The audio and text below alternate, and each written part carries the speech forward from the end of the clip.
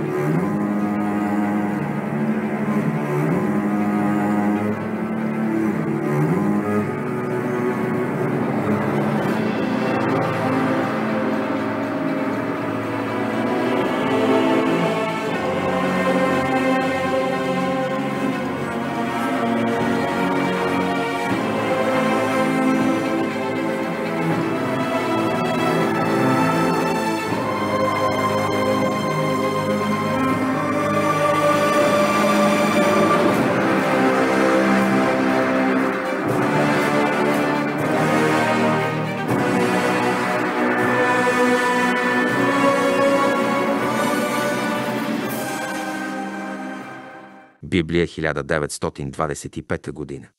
Благословен да е този, който чете тези редове. Първа книга Моисеева. Битие. В начало Бог сътвори небето и земята. А земята беше безвидна и пуста. Тъмнина се разстилаше над бездната и Дух Божий се носеше над водата. Рече Бог да бъде светлина. И биде светлина. Видя Бог, че светлината е добро нещо и отдели Бог светлината от тъмнината. Светлината Бог нарече ден, а тъмнината – нощ. Биде вечер, биде утро, ден един. И рече Бог да има твърд посред водата и тя да дели вода от вода.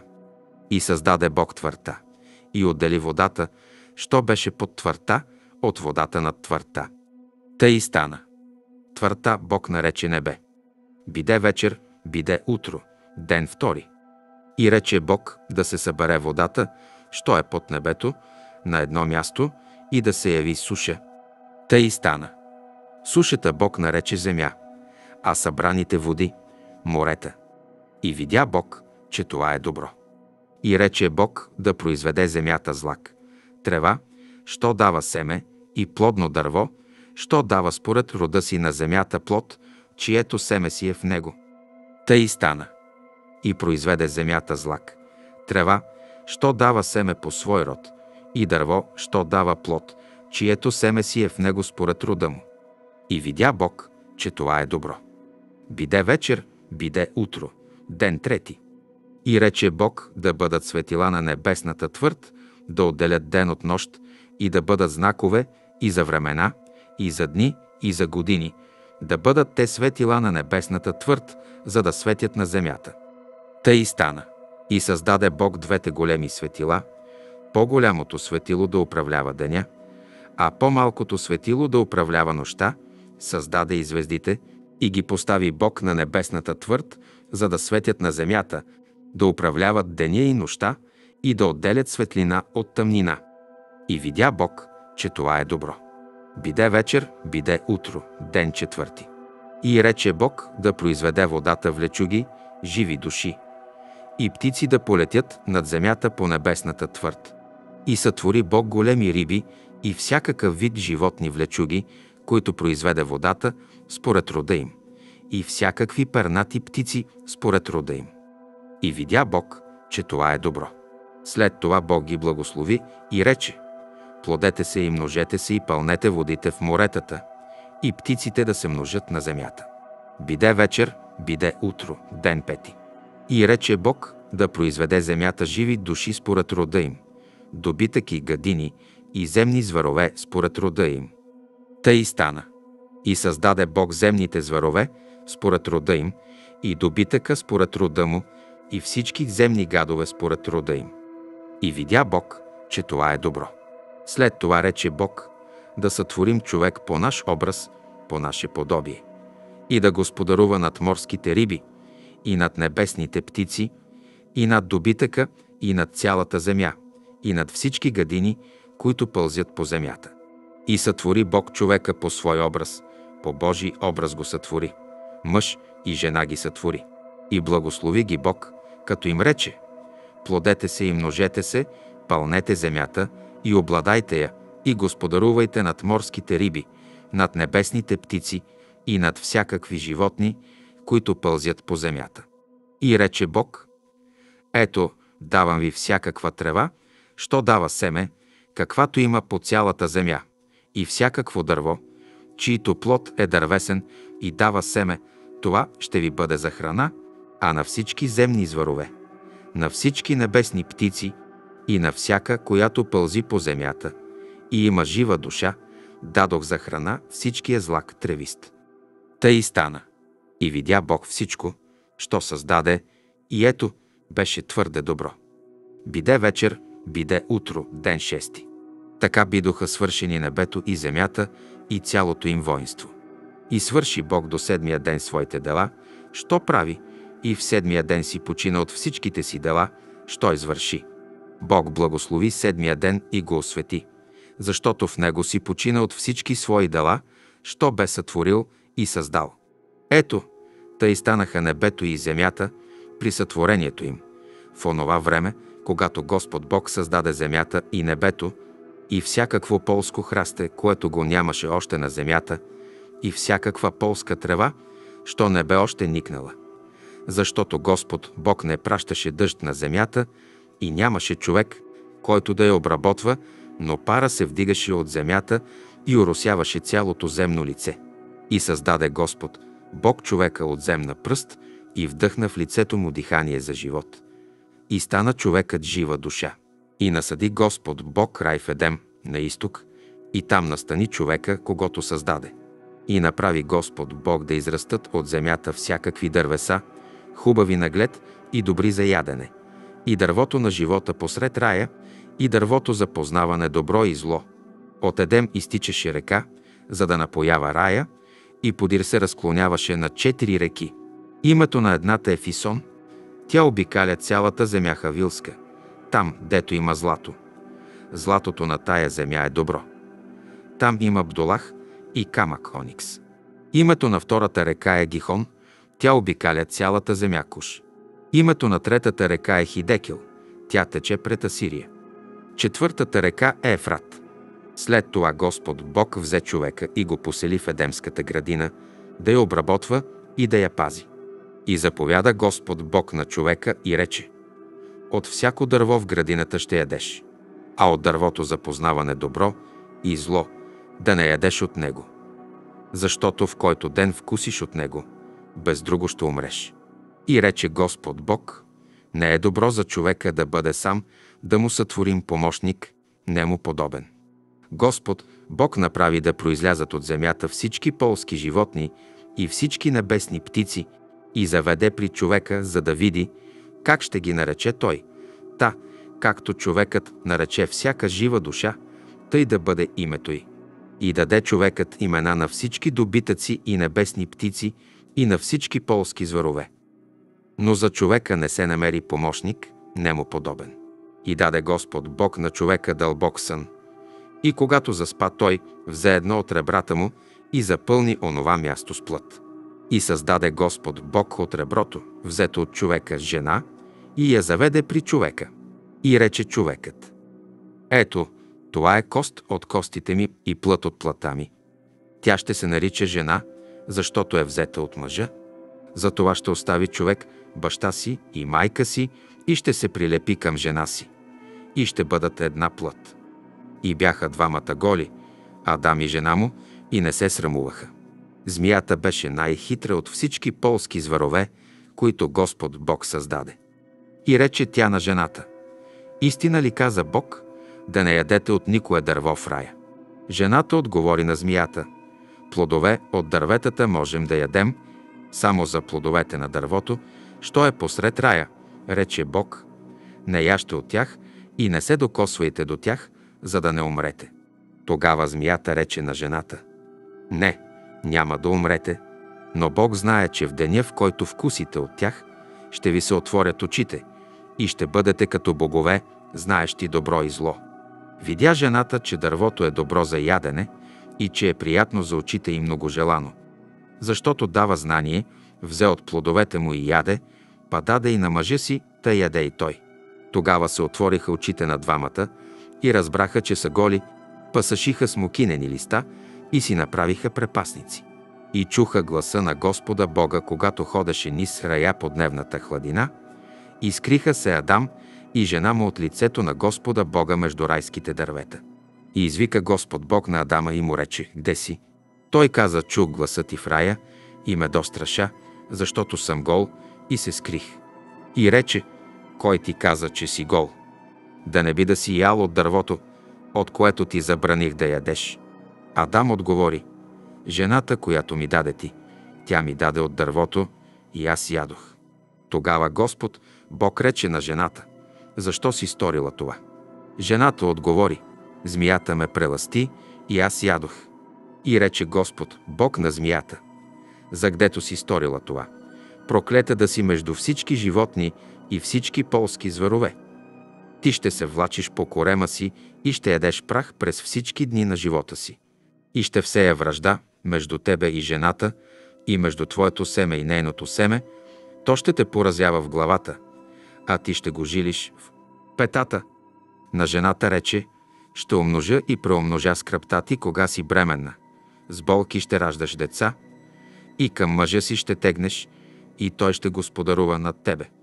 А на Адама рече, за гдето си послушал гласа на жена си и си ял от дървото, за което ти заповядах, като казах, не яш от него, проклета да е земята поради тебе.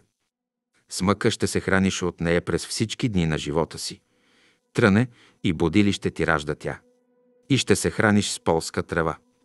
С пот на лицето си ще ядеш хляба си, докле се върнеш в земята, от която си взет, защото пръст си и в пръст ще се върнеш.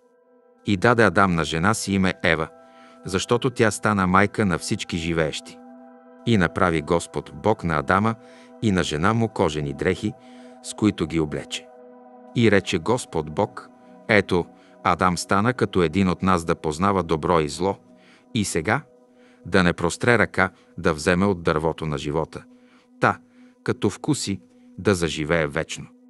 Тогава Господ, Бог го изпъди от Едемската градина да обработва земята, от която бе взет, и изгони Адама, и постави на изток при Едемската градина херовим и пламенен меч, що се обръщаше, за да пазят пътя към дървото на живота. Адам позна Ева, жена си. И тя зачена и роди Каина и рече «Придобих човек от Господа». Роди още и брата му Авеля. И Авел стана пастир на овци, а Каин беше земеделец. След няколко време Каин принесе Господу дар от земните плодове. И Авел също принесе от първородните на стадото си и от пластината им. И Господ погледна благосклонно на Авеля и на дара му, а на Каина и на дара му не погледна благосклонно. Каин се много огорчи и лицето му се помрачи. И каза Господ на Каина, защо се ти огорчи и защо се помрачи лицето ти? Ако правиш добро, не подигаш ли лице? Ако пък не правиш добро, то грехът стои при вратата. Той те влече към себе си, но ти владей над него. И рече Каин на брата си Евеля. И когато бяха на полето, Каин нападна брата си Евеля и го уби. И рече Господ на Каина, «Где е брат ти Авел?» Той отговори, «Не зная, нима съм пазач на брата си». И рече, «Какво стори?» Гласът на братовата ти кръв вика от земята към мене. И сега проклет да си от земята, която е отворила устата си да приеме братовата ти кръв от твоята ръка. Когато работиш земята, тя не ще ти дава вече силата си. Ти ще бъдеш изгнаник и скитник по земята. И рече Каин Господу, наказанието ми е по-голямо, отколкото може да се понесе. Ето, ти сега ме пропъждаш от лицето на земята, и аз ще се скрия от лицето ти и ще бъда изгнаник и скитник по земята. И всеки, който ме срещне, ще ме убие. И Господ му каза, затова именно всеки му, който убие Кайна, седмократно ще се отмъсти. Тогава Господ тури на Каина знак, за да го не убие никой, който го срещне. И отдалечи се Каин от лицето Господне и се засели в земята Нот, на изток от Едем. И позна Каин жена си, и тя зачена и роди Енуха. И съгради той град и нарече града по името на сина си Енух. На Еноха се роди Ират. Ират роди Мехиайле. Мехияел роди Матусала. Матусал роди Ламеха. Ламех си взема две жени. Името на едната беше Ада, а името на втората Цила. Ада роди Авала. Той беше баща на скотовъдци, които живеят в шатри. Брат му се казваше Ювал. Той беше баща на всички, които свирят на гусли и пищялки. Цила също роди Тувалкаина, ковач на всякакви медни и железни сечива. А сестра на Тувалкаина беше Ноема. И рече Ламех на жените си, Ада и Цила, чуйте гласа ми, жени Ламехови, послушайте думите ми. Аз ще убия мъж, който би ме уязвил, и момче, което би ме наранило. Ако за Каина се отмъстява седмократно, то за Ламеха 70 пъти по 7. Адам пак позна жена си и тя роди син и му даде име Сит, понеже Бог ми даде друго чедо вместо Авеля, когато Каин уби. На Сита тъй също се роди син и той му даде име Енос. Тогава наченаха да призовават името на Господа. Това е родословието на Адама. Когато Бог сътвори човека, създаде го по подобие Божие. Мъж и жена ги сътвори и ги благослови и им даде име човек в деня на тяхното сътворение. Адам живя 130 години и роди по свое подобие, по свой образ и даде му име Сит. Дните на Адама, след като роди Сита, бидоха още 800 години. И той роди синове и дъщери. А всички дни на Адамовия живот бяха 930 години. И той умря. Сит живя 105 години и роди Еноса. След рождението на Еноса Сид живя 807 години и роди синове и дъщери. А всички дни Ситови бяха 912 години. И той умря. Енос живя 90 години и роди Кайнана. След рождението на Кайна на Енос живя 815 години и роди синове и дъщери. А всички дни Еносови бяха 905 години. И той умря. Каинан живя 70 години и роди Малелила. След рождението на Малелила Каинан живя 840 години и роди синове и дъщери. А всички дни Кайнанови бяха 910 години. И той умря. Малелил живя 65 години и роди Яреда. След Яредовото рождение Малелейл живя 830 години и роди синове и дъщери а всички дни на Малелила бяха 895 години. И той умря. Яред живя 162 години и роди Еноха. След Еноховото рождение Яред живя 800 години и роди синове и дъщери. А всички дни Яредови бяха 962 години. И той умря. Енох живя 65 години и роди Матусала. И откак роди Матусала, Енох ходи по Бога 300 години и роди синове и дъщери. А всички дни Енохови бяха 365 години. И ходи Енох по Бога и изчезна, понеже Бог го взе. Матусъл живя 187 години и роди Ламеха. След Ламеховото рождение Матусъл живя 782 години и роди синове и дъщери.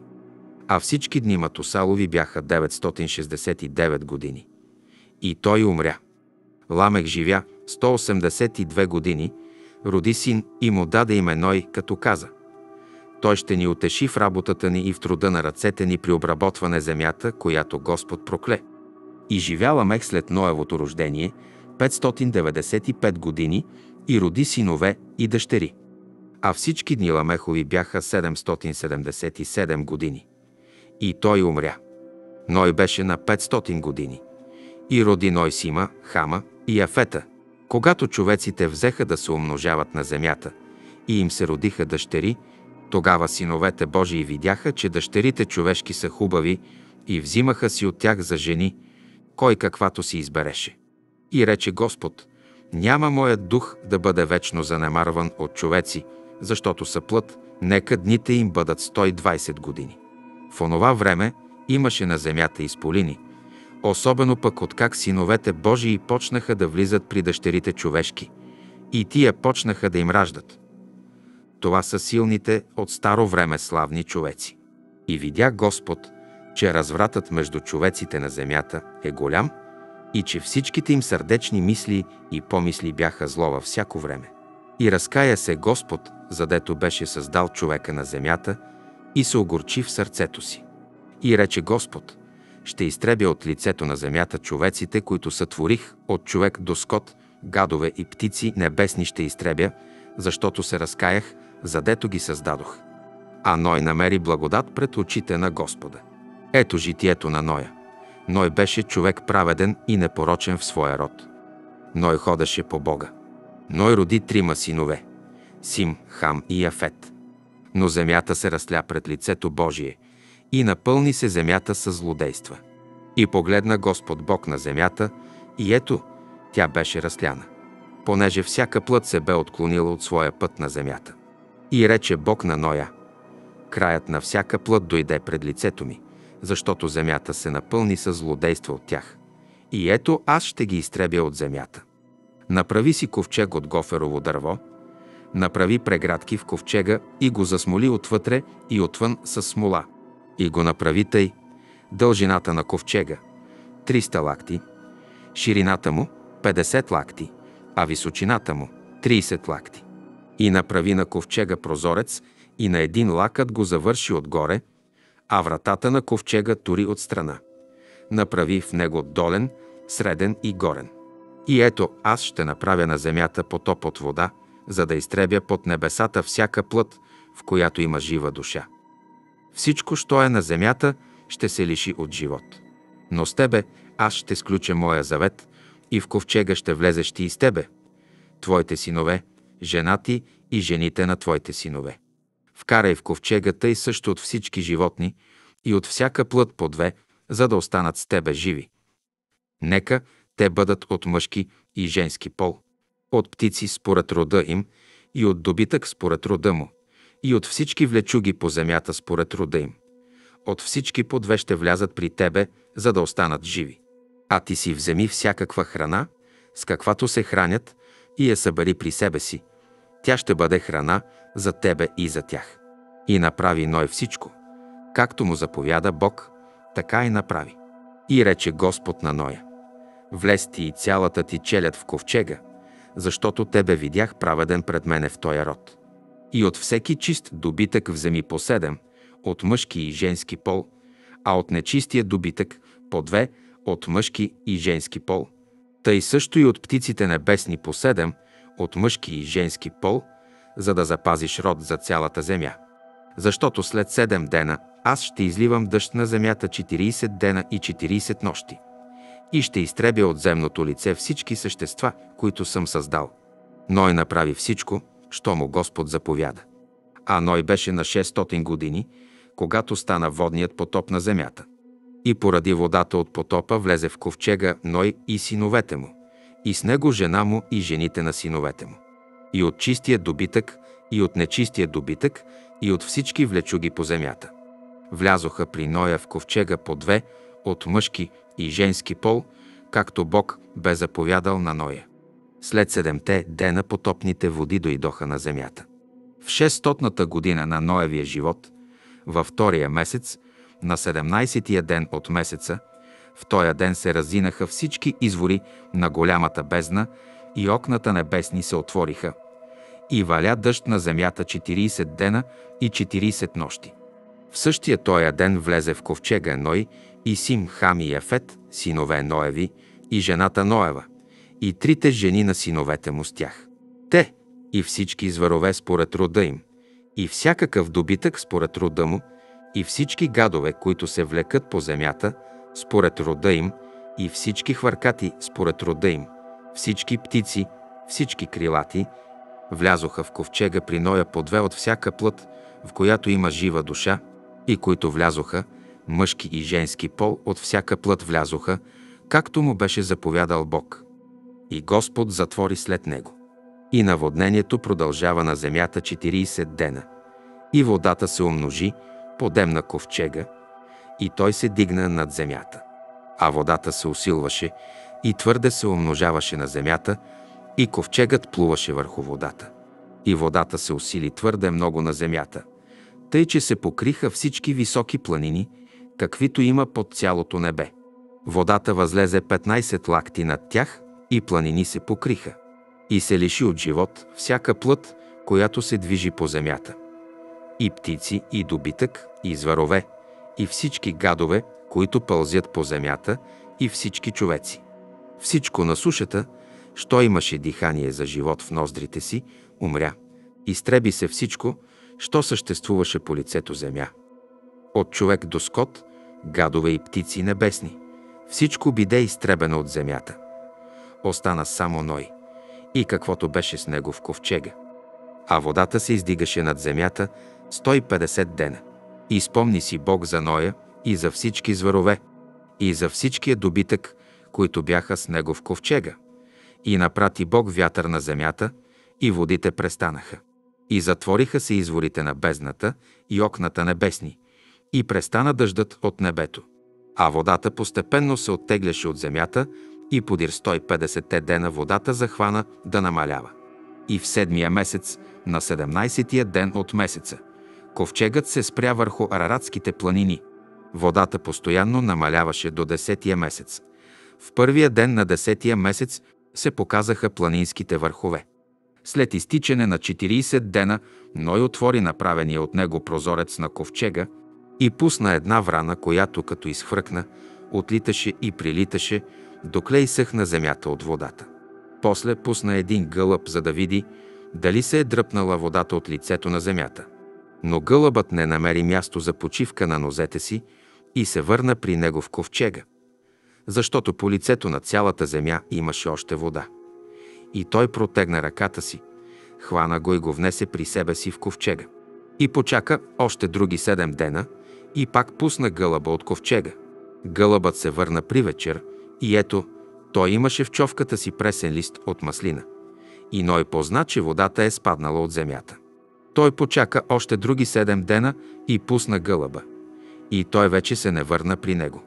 В 601 година, в първия на първия месец, пресекна водата по земята. И Ной отвори покрива на ковчега, погледа, и ето земното лице поисъхнало. А във втория месец, на 27-я ден на месеца, земята изсъхна. И рече Бог на Ноя. Излез от ковчега, ти и жена ти, и с тебе синовете ти и жените на твоите синове. Изведи със себе си всички животни, които са с тебе, от всяка плът, птици, добитък и всички пълзящи по земята гадове. Нека се пръснат по земята и нека се плодят и множат по земята. Тогава излезе Ной и с него синовете му, и жена му и жените на синовете му, всички зверове и всички птици, всичко, що се движи по земята, според рода си, и излязоха от ковчега. И съгради Ной жертвеник Господу, взе от всеки чист добитък и от всички чисти птици, и ги принесе всесъжение върху жертвеника. И помириса Господ приятно благоухание, и рече Господ в сърцето си, няма вече да проклинам земята заради човека, защото помислите на човешкото сърце са зло още от младените му. И няма вече да поразявам всичко, що живее както направих. За напред, докле трае земята, се идба и жетва, студ и пек, лято и зима, ден и нощ няма да престанат. И благослови Бог Ноя и синовете му и им рече, плодете се и се множете и пълнете земята да се боят и да треперят от вас всички зверове земни и всички небесни птици, всичко, що се движи по земята и всички морски риби. Във ваши ръце са те предадени. Всичко, що се движи и живее, ще ви бъде за храна. Като злак тревист давам ви всичко. само плът с душата й, сиреч с кръвта й, не яще, аз ще изискам и вашата кръв, в която е вашият живот. Ще я изискам от всеки звяр, ще изискам също душата на човека от ръката на човека, от ръката на брата му. Който пролее човешка кръв, и неговата кръв ще се пролее от човешка ръка. Защото човек е създаден по образ Божий. А вие се плодете и множете. Ширете се по земята и се умножавайте на нея. И рече Бог на Ноя и на синовете му с него.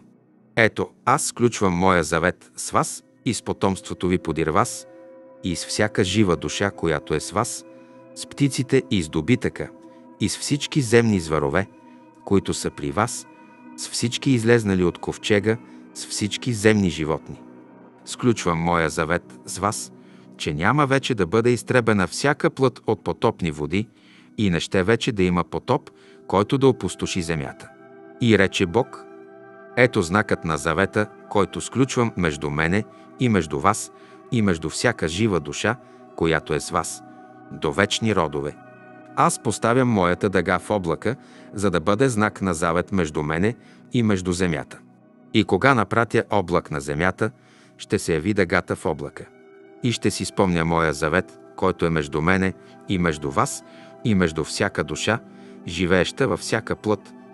И водата няма вече да стане на потоп, за да изтреби всяка плът. И дъгата ще бъде в облака, и аз ще я видя.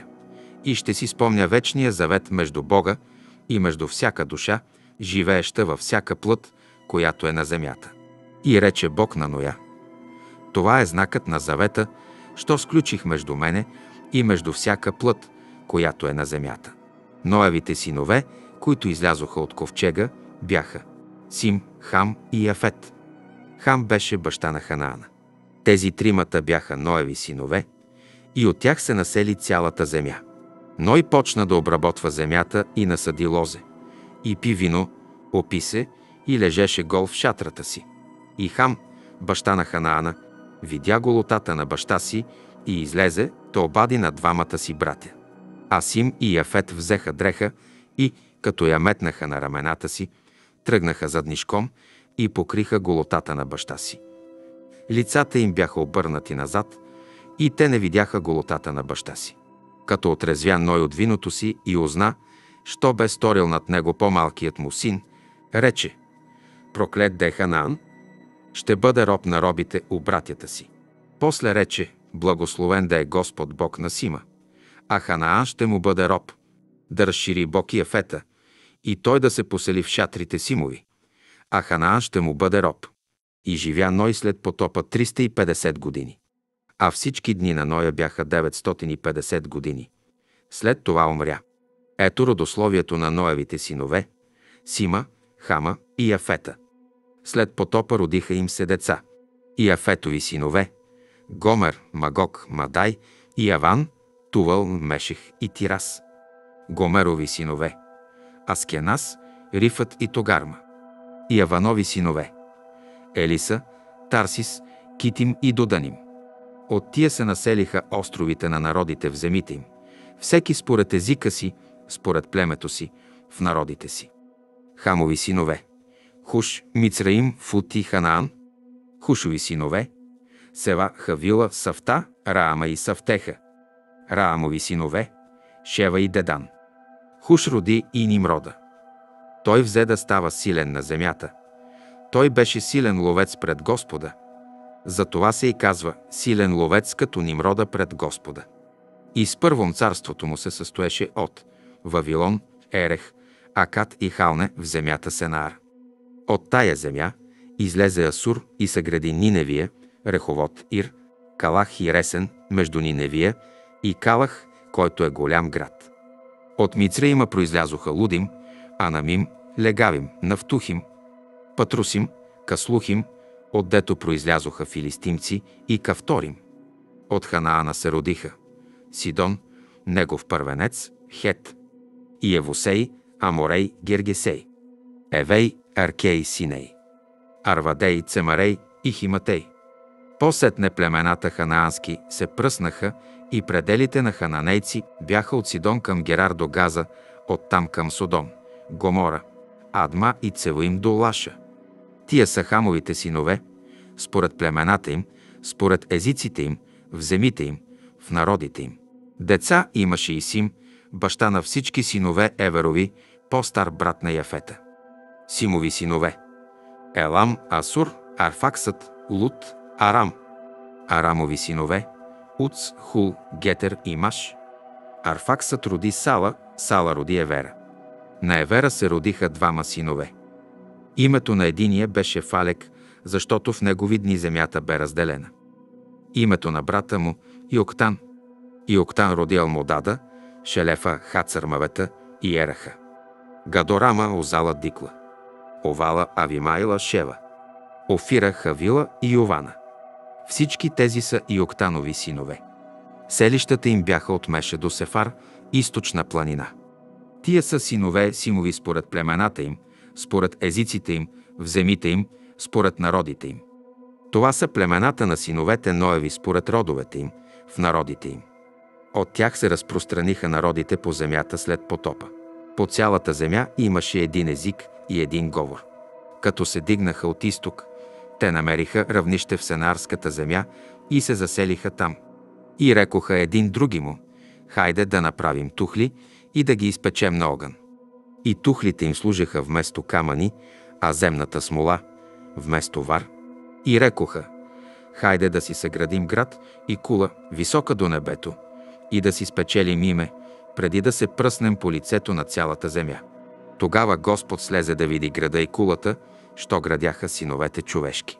И рече Господ, ето, един народ са и всички имат един език, а на какво са почнали да правят. И няма да се откажат от онова, що са намислили да правят. Нека слезем и смесим там езиците им тъй, че един да не разбира езика на други го. И пръсна ги Господ оттам по цялата земя. И те спряха да зидат града. Затова му е дадено име Вавилон, понеже там Господ смеси езика на цялата земя. И оттам ги пръсна Господ по цялата земя. Ето родословието Симово. Сим беше на 100 години и роди Арфаксада две години след потопа. След рождението на Арфаксада Сим живя 500 години и роди синове и дъщери. Арфаксад живя 35 години и роди Сала. След рождението на Сала Арфаксад живя 403 години и роди синове и дъщери. Сала живя 30 години и роди Евера. След рождението Еверово Сала живя 403 години и роди синове и дъщери. Евер живя 34 години и роди Фалека. След рождението Фалеково Евер живя 430 години и роди синове и дъщери. Фалек живя 30 години и роди Рагава. След рождението на Рагава Фалек живя 209 години и роди синове и дъщери.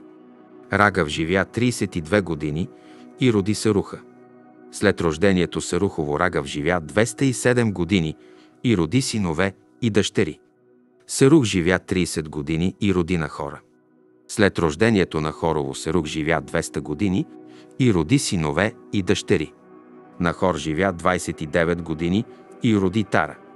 След рождението на Тара Нахор живя 119 години и роди синове и дъщери.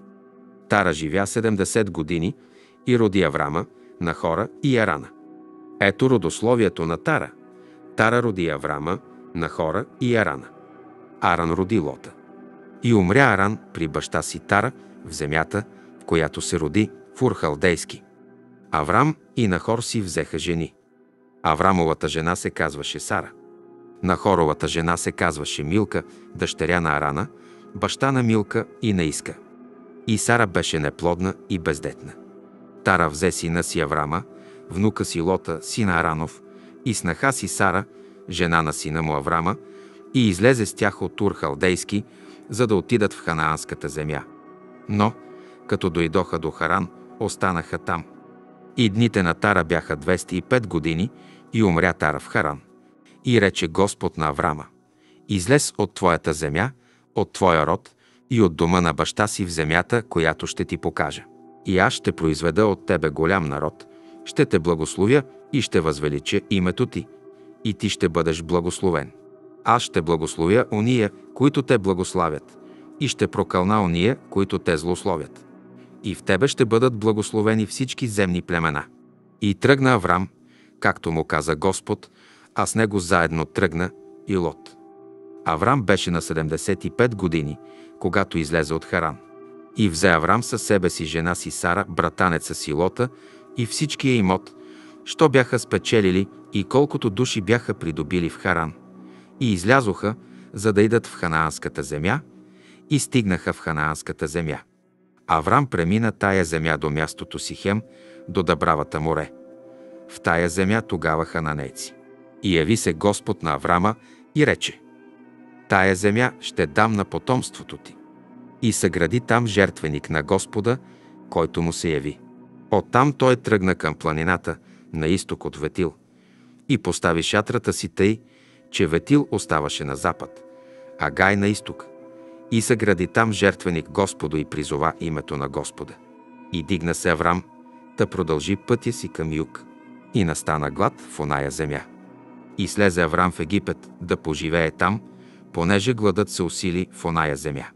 А когато се приближаваше до Египет, рече на жена си Сара. Ето, аз зная, че ти си жена хубава, и египтяни, като те видят, ще рекат, тази е негова жена. И ще ме убият, а тебе ще оставят жива. Затова кажи, че ми си сестра, та да помина добре покрай тебе и да ми остане жива душата чрез тебе. И когато дойде Аврам в Египет, египтяни видяха, че Сара е много хубава жена. Видяха и фараоновите велможи и я похвалиха на фараона. И я взеха в дома фараонов. И покрай нея Аврам поминуваше добре. И той имаше дребен и едър добитък, и осли слуги, и слугини, мъски и камили. Но Господ порази с тежки удари фараона и дома му поради Сара, жената Аврамова. Тогава фараонът повика Аврама и рече Какво стори с мене? Защо ми не обади, че тя е твоя жена? Защо каза, сестра ми е, аз щях да си я взема за жена. А сега на ти жената. Вземи и си върви. И отреди фараонът за него човеци, те изпроводиха него и жена му и всичко, що имаше. И дигна се Аврам от Египет, той и жена му, и всичко, що имаше, и Лот с него към юг. Аврам беше много богат с добитък, с сребро и с злато. И продължи пътуванията си от юг до Ветил, до мястото, гдето попреди беше шатрата му. Между Ветил и Гай, до мястото на жертвеника, който бе там най-напред се градил, и там призова Аврам името Господне. И Лот, който пътуваше с Аврама, също имаше дребен и едър добитък и шатри. И земята беше тясна за тях, за да живеят заедно, понеже имотът им беше тъй голям, че не можаха да живеят заедно. И стана караница между пастирите на Аврамовия добитък и пастирите на Лотовия добитък. В оная земя живееха тогава хананейци и ферезейци. И рече Аврам на Лота, не бива да има караница между мене и тебе, и между моите пастири и твоите, понеже сме роднина. Не е ли цялата земя пред тебе? Отдели се от мене. Ако идеш ти наляво, аз надясно, ако пък ти надясно, аз наляво. Лот дигна очи и видя цялата околност Йорданска, която преди Господ да съсипе Содом и Гомора, цяла до сигур се напояваше с вода, като рая Божи, като египетската земя. И Лот си избра цялата Йорданска околност и потегли Лот към изток. И тъй те се отделиха един от друг. Аврам се настани в Ханаанската земя, а Лот се настани в градовете на околността и разпъна шатри до Содом. А содомските жители бяха лоши и много грешни пред Господа. И рече Господ на Аврама, след като Лот се отдели от него, дигни очи и от мястото, дето си сега, погледни към север и юг, към изток и запад, защото цялата земя, която виждаш, на тебе ще я дам и на потомството ти до века, и ще направя потомството ти като земния пясък. Ако някой може да изброи земния пясък, ще бъде изброено и твоето потомство. Стани и сходи тая земя на длъж и на шир, защото аз на тебе ще я дам. И вдигна Аврам шатрата си и отиде да се засели в Дъбравата Мамре, що е в Хеврон. И там съгради жертвеник Господу. И в уния дни Сенарският цар Амрафел, Еласарският цар Ариух, Еламският цар Кедорлаомер и Гоимският цар Тидал. Всички тия царе тръгнаха на война против Бера, цар Содомски, против Бирша, цар Гоморски, Шинава, цар на Адма, Шемевера, цар Севоимски и против царя на Бела, сиреч на Сигур. Всички тия се съединиха в долина Сидим, гдето е сега Солено море. 12 години бяха те подчинени на Кедорлоомера, а в 13-та година възстанаха. В 14-та година дойде Кедорлоомер и царете, които бяха с него, и поразиха рефаимци в Ащерот Карнаим, зузимци в Хам, емимци в Шаве Кириятаим и хорейци в планината им Сеир, до Ел Фаран, що е при пустинята. И като се върнаха оттам, дойдоха при извора Мишпът, Сиреч Кадес, и съсипаха цялата земя Амаликитска, също и аморейците, които живееха в Хацацон Тамар. Тогава царят Содомски, царят Гоморски, царят на Адма, царят Севоимски и царят на Бела, сиреч на Сигур, потеглиха и влязоха в бой с тях в долина Сидим. С Кедорлаомера, цар Еламски, Тидала, цар Гоимски, Амрафела, цар Сенеарски, Ариуха, цар Еласарски. Четирма царе против петима. А в долина Сидим имаше много смо лени ями. И царете Содомски и Гоморски, като удариха на бяг, паднаха в тях. А останалите побягнаха в планините. Победителите взеха всичкия имот на Содом и Гомора и всичката им храна и си отидоха. Взеха и Лота, Аврамов братанец, който живееше в Содом, и имота му, и си отидоха. А един от уния, които се бяха избавили, дойде та обади на еврей на Аврама, който живееше тогава в дъбравата на Морееца Мамре, брат Ешколов и брат Анеров, Аврамови съюзници. Аврам, като чу, че сродникът му е взет в плен, въоръжи своите 318 слуги, родени в дома му, и гони неприятелите до Дан. И като раздели дружината си, нападна върху тях нощем, той и слугите му, разби ги и ги гони дори до Хова, която е отляво на Дамаск. И върна всичкия имот и сродника си Лота, върна и имота му, както и жените и народа. Когато той се връщаше поди разбиване на Кедорломера и на царете, които бяха с него, Содомският цар излезе да го посрещне в долина Шаве, която е сега царска долина. И Мелхиседек, цар Салимски, изнесе хляб и вино. Той бе свещеник на Бога Всевишни и благослови го и рече Благословен да бъде Аврам от Всевишния Бог, владетеля на небето и земята. Благословен да бъде и Бог Всевишни, който предаде в Твоите ръце враговете ти му даде десетата част от всичко. И рече Содомският цар на Аврама, дай ми човеците, а имота вземи за себе си. Но Аврам рече на Содомския цар, дигам ръката си към Господа Бога Всевишни, владетеля на небето и земята, че дори нишка и ремик от обуща не ще взема от всичко Твое, за да не речеш, обогатих Аврама. Освен онова, що момците изядоха, и освен дела, принадлежащ на мъжете Анер, Ешкол и Мамре, които ходиха с мене. Те нека вземат своя дял. Подир тия събития биде слово Господне към Аврама във видение и казваше, не бой се, Авраме. Аз съм твой щит, твоята награда твърде голяма. Аврам рече, Владико Господи, какво ще ми дадеш? Аз оставам бездетен, разпоредник в дома ми е Елиезер от Дамаск. И пак рече Аврам, ето, ти ми не даде потомство. И на, мой наследник ще бъде домочадецът ми. И биде слово Господне към него и му казваше, той няма да ти бъде наследник. Но оня, който произлезе от твоите чресла, той ще ти бъде наследник. Па го изведе навън и рече, погледни към небето и изброй звездите, ако можеш ги изброи. И му рече, толкова ще бъдат твоите потомци. Аврам повярва на Господа и това му се вмени за оправдание. И му рече, аз съм Господ, който те изведох от Урхалдейски, за да ти дам да владееш тая земя. Той рече, Владико Господи, по какво ще позная, че ще я владея? Господ му рече, вземи ми три годишна телица, три годишна коза, три годишен овен, гурголица и млад гълъб. Взе той всички тия, разсече ги по наполовина и тури една част срещу друга. Само птиците не разсече. И налетяха върху труповете грабливи птици, но Аврам ги разпъждаше. По залез слънце налегна Аврама тежък сън. И ето, Обзе го ужас и голям мрак. И рече Господ на Аврама, знай, че твоите потомци ще бъдат пришелци не в своя земя. Ще ги поробят и ще ги огнетяват 400 години. Но аз ще съдя народа, който ще ги пороби. След това те ще излязат с голям имот. А ти ще отидеш при отците си с миром и ще бъдеш погребан в добра старост.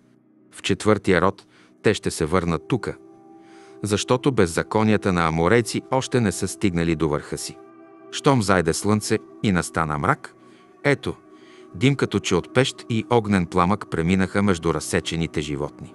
В този ден сключи Господ завет с Аврама, като рече «На Твоето потомство аз давам тая земя, от египетската река до голямата река, река Ефрат.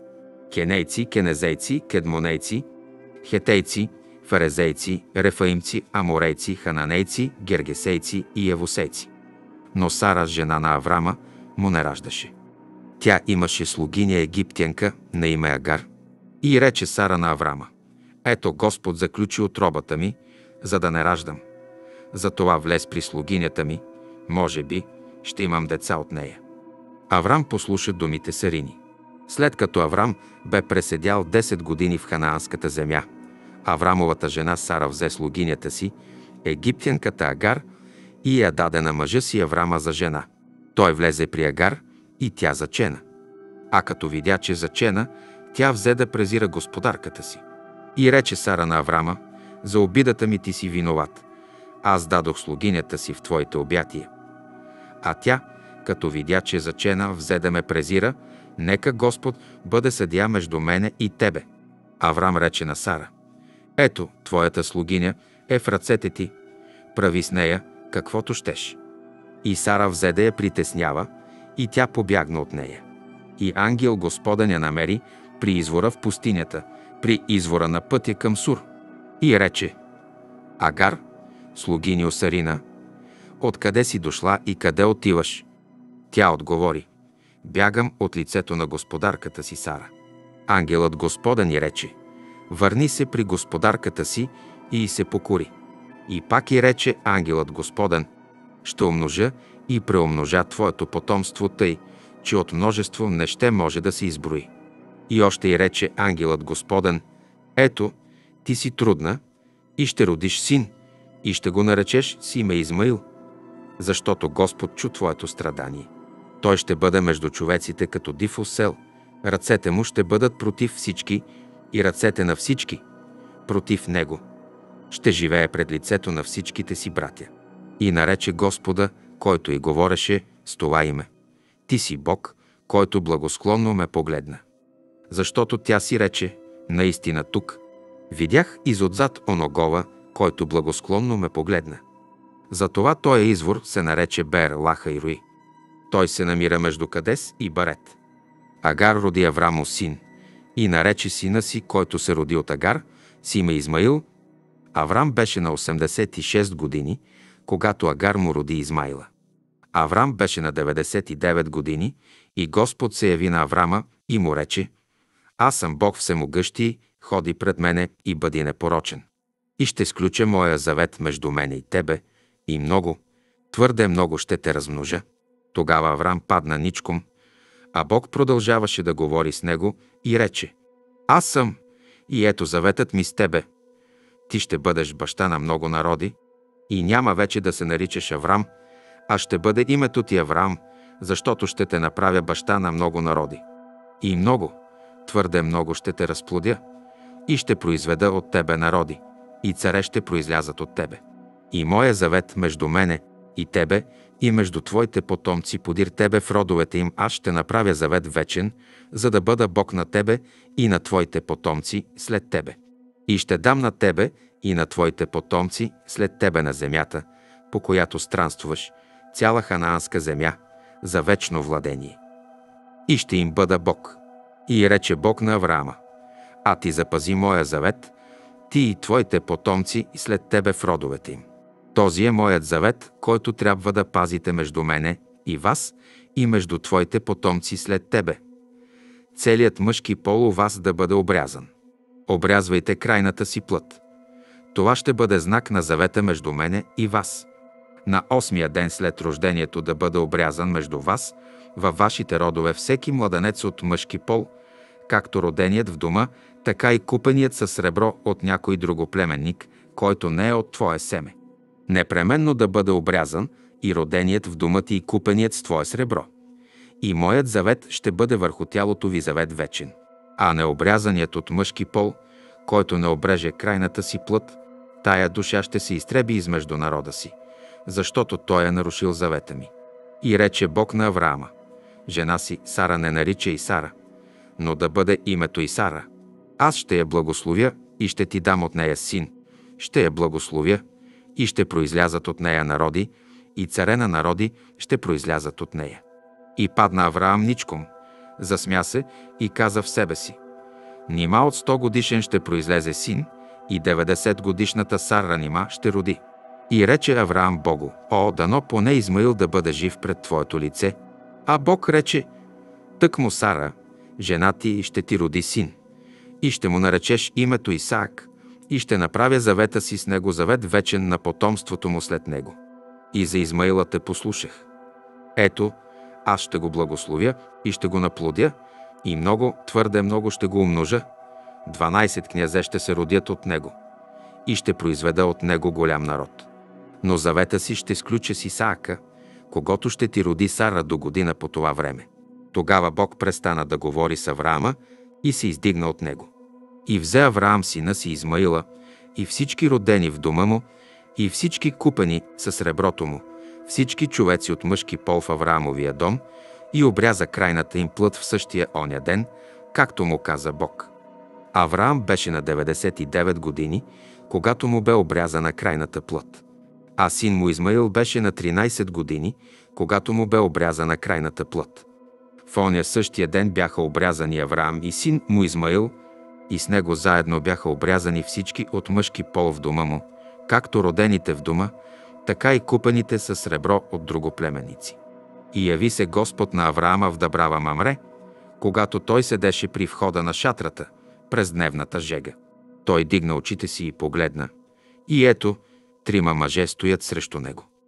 Като ги видя, затече се от входа на шатрата да ги посрещне и се поклони до земи и рече, Господарю, ако съм намерил благоволение пред очите ти, не отминавай твоя раб. Ще донесат малко вода, ще умият нозете ви и ще си починете под това дърво, аз пък ще донеса хляб и вие ще подкрепите сърцата си. След това вървете, защото за това именно минахте край вашия раб. Те рекоха, стори, както казваш. И затече се Авраам в шатрата при Сара и рече, замеси по-скоро три сати от най-доброто брашно и направи пресни пити. А Авраам се затече при стадото, взе едно младо и добро теле и го даде на слугата, и той побърза да го сготви.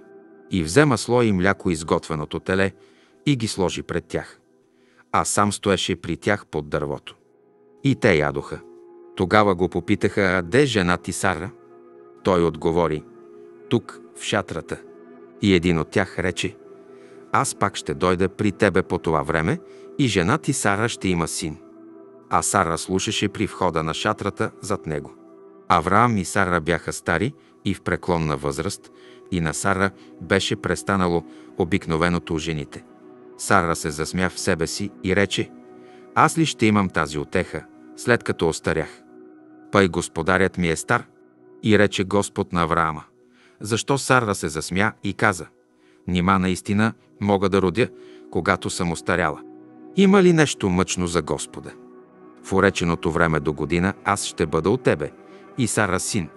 Но Сара не се призна, а рече, не съм се смяла, защото тя се бе оплашила.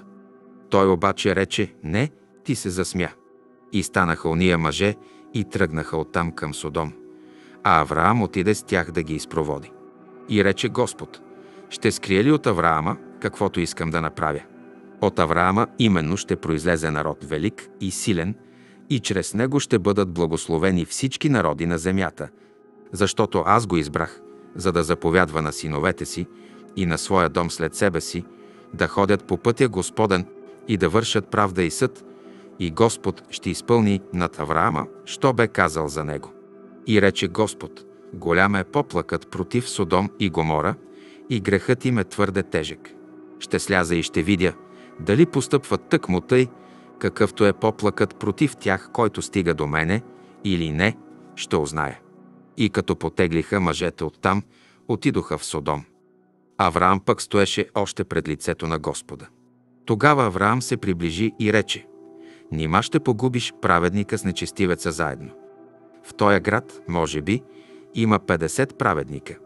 Нима ще погубиш и не ще да пожалиш това място заради 50-те праведници в него. Не може да бъде ти да постъпиш тъй, че да погубиш праведника с нечестивеца заедно, та същото да стане с праведния, каквото и с нечестивия. Не може да бъде това от тебе. Съдята на цялата земя ще постъпи ли неправосъдно? Господ рече, ако намеря в град Содом 50 праведника, заради тях ще пожаля всичкото това място. Авраам отговори, ето, реших се да говоря на Господа, аз, който съм прах и пепел. Може би, до 50-те праведници да не достигнат пет, нима заради пете ти ще погубиш целия град. Той отговори, няма да го погубя, ако намеря там 45. Авраам продължаваше да говори с него и рече, може би ще се намерят там 40. Той отговори, няма да направя това и заради 40-те. И рече Авраам, да се не прогневи Господ, за гдето ще говоря. Може би ще се намерят там 30. Той рече, няма да направя това, ако се намерят там 30. Авраам рече, ето, аз се реших да говоря на Господа. Може би ще се намерят там 20. Той отговори, няма да погубя и заради 20-те. Авраам рече, да се не прогневи Господ, за гдето ще кажа още веднъж, може би ще се намерят там 10. Той отговори, няма да погубя и заради десетте. И Господ си тръгна, като престана да говори с Авраама. Авраам пък се върна на мястото си. И дойдоха двамата ангели в Содом вечерта, когато Лот седеше при Содомските порти. Като ги видя Лот, стана да ги посрещне, поклони се с лице до земи. И рече, Господари мои, отбийте се в дома на вашия раб, пренощувайте и умийте нозете си, и като станете утре заран, ще продължите пътя си. Но те отговориха, не, ние ще нощуваме на улицата. Но той настойно ги придумваше и те тръгнаха след него и дойдоха у дома му. Той ги нагости и им опече пресни пити и те ядоха. Още не бяха легнали да спят и градските жители, судомци, млади и стари, целият народ от всички краища на града, заобиколиха къщата, извикаха Лота и му думаха, да са човеците, които дойдоха при тебе да нощуват. Изведи ни ги да ги познаем. Лот излезе при тях до входа, заключи вратата, подире си и рече, братя мои, не правете зло. Ето, имам две дъщери, които още мъж не са познали. По-добре тях да изведа при вас и правете с тях каквото искате, само на тия човеци не правете нищо, понеже са дошли под покрива на къщата ми. Но те казаха, дръпни се от тука. И рекоха, пришелеце, а иска да съди. Сега ще постъпим с тебе по-лошо, отколкото с тях. И навалиха силно върху този човек, върху лота, па се приближиха да струшат вратата. Тогава уния мъже протегнаха ръце и вкараха лота при себе си вкъщи, па заключиха вратата. И поразиха човеците, които бяха при вратата на къщата, от малък до голям, със слепота. Тъй, че те се изпомъчиха да търсят вратата. Тогава уния мъже рекоха на Лота. Кого други го имаш още тука? Било зет, било твои синове или твои дъщери, и който и да е твой в града. Всички изведи от това място, защото ние ще съсипем това място, голям поплак има против жителите му пред Господа. И Господ ни прати да го погубим. Тогава Лот излезе и говори с зетювете си, които щяха да вземат дъщерите му, и рече, станете, те излезте от това място, защото Господ ще съсипе този град. Но на зетювете му се стори, че се шегува. Щом пукна зора, ангелите подканяха Лота да бърза и му казваха Стани, вземи жена си и двете си дъщери, които са при тебе, за да не погинеш поради беззаконието на града. И понеже той се бавеше, мъжете, по Господня милост към него, взеха за ръка него, жена му и двете му дъщери и го изведоха, та го оставиха вън от града. А когато ги изведоха навън, един от тях рече, спасявай душата си, не поглеждай назад и ние да не се спирай в тая околност, спасявай се в планината, за да не погинеш. Но Лот им отговори, не, Господи, ето, Твоят раб намери благоволение пред очите Ти и велика е Твоята милост, която си направил с мен, че ми спаси живота. Но аз не мога се спаси в планината, да не би да ме постигне зло и умра. Ето, по-близо е да бягам в този град, който е малък. Ще побягна там. Той е малък и животът ми ще се запази. И му рече, ето за твоя угода ще направя и това. Няма да съсипя града, за който ти говориш. Побързай, спасявай се там, защото аз не мога свърши делото, докле ти не стигнеш там. Затова е и наречен той е град Сигур. Слънцето изгря над земята и Лот стигна в Сигур. Тогава Господ изля върху Содом и Гомора като дъжд жупел и огън от Господа от небето и съсипа тия градове и цялата околност и всички жители на тия градове и растения земни. А Лотовата жена погледна назад и се превърна в солен стълб. Сутринта рано стана Авраам и на мястото, дето бе стоял пред лицето на Господа. И погледна към Содом и Гомора и към целия простор наоколо и видя. Ето, дим се дигаше от земята като дим от пещ. Когато Бог съсипваше градове по оная околност, спомни си Бог за Авраама и изпрати Лота и сред съсипните, когато разоряваше градовете, дето живееше Лот. Лот излезе от Сигур и заживя в планината и с него заедно двете му дъщери, понеже се боеше да живее в Сигур. И живееше в пещера. И с него заедно двете му дъщери. И по-голямата каза на по-малката. Баща ни е стар и няма човек на земята да влезе при нас според обичая на цялата земя. И тъй, хайде да опоим баща си с вино и да преспим с него, та да възстановим племе от баща си. И опоиха баща си с вино в оная нощ. И влезе по-голямата и спас баща си. А той не узна кога е легнала и кога е станала. На другия ден по-голямата рече на по-малката. Ето, аз спах вчера с баща си. Да го опоим с вино и тая нощ. И ти влез, спи с него, и ще възстановим племе от баща си. И опоиха баща си с вино и тая нощ. И влезе по-малката и спа с него. И той не узна кога е легнала и кога е станала. И заченаха двете лотови дъщери от баща си. И по-голямата роди син и му нарече името Моав. Той е баща на муавици и до днес. И по-малката тъй също роди син и му нарече името. Бенами. Той е баща на амуници и до днес. Авраам тръгна оттам към юг и се посели между Кадес и Сур и престоя временно в Герар и рече Авраам за жена си Сара. Тя ми е сестра. И герарският цар Авимелех прати и взе Сара. И дойде Бог при Авимелеха нощем на съне и му рече. Ето ти ще умреш поради жената, която си взел, защото тя си има мъж. А Авимелех не беше се докоснал до нея и рече. Господи, нима ще погубиш и невинния народ. Нали сам той ми рече? Тя ми е сестра. И тя сама рече. Той ми е брат. Аз направих това с просто сърце и с чисти ръце. И рече му Бог на съне. И аз зная, че си направил това с просто сърце. И те удържах от грях пред мене, затова и не те допуснах да се докоснеш до нея.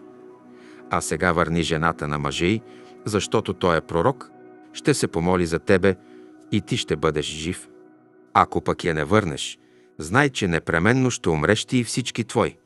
И стана Авимелех сутринта рано, повика всичките си слуги и им разказа да чуят всички тия думи. И тия хора много се оплашиха. И Авимелех повика Авраама и му рече, «Какво направи ти с нас? С какво сгреших аз против тебе, та щеше да нанесеш голям грях върху мене и върху царството ми?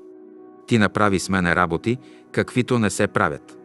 И Авимелех рече Авраамо, «Какво имаше на ум, когато стори това нещо?» Авраам рече, помислих, че в това място няма страх Божий и че ще ме убият за жена ми. Пътя и наистина ми е сестра. Тя е дъщеря на моя баща, само че не дъщеря на майка ми и стана моя жена. Когато Бог ме изведе от бащиния ми дом да странствувам, аз си рекох, направи ми това добро. В което място отидем, навред казва и за мене. Той ми е брат. Тогава Авимелех взе дребен и едър добитък, и слуги и слугини, и ги даде на Авраама. Павърна и жена му Сара. И рече Авимелех, ето отпреде ти моята земя. Живей, дето ти е воля. А на Сара рече, ето аз дадох на брата ти хиляда сикли сребро. Ето, това е на тебе було за очите пред всички, които са с тебе, и пред всички си оправдана. И помоли се Авраам Богу, и Бог изцери Авимелеха, и жена му, и слугините му, и те взеха да раждат. Защото Господ бе заключил всички отроби в дома Авимелехов поради Авраамовата жена Сара. Господ погледна милостно към Сара, както бе рекал, и направи Господ на Сара, както бе говорил. Сара зачена и роди Авраамо син в старините му, тък му по времето, за което му бе говорил Бог. И Авраам нарече си име Исаак сина си, който му се роди и когато му роди Сара. И обряза Авраам сина си Исаака в осмия ден, както му бе заповядал Бог. Авраам беше на 100 години, когато му се роди син му Исаак. И рече Сара, смях ми стори Бог, който чуе за мене, ще се разсмее. И пак каза, кой би рекал на Авраама? Сара ще кърми деца, защото родих син в старините му. Детето порасна и го отбиха. И Авраам даде голяма гощавка в деня, когато отбиха Исаака. Видя Сара, че синът, когато египтянката Агар бе родила Авраамо, се присмива и рече на Авраама «Изпъди тая рубиня и сина й, защото синът на тая рубиня не бива да наследи заедно с моя син Исаака». Това се видя Авраамо много тежко поради сина му. Но Бог рече на Авраама «Не се огорчавай за момчето и рубинята ти, за всичко, което ти каже Сара, слушай думата й, защото от Исаака потомство ще се назове с Твое име. И от сина на рубинята аз ще произведа народ, защото той е Твое семе. Авраам стана сутринта рано, взе хляб и мях с вода и даде на Агар, като и тури на рамо. Даде и момчето и я изпрати. Тя тръгна и се заблуди в пустиня в Вирсавия. Водата в мяха се свърши и тя остави детето под един храст и отиде, та седна надалеч, колкото един стрелей от лък. Защото тя рече, не искам да видя смъртта на детето. И седна срещу, и викната заплака. И Бог чу гласа на момчето, и ангел Божий от небето извика на Агар и рече, «Що ти е, Агар? Не бой се». Бог чу гласа на момчето оттам, дето е то. Стани, дигни момчето и го хвани за ръка, защото аз ще произведа от него голям народ. И Бог й отвори очите, и тя видя кладенец с вода. И отиде, та напълни мяха с вода и напои момчето. И Бог беше с момчето, и то порасна и заживя в пустинята, и стана стрелец с лък. Той живееше в пустиня Фаран и му взе майка му жена от египетската земя. И в онова време Авимелех с воеводата си Фихол рече на Авраама. Бог е с тебе във всичко, каквото правиш. А сега закълни ми се тук в Бога, че ти няма да пакостиш нито на мене, нито на сина ми, нито на внука ми. И както аз добре постъпвах с тебе, тъй и ти ще постъпваш с мене и с земята, в която си гост. И рече Авраам, заклевам се, тогава Авраам укоряваше Авимелеха за водния кладенец, що бяха отнели Авимелеховите слуги.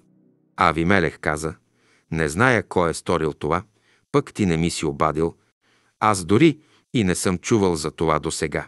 И взе Авраам дребен и едър добитък и даде на Авимелеха, и двамата сключиха съюз.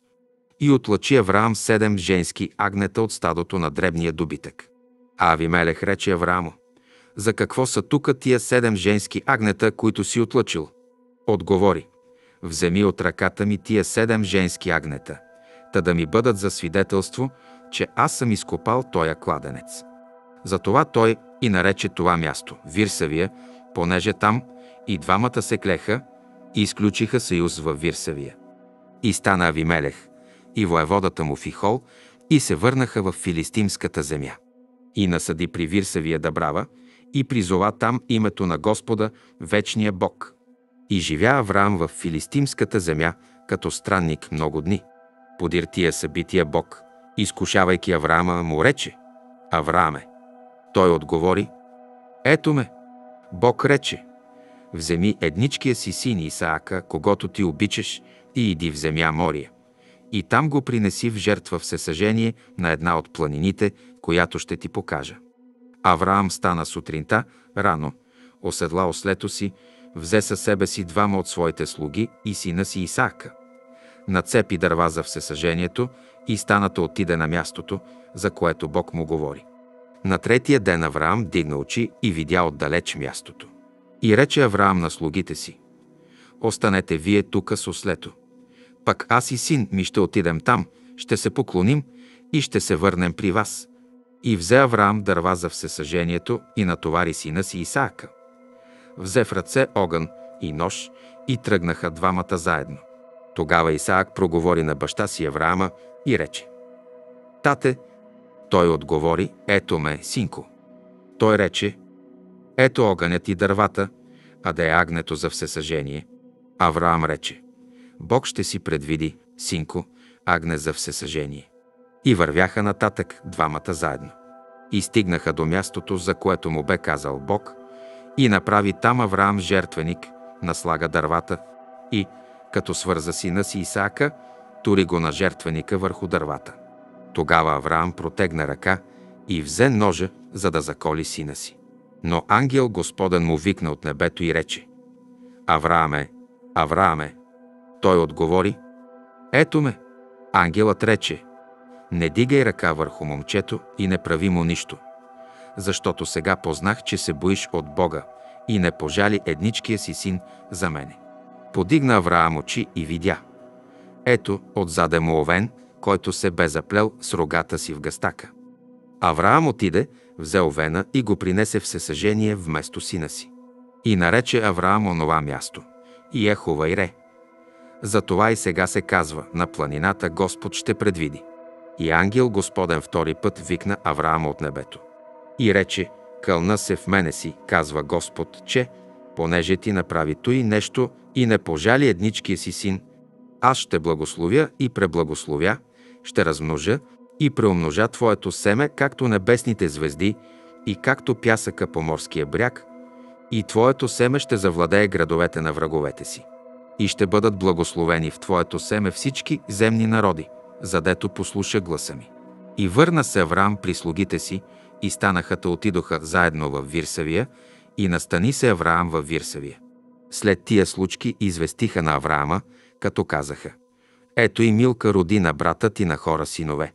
Уца, негов първенец, Вуза, негов брат, Кемуила, баща Арамов, Кеседа, Хазо, Пилдаша, Идлафа и Ватуила. От Ватуила се роди Ревека. Тия осем роди Милка на Нахора, Авраамовия брат, и наложницата му на име Релма, тъй също роди. Теваха, Гахама, Тахаша и Маха. Сара живя 127 години. Толкова бяха годините на Сариния живот. И умря Сара в Кирият Арба, сега Хеврон, в ханаанската земя. И дойде Авраам да плаче и ридае за Сара. И стана Авраам от своята покойница и рече на хетовите синове, думайки, аз съм у вас пришелец и заселник. Дайте ми между вас място за гроб, което да си е мое, та да погреба моята покойница отпред очите си. Хетовите синове отговориха Авраамо и му рекоха, послушай ни, господарю наш, ти си княз Божий между нас, погреби своята покойница на най-доброто от нашите погребални места. Никой от нас няма да ти откаже погребално място, за да погребеш своята покойница. Авраам стана и се поклони на народа от оная земя, на хетовите синове, и говори им като рече, ако сте съгласни да погреба моята покойница, послушайте ме, помолете за мене Цухаровия син Ефрона, да ми даде пещерата Махпела, която е на край нивата му. Нека с пълна цена ми я даде да си е моя, за гробница между вас. А Ефрон седеше между хетовите синове. И отговори хетецът Ефрон Авраамо гласно пред хетовите синове, пред всички, които влизаха във вратата на града му, и рече – не, господарю, чуй ме, давам ти нивата, Давам ти и пещерата, която е в нея. Подарявам ти я пред синовете на моя народ. Погреби покойницата си. Авраам се поклони пред народа на оная земя. И думаше Ефроно гласно пред народ на тая земя и рече, моля, послушай ме, аз искам сребро да ти дам за нивата. Вземи го от мене и аз ще погреба там покойницата си. Ефрон отговори Авраамо и му рече, Господарю мой, чуй ме, земята струва 400 сикли сребро. Какво е това за мене и за тебе? Погреби покойницата си.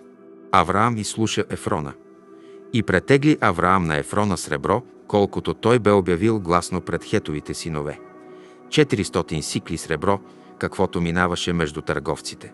Тогава Ефроновата нива, що е при Махпела, срещу Мамре, нивата и пещерата, която е в нея, и всички дървета в нивата, във всичките граници наоколо, станаха. Владение Авраамово пред очите на хетовите синове, на всички, които влизаха през вратата на града му. Подир това Авраам погреба жена си Сара в пещерата на нивата в Махпела, срещу Мамре, сега Хеврон, в ханаанската земя. Тъй придоби Авраам от хетовите синове нивата и пещерата, която е в нея, за собствено гробище. Авраам беше вече стар и в преклонни години. Господ благослови Авраама във всичко. И рече Авраам на своя слуга, най-стария в дома му, който пристояваше над целия му имот. Тори ръката си под бедрото ми и ми се закълни в Господа, Бога на небето и Бога на земята, че няма да вземеш за сина ми жена от дъщерите на хананейци, между които живея, а ще отидеш в моята земя, в родното ми място, и ще вземеш жена за сина ми Исаака. Слугата му рече, може жената да не пожелае да дойде с мене в тая земя. Трябва ли да върна сина ти в земята, от която ти си излязал? Авраам му рече, гледай да не върнеш сина ми там. Господ, Бог на небето, който ме взе от бащиния ми дом и от земята, дето съм роден, който ми говори и който ми се кле, думайки, на потомството ти ще дам тая земя.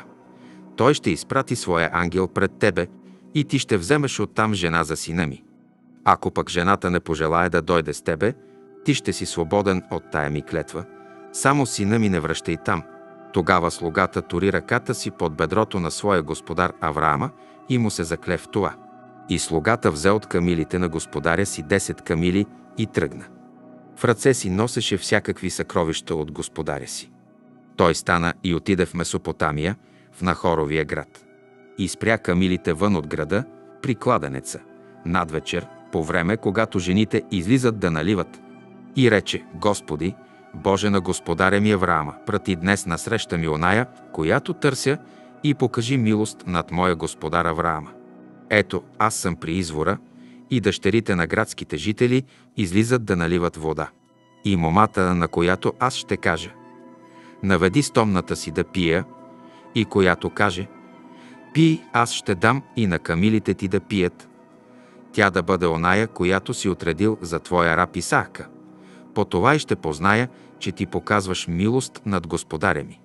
Не беше още свършил да си дума, ето, зададе се със стомна на рамо Ревека, родена от Ватуила, син на Милка, жена на Нахора, Авраамовия брат.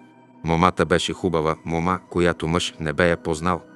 Тя слезе при извора, напълни стомната си и тръгна нагоре.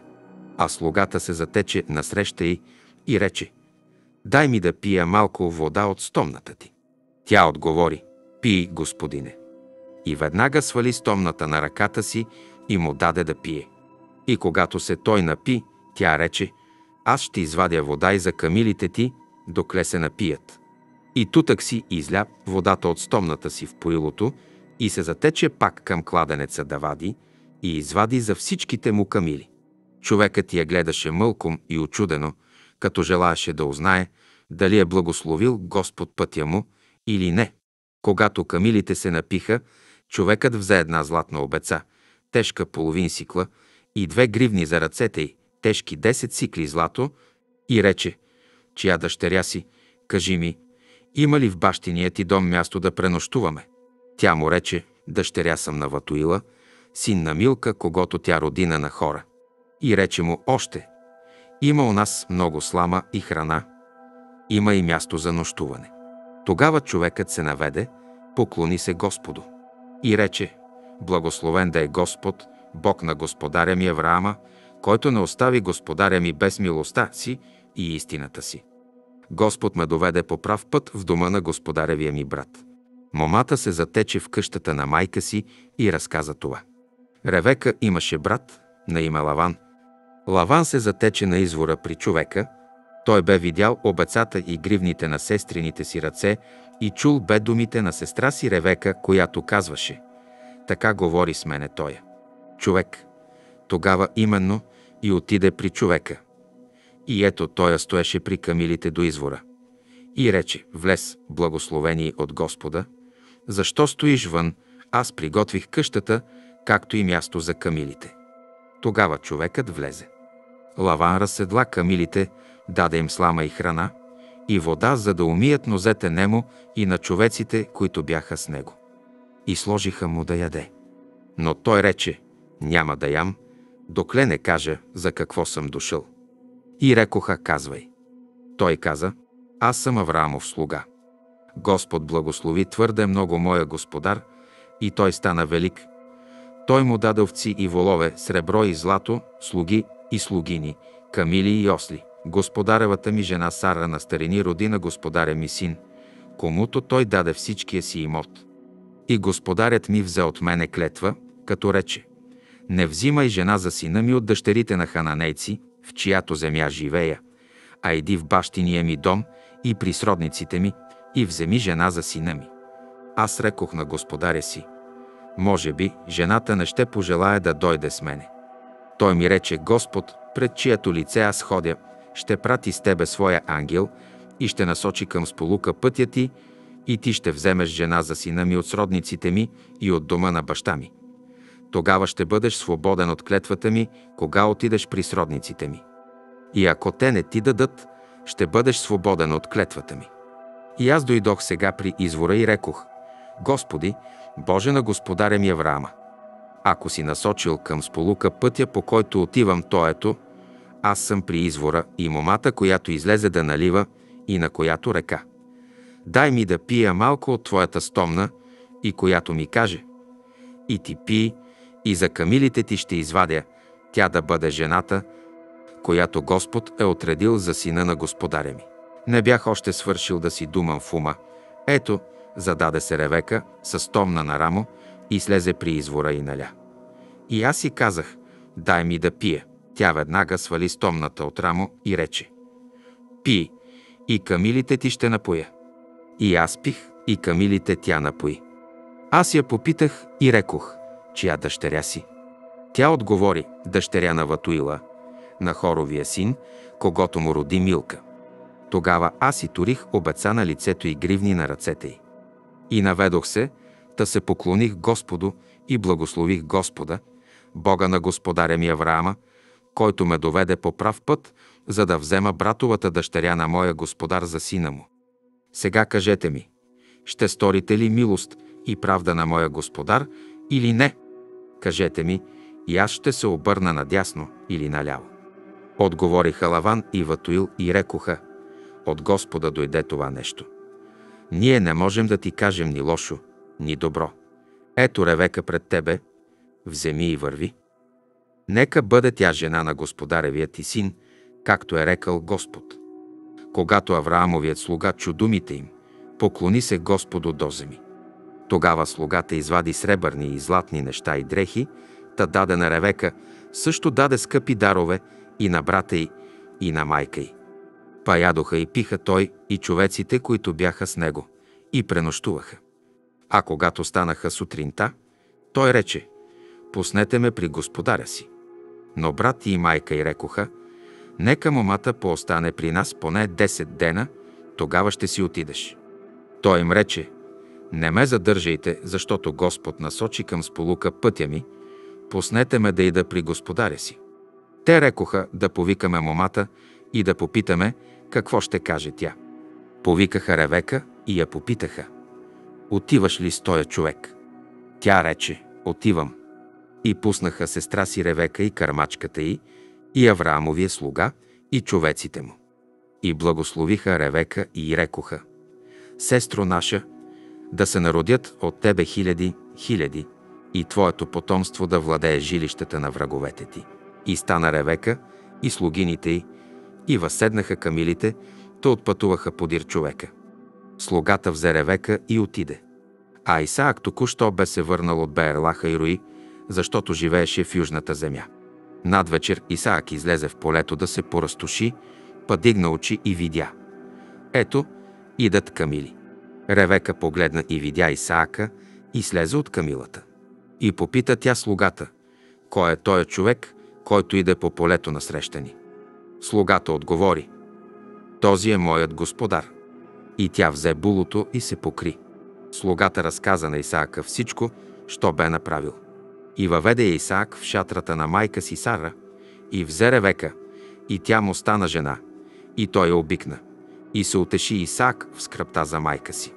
Авраам взе и друга жена, на име Хитура. Тя му роди Зимрана, и Окшана, Медана, Мадяна, Ишбака и Шлаха. И Окшан роди Шева и Дедана.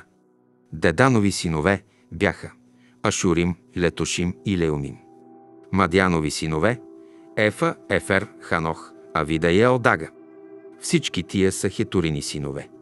И всичкия си имот Авраам даде на Исаака, а на синовете от наложниците, които имаше, Авраам даде подаръци и, докле беше още жив, ги отпрати от сина си Исаака на изток, в източната земя. Дните на Авраамовия живот, които той проживя, бяха 175 години. Почина Авраам и умря в добра старост, престарял и наситен, и се прибра при своя народ. И синовете му Исаак и Измаил го погребаха в пещерата Махпела, в нивата на Ефрона, сина на хетееца Цухара, която е срещу Мамре, в нивата, които Авраам бе купил от хетовите синове. Там бидоха погребани Авраам и жена му Сара. След смъртта на Авраама Бог благослови сина му Исаака. Исаак живееше при Беерлаха и Руи. Ето родословието на Измаила, сина Авраамов, когато роди Авраамо египтянката Агар, сарината слугиня. И ето имената на Измаиловите синове, имената им според тяхното родословие, първенецът Измаилов на Вайот, след него Кедар, Адбеел Мивсъм, Мишма Дума Маса, Хадат, Тема и Етур, на Фиши Кедма. Тия са Измаиловите синове и тия са имената им, според заселищата им, според чатрищата им. Това са 12-те князе на племената им. Годините пък на Измаиловия живот бяха 137 години. И почина той и умря и се прибра при своя народ. И неговите синове живееха от Хавила до Сур, който е пред Египет, като се отива към Асирия. Те се заселиха насрещу всичките си братя. Ето родословието на Исаака, син Авраамов. Авраам роди Исаака. Исаак беше на 40 години, когато взе за жена Ревека, дъщеря на арамееца Ватуила от Месопотамия, сестра на арамееца Лавана. И молеше се Исаак на Господа за жена си, защото тя беше неплодна. И Господ го чу, и жена му Ревека зачена. Синовете в отробата й взеха да се удрят, и тя рече, ако ще бъде тъй, защо ми е това? И отиде да попита Господа. Господ ти рече, две племена са в отробата ти и два различни народа ще произлязат от твоята отроба. Единият народ ще стане посилен от другия и по-големият ще служи на по-малкия. Дойде и време да роди. И ето близначите в отробата й. Първото излезе червено, цяло космато като кожа, и го нарекоха с име Исав. Подир излезе брат му, като се държеше с ръка за петата на Исава, и го нарекоха с име Яков. А Исаак беше на 60 години, когато те се родиха. Децата пораснаха. Исав стана човек, изкусен на лов, полски човек, а Яков – човек кротък и живееше в шатри. Исаак обичаше Исава, защото неговият дивеч му се ослаждаше. А Ревека обичаше Якова. Яков беше сварил ястие, а Исав дойде от полето уморен. И рече Исав на Якова, дай ми да ям от червеното, от това червено, защото съм уморен. Затова му и дадоха прякор Едом. Но Яков отговори, продай ми пък ти още сега първородството си. Исав рече, ето умирам. Защо ми е това първородство? Яков каза, закълни ми се още сега. Той му се закле и продаде първородството си на Якова. Тогава Яков даде на Исава хляб и гозба от леща. И той яде и пи, и станата си отиде. Тъй презря Исав първородството. Настана глад по земята, освен оня предишния, който беше в Авраамово време, и отиде Исаак при филистимския цар Авимелеха, в Герар. Господ му се яви и рече, не отивай в Египет, живей в земята, за която ще ти кажа. Постранствувай в тая земя.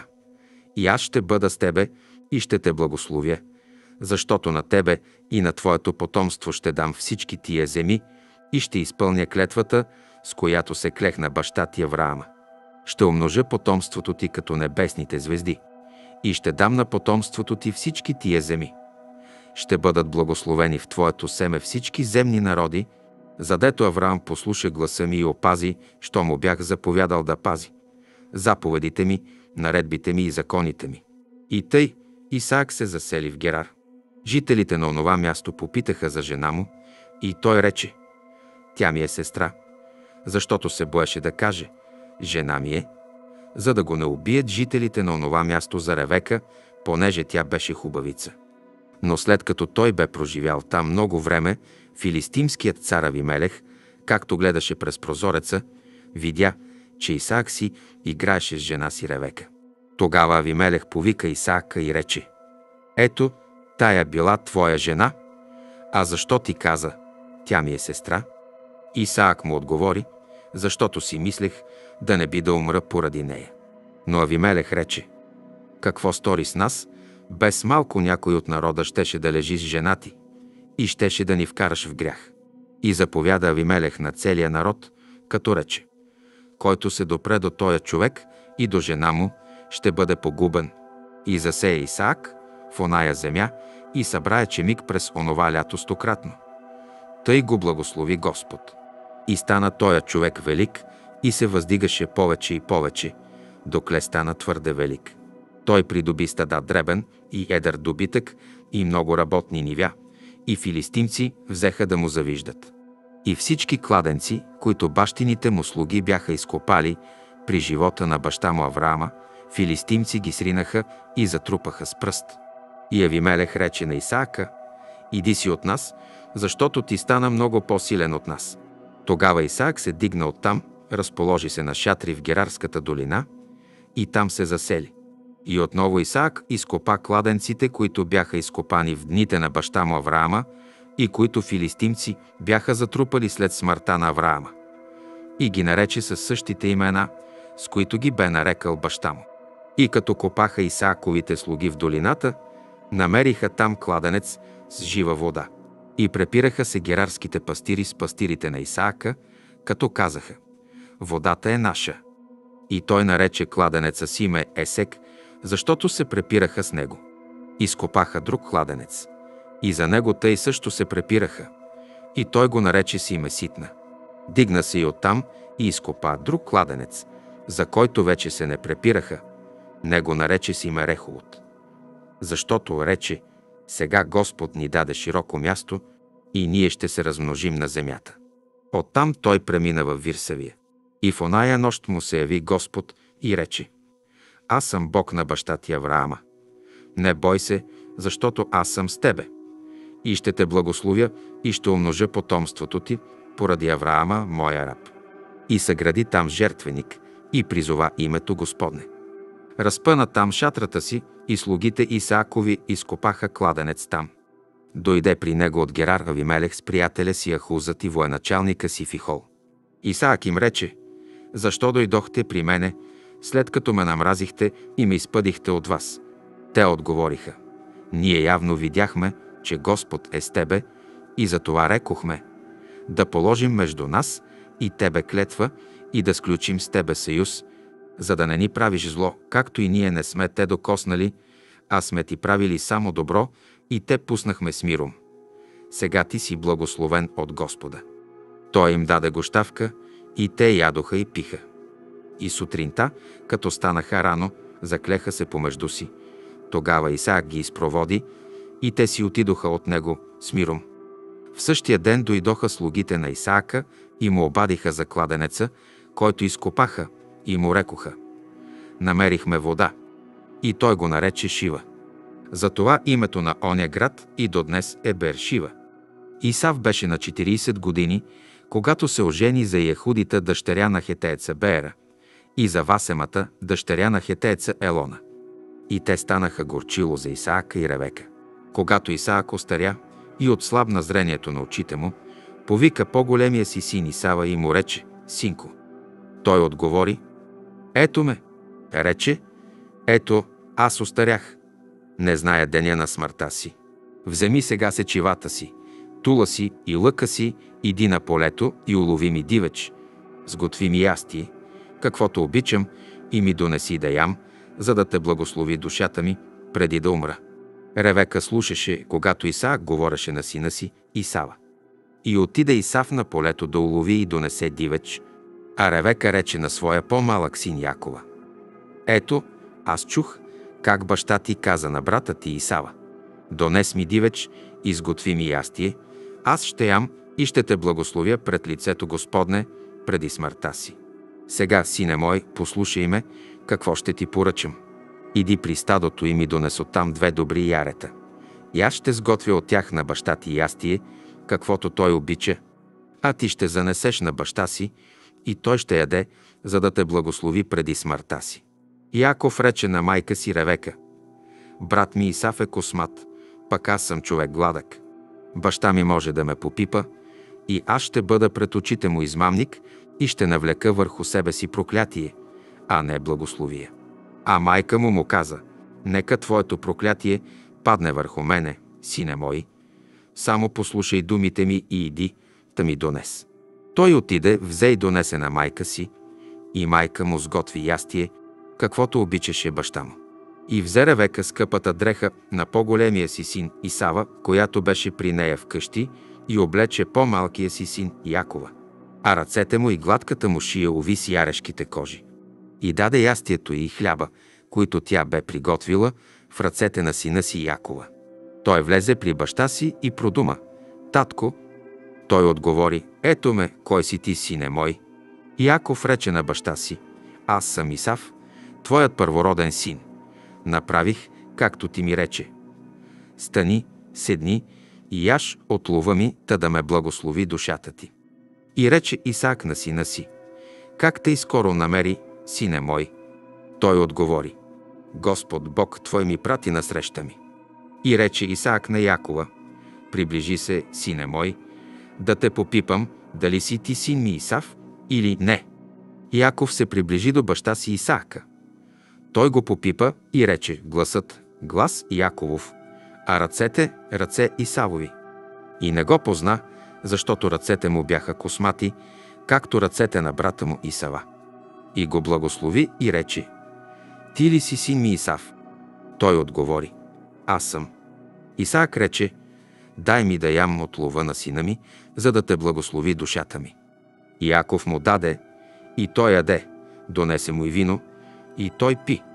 Баща му Исаак му рече «Приближи се, сине мой, и ме целуни». Той се приближи и го целуна. И усети Исаак дъха от облеклото му и го благослови, като рече – ето, дъхът от сина ми е като дъх от нива, която Господ е благословил, да ти даде Господ от небесната роса и от пластината на земята и изобилие на жито и вино, народи да ти слугуват и племена да ти се поклонят, да бъдеш господар над братята си и да ти се поклонят синовете на майка ти, които те кълнат да бъдат проклети, които те благославят да бъдат благословени. Щом свърши Исаак благословията над Якова, и щом Яков излезе от баща си Исаака, и брат му Исав си дойде от лов. Сготви и той ястие донесе на баща си и му рече. Татко, стани, яш от лова на сина си, за да ме благослови душата ти. А баща му Исаак го попита, кой си ти? Той отговори, аз съм твоят син, твоят първороден син, Исав, и разтрепери се Исаак твърде много и рече, а кой беше онзи, който лови лов? Донесе ми, и аз ядох от всичко преди да дойдеш. Ти и го благослових. Той и ще бъде благословен. Исав, като изслуша думите на баща си, дигна висок и твърда жаловит вик и каза на баща си, «Татко, благослови и мене». Но той отговори, «Брат ти дойде с хитрост и взе твоята благословие». И рече, «Дали не за това му е дадено име Яков, та вече два пъти ме спъва. Той взе първородството ми и ето сега ми взе и благословията». И пак рече, «Нима ти не си оставил за мене благословие». Исаак отговори на Исава, «Ето, аз го поставих господар над тебе и всичките му братя направих нему слуги, обдарих го с жито и вино. Какво да сторя пък за тебе, сине мой? Но Исав рече на баща си, Нима, татко, само една благословие имаш. Благослови и мене, татко. И Исав издигна глас и заплака. И отговори баща му Исаак и му рече, Ето, ти ще живееш от пластината на земята и от росата небесна отгоре. Ти ще живееш с мече си и ще служиш на брата си. Но ще дойде време, когато ще се възпротивиш и ще свалиш игото му от врата си. Тогава Исав намрази Якова поради благословията, с която го бе благословил баща му, и рече Исав в сърцето си, наближават дните, когато ще оплакваме баща си. И аз ще убия брата си Якова. И обадиха на Ревека думите на постария и син Исава. И тя прати, та повика по-младия си син Якова и му рече. Ето, брат ти Исав се закамва да те убие. Затова, сине мой, послушай сега думите ми. Стани та бягай при брата Милавана в Харан и поживей при него няколко време, докле отихне яроста на брата ти, докле отихне гневът на брата ти против тебе и той позабрави какво си му сторил. Тогава ще пратя да те прибера оттам. Защо аз в един ден да се лиша и от двама ви? И рече Ревека на Исаака, дотегна ми животът от тия хетейски дъщери. Ако Яков вземе жена от хетейските дъщери, каквито са тия, от дъщерите на тая земя, защо ми е тоя живот? Тогава Исаак повика Якова, благослови го и му заповяда, като рече Не си взимай жена от ханаанските дъщери. Станите иди в Месопотамия, в дома на Ватуила, баща на майка ти, и си вземи жена оттам, от дъщерите на Лавана, брат на майка ти, а всемогъщият Бог да те благослови, да те разплоди и да те размножи, и да произлязат от тебе много народи, и да ти даде благословията Авраама, на тебе и на потомството ти с тебе, за да наследиш земята, в която странствуваш и която Бог даде на Авраама. И изпрати Исаак и Якова, и той отиде в Месопотамия при Лавана, син на арамееца Ватуила, при брата на Ревека, майка на Якова и Исава. Исав видя, че Исаак благослови Якова и с благословие го изпрати в Месопотамия да си вземе оттам жена, като му заповяда и рече «Не взимай жена от ханаанските дъщери». И че Яков послуша баща си и майка си и отиде в Месопотамия. И видя Исав, че ханаанските дъщери не са по угода на баща му Исаака, и отиде Исав при Измаила и, освен другите си жени, взе за жена Махалата, дъщеря на Авраамовия син Измаила, сестра на Вайотова. Яков пък излезе от Вирсавия и отиде в Харан и стигна до едно място, дето остана да пренощува, защото слънцето бе залязло. И взе един от камъните на онова място, подложи си го за възглавница и легна на онова място. И видя сън. Ето, стълба изправена на земята, а върхът изстига до небето и ангели Божии се качват и слизат по нея. И ето Господ стои отгоре на нея и говори Аз съм Господ, Бог на твоя отец Авраама и Бог на Исаак. Земята, на която лежиш, ще я дам на тебе и на потомството ти. И потомството ти ще бъде като земния пясък и ще се разпростреш към морето и към изток, към север и към юг. И ще бъдат благословени в тебе и в твоето семе всички земни племена. И ето, аз съм с тебе и ще те запазя навред, където и да отидеш. И ще те върна пак в тая земя, защото няма да те оставя, докле не изпълня онова, което съм ти казал. Яков се събуди от съня си и рече, наистина Господ е на това място, аз пък не знаех. И оплаши се и рече, колко е страшно това място. Това не е нищо друго, освен Дом Божий. Това са врата небесни. И стана Яков рано сутринта, взе камъка, който беше си турил за възглавница, Постави го паметник и го поля отгоре с елей. И нарече името на онова място – Ветил, а предишното име на този град беше Лус. И даде Яков оброк, като рече Ако Бог бъде с мене и ме опази в този път, по който отивам, и ми даде хляб да ям и дрехи да се облека, и аз се с миром върна в бащиния си дом и Господ бъде мой Бог, то тоя камък, който поставих паметник, ще бъде дом Божий. И от всичко, което ти, Боже, ми дадеш, ще ти дам десетата част. И стана Яков, то отиде в земята на синовете на изток. И видя, ето кладенец на полето, и там три стада дребен добитък, налягали около него, защото от оня кладенец пояха стадата. Върху устието на кладенеца имаше голям камък. Когато се събираха там всички стада, пастирите отваляха камъка от устието на кладенеца и пояха овците. После пак туряха камъка на мястото му върху устието на кладенеца. Яков попита пастирите, братя мои, отде сте? Те отговориха, ние сме от Харан. Той им рече, познавате ли Лавана, на хоровия син? Те рекоха, познаваме.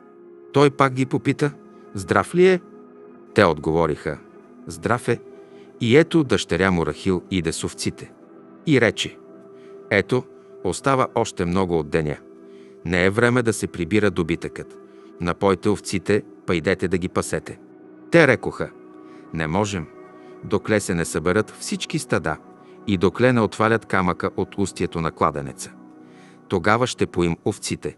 Още говореше с тях и ето дойде Рахил с дребния добитък на баща си, понеже тя пасеше. Когато Яков видя Рахил, дъщерята на вуйка си Лавана и овците на вуйка си Лавана, приближи се Яков, отвали камъка от устието на кладенеца и напои овците на вуйка си Лавана. Тогава Яков целуна Рахил, падигна глас и заплака. Той обади на Рахил, че е бащин и сродник и Ревекин син. А тя се затече, да извести на баща си. Лаван, като чу за Якова, своя сестриник, затече се да го посрещне, прегърна го и го целуна, па го заведе от дома си и той разказа на Лавана всичко. А Лаван му рече, наистина ти си моя кост и моя плът. И живя Яков при него цял месец. И Лаван рече на Якова, нима като си ми сродник, даром ще ми работиш. Кажи ми какво да ти платя. А Лаван имаше две дъщери, по-голямата се казваше Лия, по-малката се казваше Рахил. Лия имаше болнави очи, а Рахил имаше хубава снага и хубаво лице. Яков обикна Рахил и рече, «Ще ти слугувам седем години за по-малката ти дъщеря Рахил». Лава нарече, «По-добре да я дам на тебе, отколкото други му някому. Живей при мене». И слугува Яков за Рахил седем години. И те му се видяха като няколко дни, защото я обичаше. И рече Яков на Лавана, дай ми жената, защото дойде вече време, за да вляза при нея. Лаван повика всички човеци на онова място и даде гощавка. А вечерта взе дъщеря си Илия и я въведе при него. И влезе при нея. И даде Лаван слугинята си Зелфа за слугиня на дъщеря си Лия. На сутринта се оказа, че тя била Лия. И рече на Лавана, що стори ти с мене? Нали за Рахил ти слугувах? Защо ме излъга? Лаван отговори, в нашинско не правят тъй, по-малката да дават преди по-голямата. Свърши сватбената седмица на тая. После ще ти дадем и другата, задето ще ми слугуваш други седем години. Яков тъй и направи и свърши седмицата на тая. И му даде за жена дъщеря си Рахил. И даде Лаван слугинята си Вала за слугиня на дъщеря си Рахил. Влезе и при Рахил и обичаше Рахил повече, отколкото Лия, и слугува му още други седем години. Господ видя, че Лия не беше обичана и отвори отробата й, а Рахил беше неплодна. Лия зачена и роди син и го нарече с име Ровим, като каза Господ милостно погледна на моето нещастие. Сега, проче, ще ме обича мъж ми. И пак зачена и роди син и рече Господ чу, че не съм обичана, та ми даде и тоя. И даде му име Симеон. И зачена пак и роди син и рече Сега вече ще прилепне към мене мъж ми, защото му родих трима синове. Затова се нарече името му Леви. И пак зачена и роди син и рече, сега вече аз ще възхваля Господа. Затова нарече името му. Юда и престана да ражда. И видя Рахил, че тя не ражда на Якова деца, и завиди Рахил на сестра си и рече на Якова, дай ми деца, ако ли не, умирам. Яков се разгневи на Рахил и рече, нима аз съм Бог, който не ти е дал плод на отробата. Тя рече, ето слугинята ми Вала. Влез при нея. Нека тя роди на скута ми, тъй аз да имам деца от нея. И даде му слугинята си Вала за жена, и Яков влезе при нея. Вала зачена и роди на Якова син. И рече Рахил, отсъди ми Бог и послуша гласа ми и ми даде син. Затова го нарече Сима Едан. И пак зачена Рахилината слугиня Вала и роди на Якова друг син. И каза Рахил, силна борба се борих с сестра си и надвих. Затова го нарече с име Нефталим. Лия видя, че престана да ражда и взе слугинята си Зелфа и я даде на Якова за жена. И Зелфа, Лийната слугиня, роди на Якова син. Тогава Лия каза, щастие ми дойде. И го нарече с име Гат. Зелфа, Лийната слугиня, и роди на Якова друг син. И рече Лия, блазе ми, защото жените ще ме наричат блажена. И го нарече с име Асир. Когато се женеше пшеницата, Руви ми излезе и намери в нивата мандра горови ябълки и ги донесе на майка Силия. И Рахил рече на Лия, дай ми от мандра горите на сина си. Но и рече, нима ти е малко, дето си завладяла мъжа ми, та искаш да вземеш и от мандра горите на сина ми. Рахил отговори, тогава нека той легне с тебе тая нощ за мандра горите на сина ти. Яков се върна вечерта от полето и Илия излезе, да го посрещна и рече, влез при мене, понеже те откупих с мандра горите на сина ми. И легна той с нея оная нощ. Бог послуша Лия, тя зачена и роди на Якова пети син. И рече Лия, Бог ми даде награда, задето дадох своята слугиня на мъжа си. И го нарече с име Исахар. И пак зачена Лия и роди на Якова шести син. И рече Лия, Бог ми даде много хубав дар. Сега мъж ми ще живее с мене, понеже му родих шест сина. И му даде име Заволон. После роди дъщеря и я нарече с име Дина. И спомни си Бог за Рахил, и послуша я Бог, и отвори отробата й. Тя зачена и роди син, и рече, Бог отне от мене позора. И го нарече с име Иосиф, като каза, Господ ще ми даде и друг син. След като Рахил роди Йосифа, Яков рече на Лавана, Пусни ме и ще си ида в мястото и в земята си. Дай жените и децата ми, за които ти слугувах, и ще си отида, защото ти знаеш работата ми, която ти върших. И рече му Лаван, О, да бях намерил благоволение пред очите ти. Аз забелязвам, че поради тебе Господ ме благослови. И рече, определи ми наградата си и ще я дам. И му рече, ти знаеш как ти работих и колко много стана твоят добитък при мене. Защото преди мене беше малко, а стана много. Господ те благослови с моето идване. А кога ще работя за моя дом? И рече, какво да ти дам? Яков отговори, не ми давай нищо. Ако само ми сториш, каквото кажа, аз пак ще паса и пази овците ти. Ще премина днес през цялото ти овче стадо. Отлъчи от него всеки капчест и петнист добитък, всяка черна брава от овците, а тъй също петнистите и капчестите от козите. Тоя добитък ще бъде наградата ми. И за мене ще говори пред тебе моята справедливост понататък, кога дойдеш да видиш наградата ми. Всяка некапчеста и непетниста коза и нечерна овца у мене. Това да се счита крадено. Лаван рече, добре, нека бъде според думата ти. И в оня ден Лаван отдели шарените и петнистите козли и всички капчести и петнисти кози, всички, по които имаше що годе бяло, и всички черни овци, и ги даде в ръцете на синовете си. И определи между себе си и Якова разстояние на три дена път. А Яков пасеше останалия дребен добитък на лавана. Тогава Яков взе зелени пръти тополови, миндалови и яворови, па изряза по тях бели ивици, като махна кората до бялото на прътите.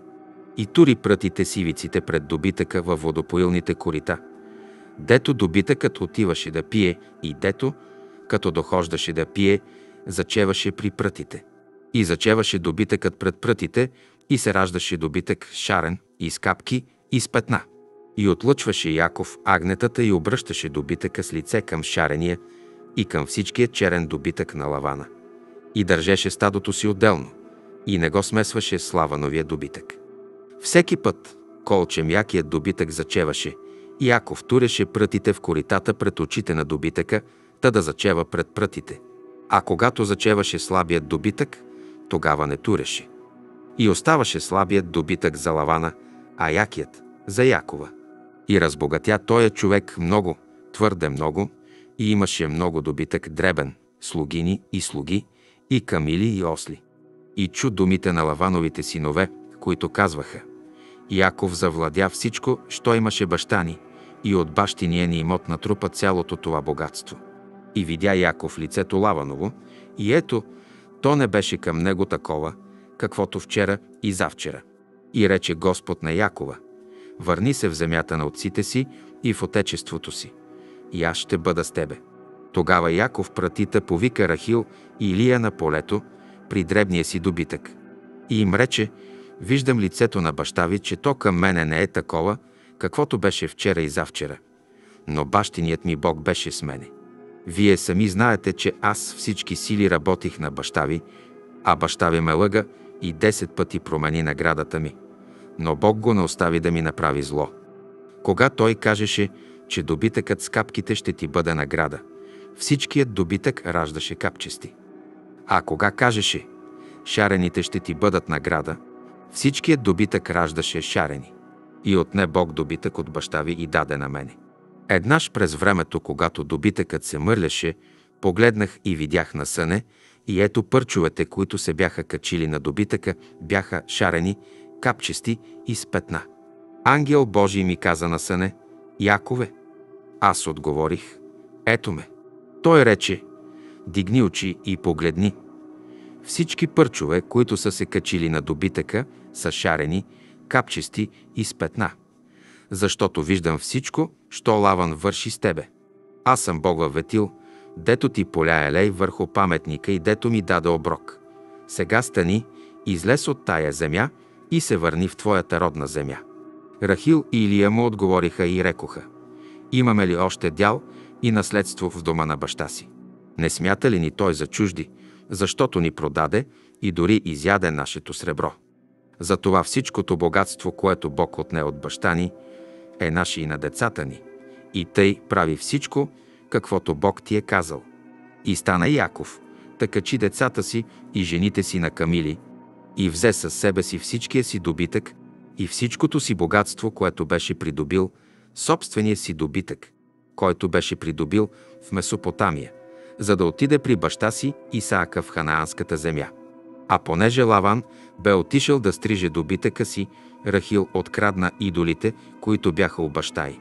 Яков измами арамееца Лавана, като му не обади, че си отива, и замина с всичкия си имот.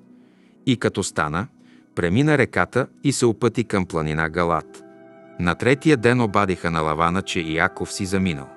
Тогава той взе със себе си сродниците си, гони го седем дена и го настигна на планина Галат. И дойде Бог при арамееца Лавана нощем на съне и му рече, пази се, не говори на Якова ни добро, ни лошо. И настигна Лаван Якова. А Яков разпъна шатрата си на планината и Лаван със родниците си разпъна своята на планина Галат. И рече Лаван на Якова, какво стори ти? Защо ме излъга и отвлече дъщерите ми, като с оръжие пленени? Защо побягна тайно и се скри от мене и не ми обади? Аз щях да те изпратя с веселба и песни, с тимпани и гусли. Ти ми дори не даде да целуна внуците си и дъщерите си. Неразумно ти постъпи. В ръката ми има сила да ви сторя зло, но Бог на вашия баща вчера ми говори и рече. Пази се, не говори на Якова ни добро, ни лошо. Добре тръгнал си, понеже с нетърпение желаеше да се намериш в бащиния си дом. Но защо си откраднал боговете ми? Яков отговори на Лавана и рече, боях се, защото мислех да ми не отнемеш дъщерите си. У когото намериш боговете си, той няма да бъде жив. Пред нашите сродници узнай какво у мене и си го вземи. Яков не знаеше, че Рахил ги бе откраднала. И ходи Лаван в шатрата на Якова, и в шатрата на Лия, и в шатрата на двете слугини, но не намери. А като излезе от шатрата на Лия, влезе в шатрата на Рахил. А Рахил бе взела идолите и бе ги турила под седлото на една камила и бе седнала над тях. Лаван претърси цялата шатра, но не намери.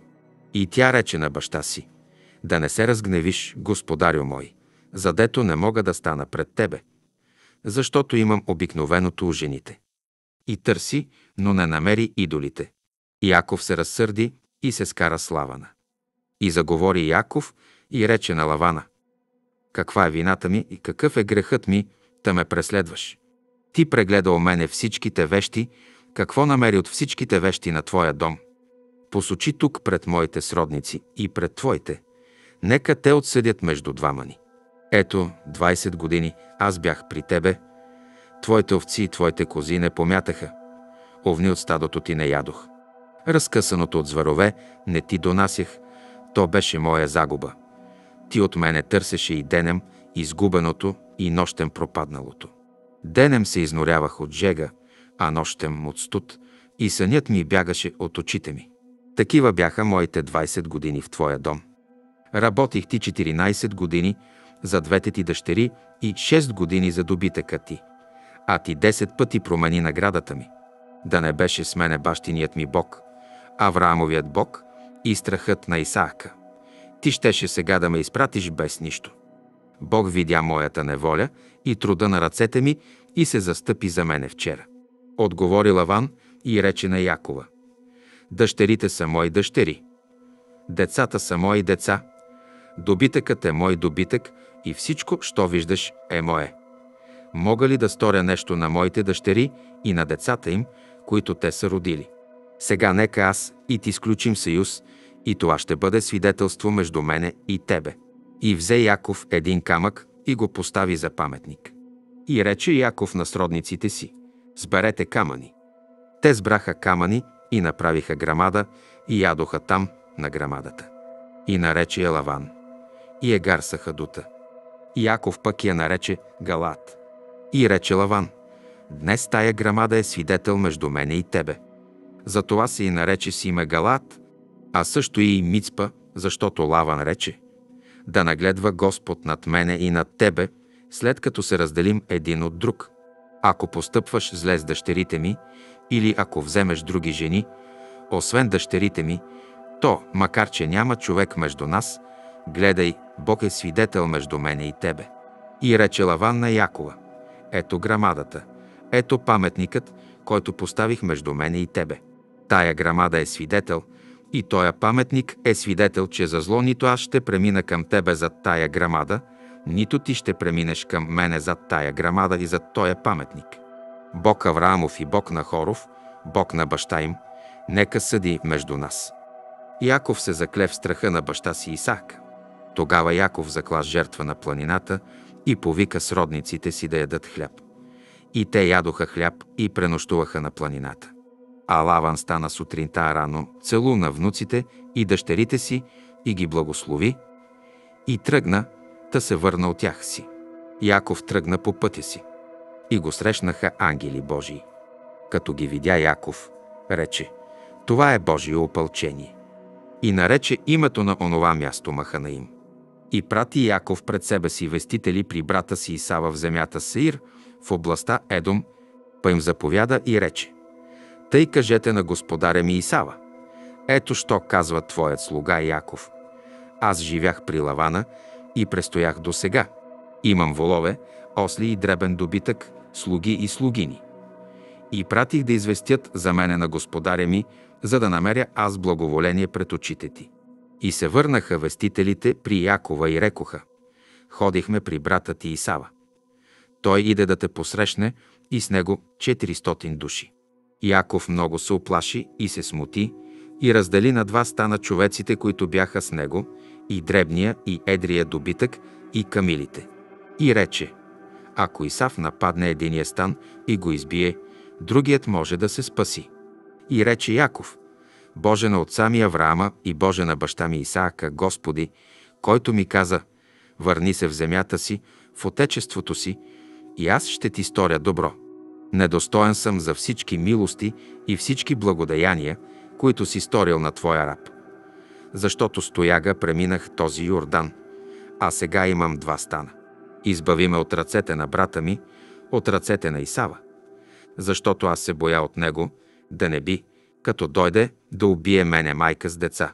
Ти рече, аз ще ти правя добро и ще направя като морския пясък твоето потомство, което от множество не ще може да се изброи. И пренощува там Яков през оная нощ. И взе от онова, що имаше подарък на брата си Исава.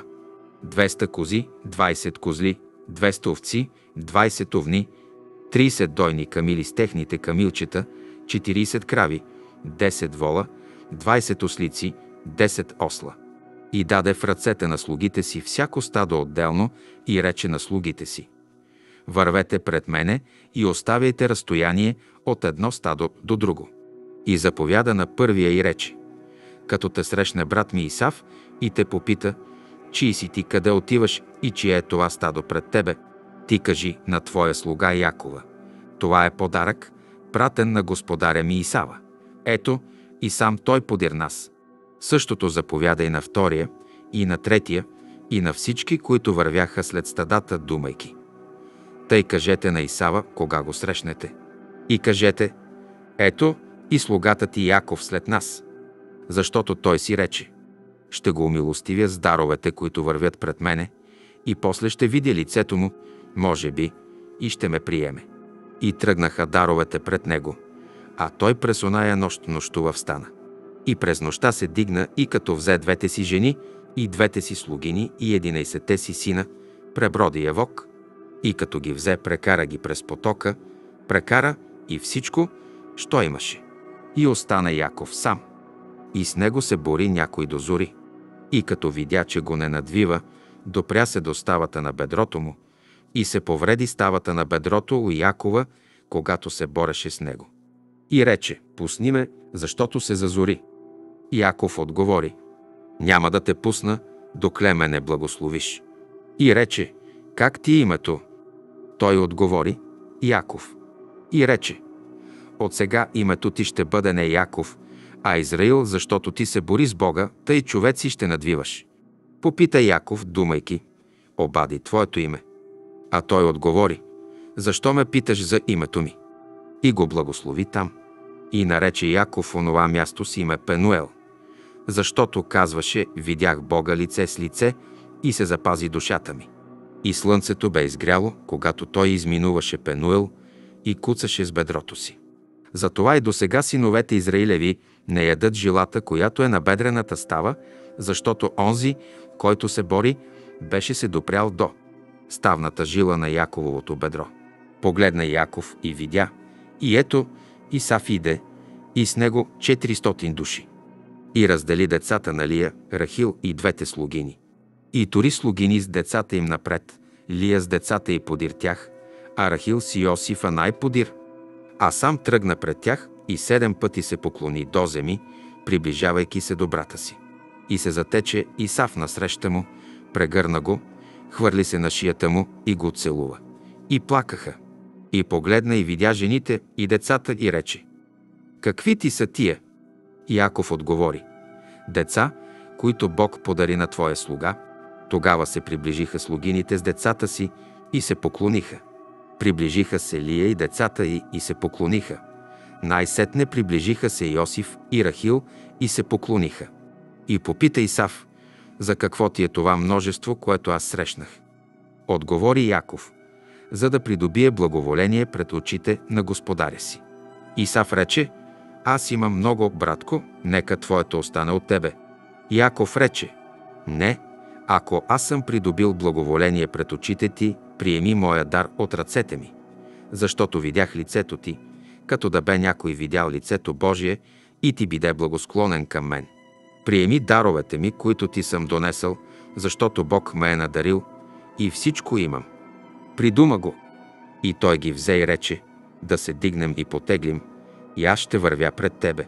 Яков му рече, Господарят ми знае, че децата ми са нежни, а дребният и едрият ми добитък е доен. Ако го караме усилено един само ден, то ще измре всичкият добитък. Нека господарят ми тръгне пред своя слуга, а аз ще вървя бавно, според както върви добитъкът пред мен и според както вървят децата и ще дойда при господаря си в Сеир. Исав рече, ще оставя с тебе неколцина от човеците, които са при мене. Яков отвърна, та защо стига ми само да придобия? Благоволение пред очите на господаря си. И се върна Исав в същия ден по пътя си в Сеир. А Яков потегли за Сукхот, дето си направи дом, и за добитъка си направи кулиби. Затова нарече мястото си Месукхот. Яков, като се върна от Месопотамия, пристигна благополучно в град Сихем, който е в ханаанската земя, и се разположи пред града. И купи част от нивата, дето разпъна шатрата си от синовете на Емора, Сихемовия баща, за сто монети. И съгради там жертвеник и призова името на Господа, Бога Израилев. Глава Дина, дъщеря на Лия, която тя роди Яково, излезе да погледа дъщерите на оная земя. И видя я Сихем, син на Евееца Емора, княза на оная земя, взе я, спас нея и я изнасили. И прилепи се душата му към Дина, Яковова дъщеря. И той обикна момата и говореше по сърце на момата. И рече си Хем на баща си Емора, думайки. Вземи ми тая мома за жена. Яков чу, че обезчестил дъщеря му Дина. Но, понеже синовете му бяха с добитъка в полето, Яков мълча, докле дойдат. Тогава Емор, Сихемов баща, излезе пред Якова да поговори с него. А синовете на Якова си дойдоха от полето. И когато чуха, огорчиха се тия мъже и пламнаха от гняв, защото той нанесъл безчестие на Израиля, като преспал с дъщерята Яковова. А тъй не трябваше да бъде. Емор им заговори и рече, син ми Сихем се прилепил по душа към дъщеря ви. Дайте му я прочее за жена. Сродете се с нас, давайте нам ваши дъщери, а вземайте си наши дъщери. И живейте с нас. Тая земя е пред вас. Живейте, поминувайте се на нея и я завладявайте.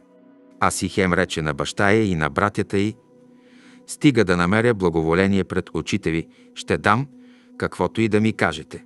Искайте най-голямо вено и дарове, ще дам, каквото и да ми кажете, само ми дайте момата за жена. И синовете Яковови отговориха на Сихема, и баща му е мора с лукавство, а говориха тъй, защото той бе обезчестил сестра им Дина и им рекоха. Не можем направи това, да дадем сестра си на човек, който не е обрязан, защото това е безчестно за нас. Само с това условие ще се съгласим с вас, ако бъдете, както и ние, да бъде и у вас всичкият мъжки пол обрязан. И ще ви даваме наши дъщери, и ще си взимаме ваши дъщери, ще живеем с вас и ще бъдем един народ. Ако пък не ни послушате да се обрежете, ще вземем дъщеря си и ще си отидем. Допаднаха се тия думи на Емора и Сихема, Еморов син. Момъкът се не забави да изпълни това, понеже обичаше дъщерята на Якова. А той беше уважаван повече от всички в бащиния си дом. И дойде Емор и син Мусихем при портите на своя град и взеха да говорят към жителите на своя град и рекоха. Тия човеци живеят мирно с нас, нека се заселят в земята ни и нека се поминуват на нея. А земята, ето пространна е пред тях. Нека вземаме дъщерите им за жени и да им даваме наши дъщери. Тия човеци се съгласяват да живеят с нас и да бъдат един народ само с това условие, щото и у нас да бъде обрязан всичкият мъжки пол, както и те са обрязани. Стадата им, имането им и всичкият им добитък, нали ще бъдат наши. Само да се съгласим с тях. И те ще живеят с нас. И послушаха Емора и сина му Сихема всички, които излизаха от портите на града му. И биде обрязан всичкият мъжки пол. Всички, които излизаха из портите на града му. На третия ден, докато още боледуваха, двамата сина на Якова, Симеон и Левий, динини братя, взеха всеки своя меч и смело нападнаха града и избиха всичкия мъжки пол, убиха с меч и самия Емор и сина му Сихема, А Дина взеха от Сихемовия дом и си излязоха. Синовете на Якова дойдоха при убитите и разграбиха града, задето обезчестиха сестра им. Те заграбиха дребния и едрия им добитък и ослите им, и каквото имаше в града, и каквото имаше в полето. И всичкото им богатство, и всичките им деца, и жените им откараха в плен, и разграбиха всичко, що имаше в къщите.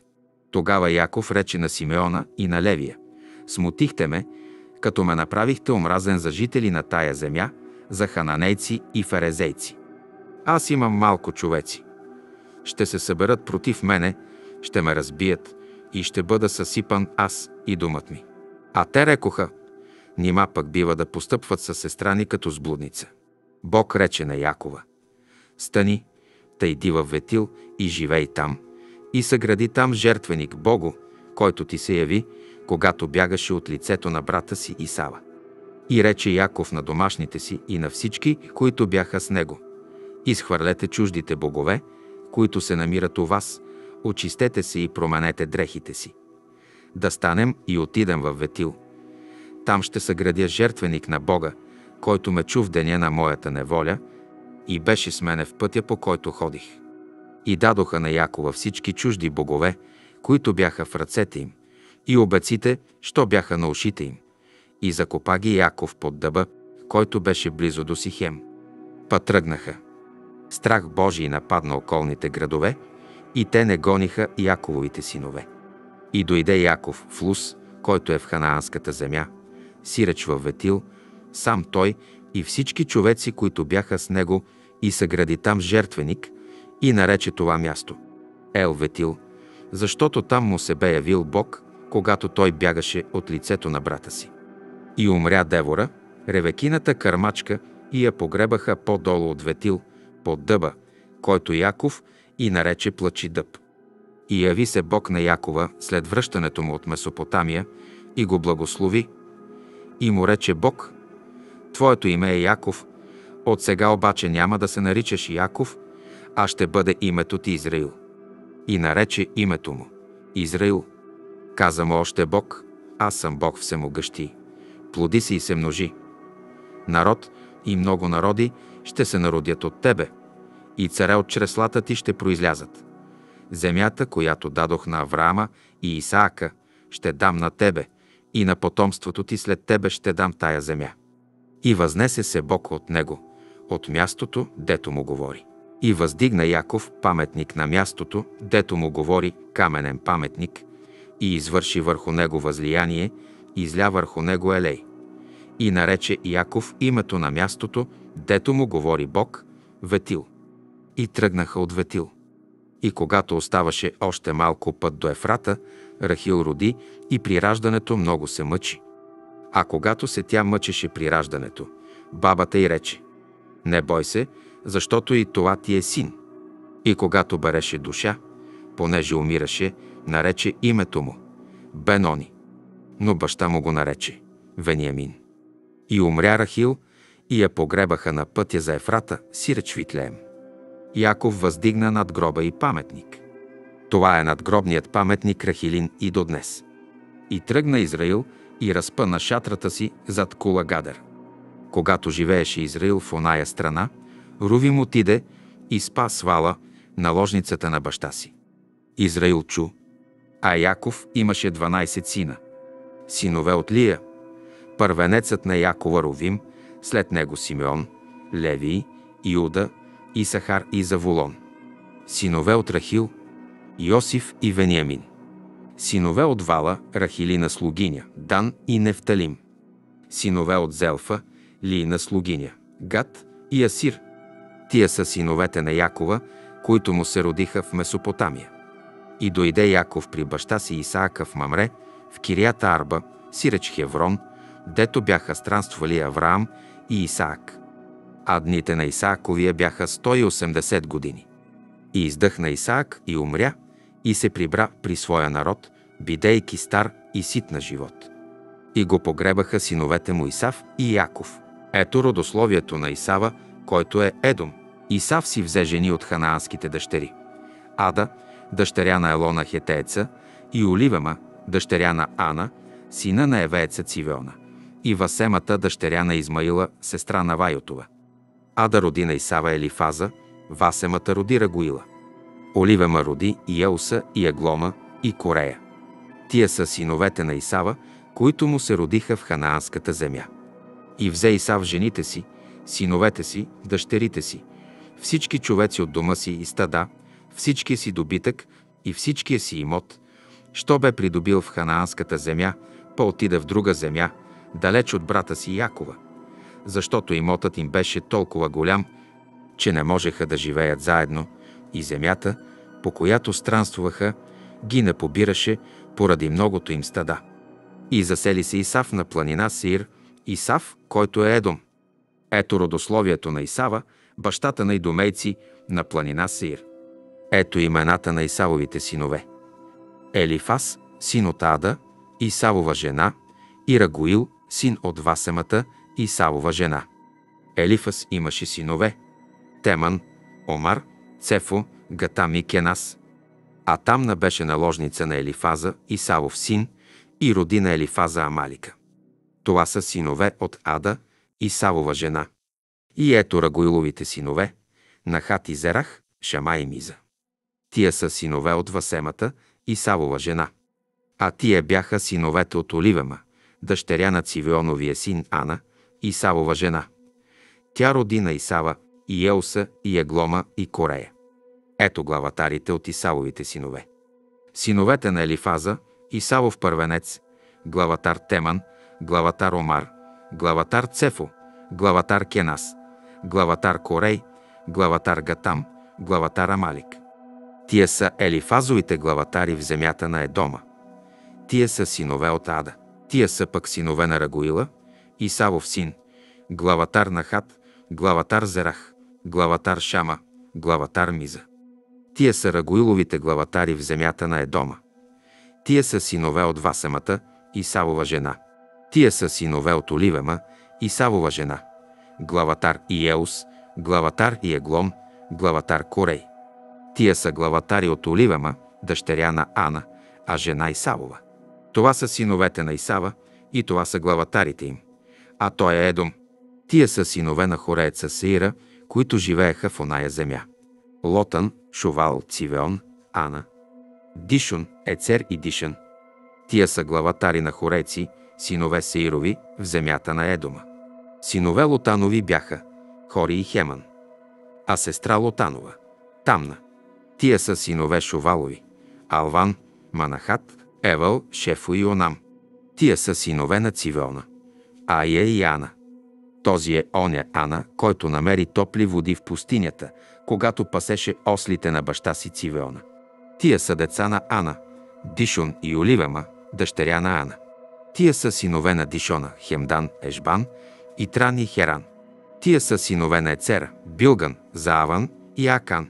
Тия са синове на Дишана, Уци и Аран.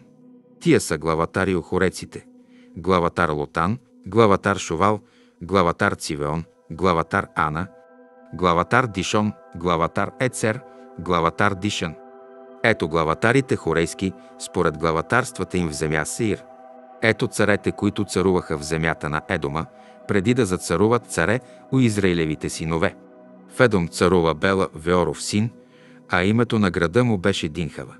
И умря Бела, и след него се възцари Иовав, син на Зераха, от Восора. Умря Иовав, а след него се възцари Хушам от земята на Теманици. И умря Хушам, а след него се възцари Хадат, син Бедадов, който порази мадияници на Муавитското поле, името на града му беше Авит. И умря Хадат, а след него се възцари Самла от Масрека. И умря Самла, а след него се възцари Саул от Реховота, що е при реката. Умря и Саул, а след него се възцари Баал Ханан, синах Боров. Умря и Баал Ханан, синах Боров, а след него се възцари Хадар. Името на града му беше Пал, жена му се казваше Мехетавеел, дъщеря на Матреда, син Мезахавов. Тия са имената на Исавовите главатари, според племената им, според местата им, според имената им.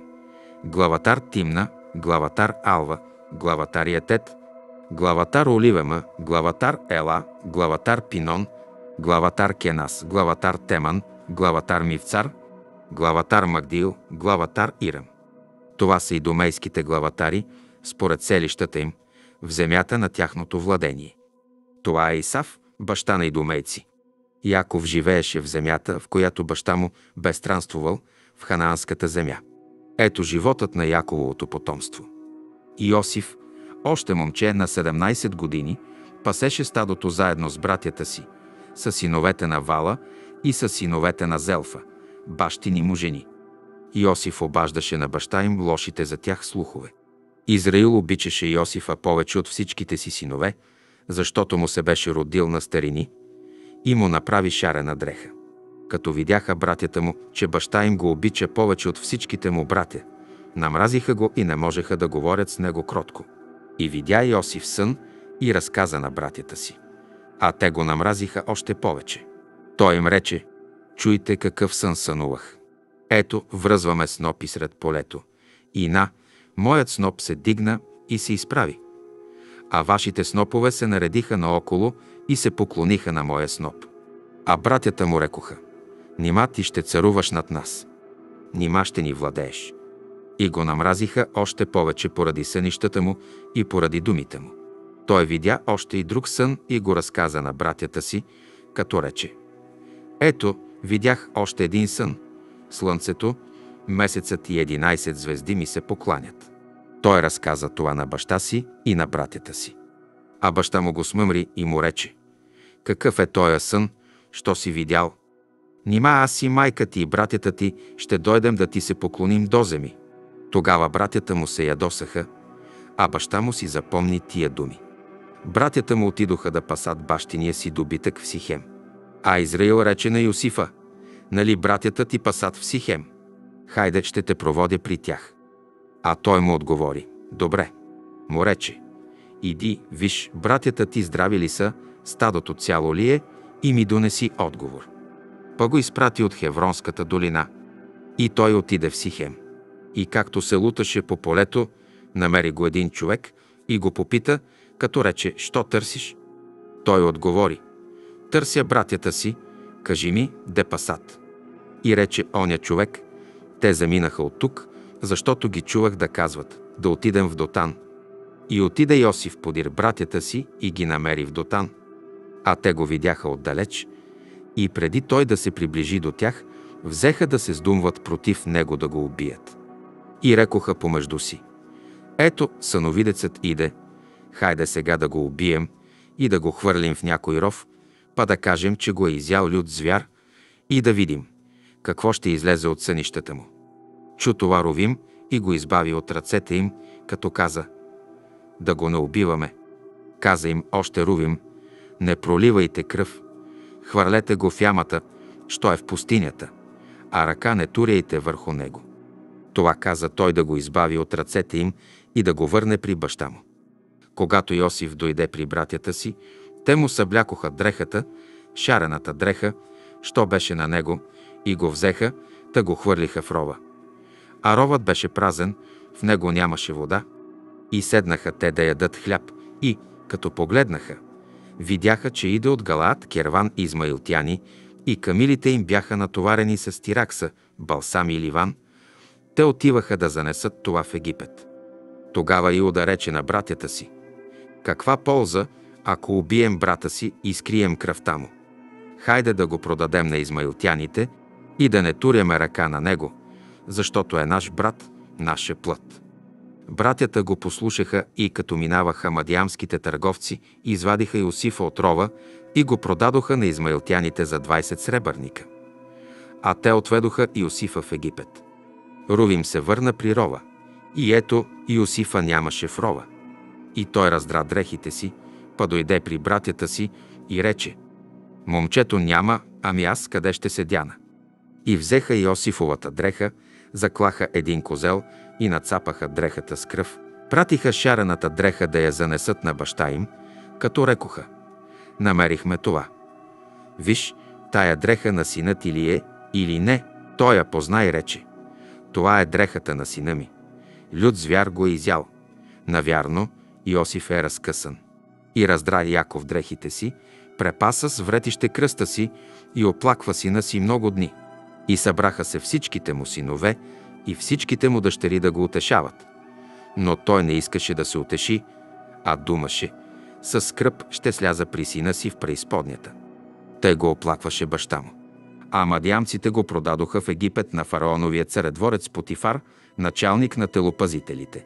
В онова време Юда се отдели от братята си и се посели близо до един одоламитец, на име Хира, и съгледа там Юда дъщерята на един хананец, на име Шуа. Взе я и влезе при нея. Тя зачена и роди син, и той го нарече Ир. И пак зачена и роди син, и го нарече си име Онан, роди и син, и го нарече си име Шела. Иуда беше в Хезив, когато тя го роди. И взе Иуда за първородния си син Ира жена, на име Тамар. Ир, първородният син на Иуда, беше лош пред очите на Господа и го умъртви Господ. Тогава Иуда рече на Онана, влез при братовата си жена, ожени се за нея като девер и възстанови на брата си потомство. Онан знаеше, че потомството няма да бъде негово, и затова, кога влизаше при братовата си жена, изливаше на земята, за да не даде потомство на брата си. А това, което правеше, беше зло пред очите на Господа. И той умъртви и него. И рече Юда на снаха си Тамар, живей като вдовица в бащиния си дом, докле порасне син Мишела. Защото той рече, да не би да умре, и той като братята си. Тамар отиде и заживя в бащиния си дом. Мина се много време и умря дъщерята на Шуа, жена Юдина.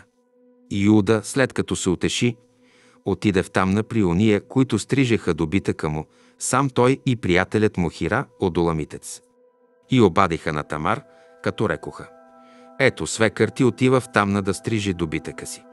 А тя си съблече вдовишките дрехи, забули се с було и, като се обви, седна при портите на Енайм на пътя за тамна. Защото видя, че Шела бе пораснал, а тя още не бе му дадена за жена. Видя я Юда и я помисли за блудница, понеже бе забулила лицето си. Той се обърна към нея и рече, ще вляза при тебе, защото не знаеше, че тя е снаха му. А тя рече, какво ще ми дадеш, ако влезеш при мене? Той отговори, ще ти пратя от стадото едно козле. А тя рече, даваш ли ми залог, докле изпратиш? Той рече, какъв залог да ти дам? Тя отговори, печата си, връвта си и тоягата, що е в ръката ти. Той ги даде и влезе при нея, и тя зачена от него.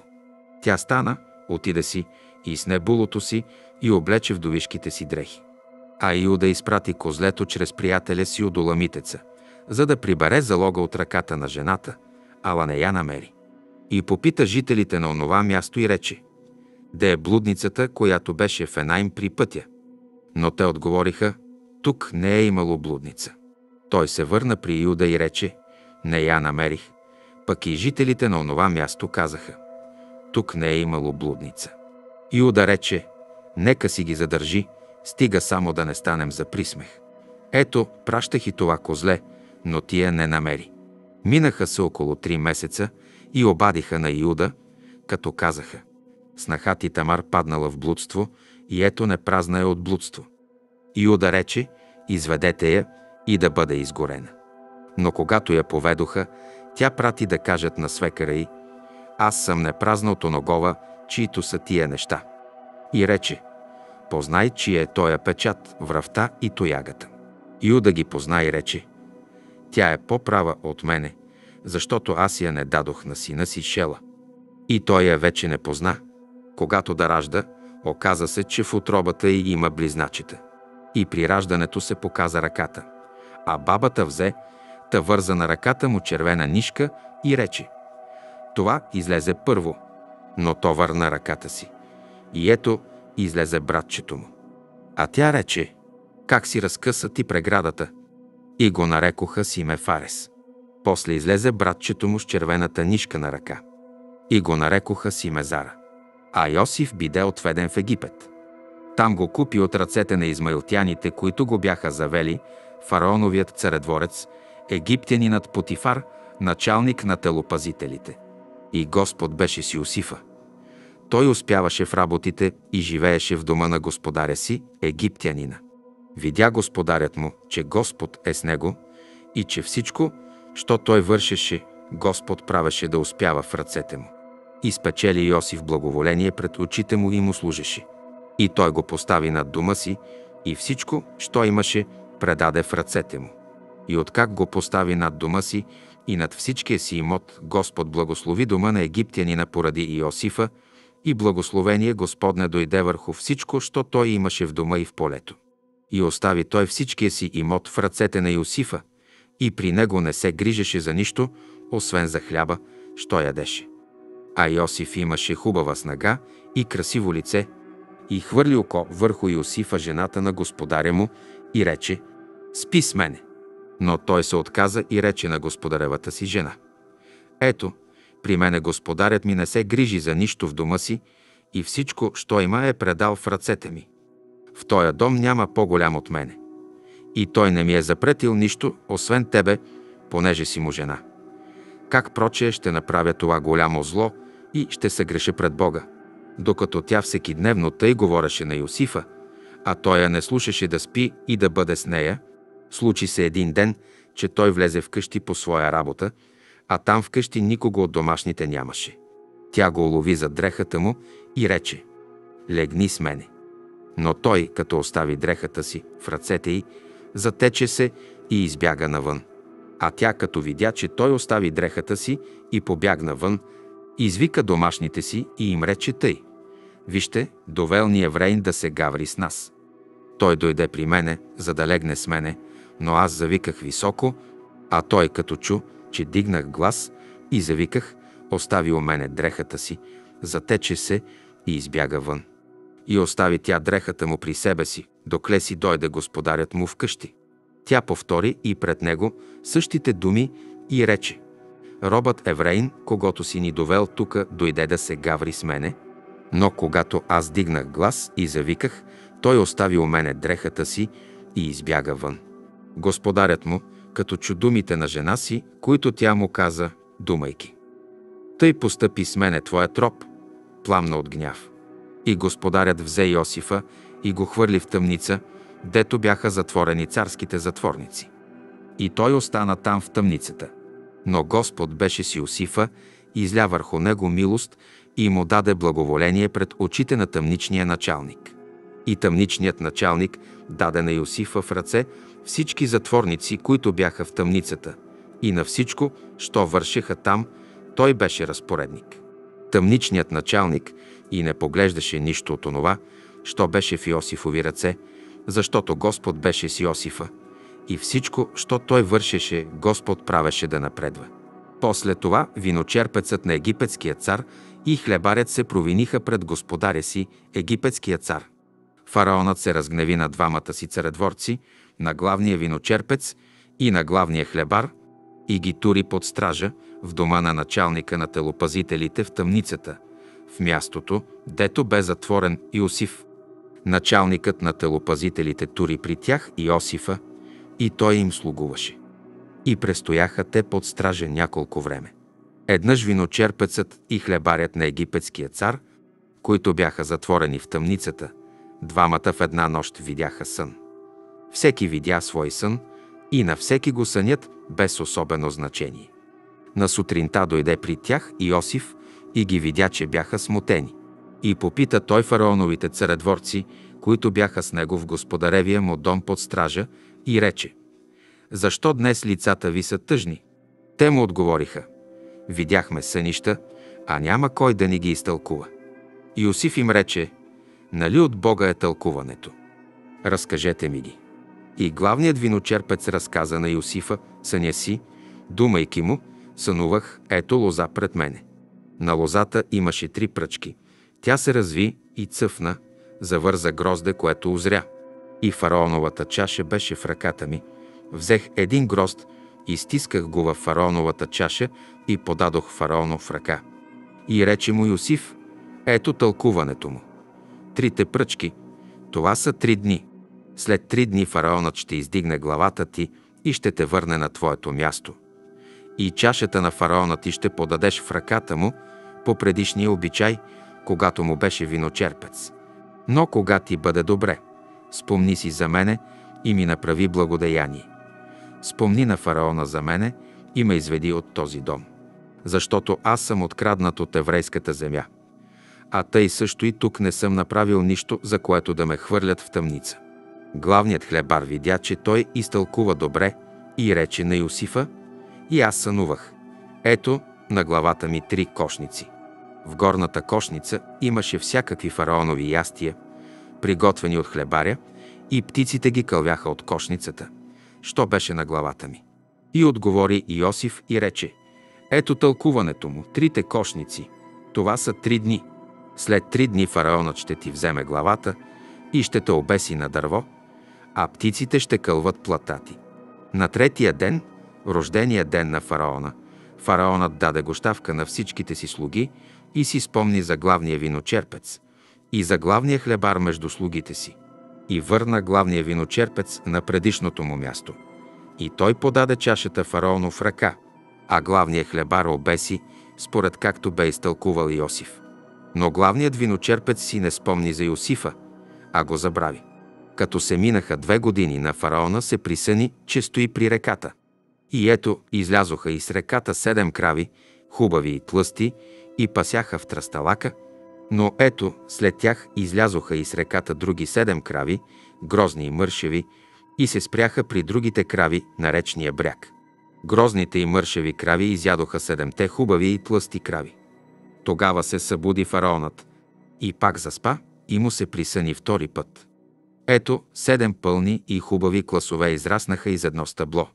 Но ето, след тях израснаха седем празни и изсушени от източния вятър класове. И празните класове погълнаха седемте тлъсти и пълни класове. Тогава фараонът се събуди и разбра, че това беше сън. На сутринта се смути духом и проводи. Та повика всички египетски влъхви и мъдреци. Фараонът им разказа съня си, ала се не намери никой, който да му го изтълкува. Тогава главният виночерпец заговори на фараона и рече «Сега си припомням греховете». Фараонът се бе разгневил на слугите си и тури мене и главния хлебар под стража в дома на началника на телопазителите. И сънувахме в една нощ, аз и той, всякой сънува сън с особено значение. Там беше с нас един млад еврейн, роб на началника на телопазителите. Ние му разказахме нашите сънища и той всеки му от нас изтълкува съня. И както ни бе изтълкувал той, тъй се избъдна. Аз бидох върнат на своето място, а оня биде обесен.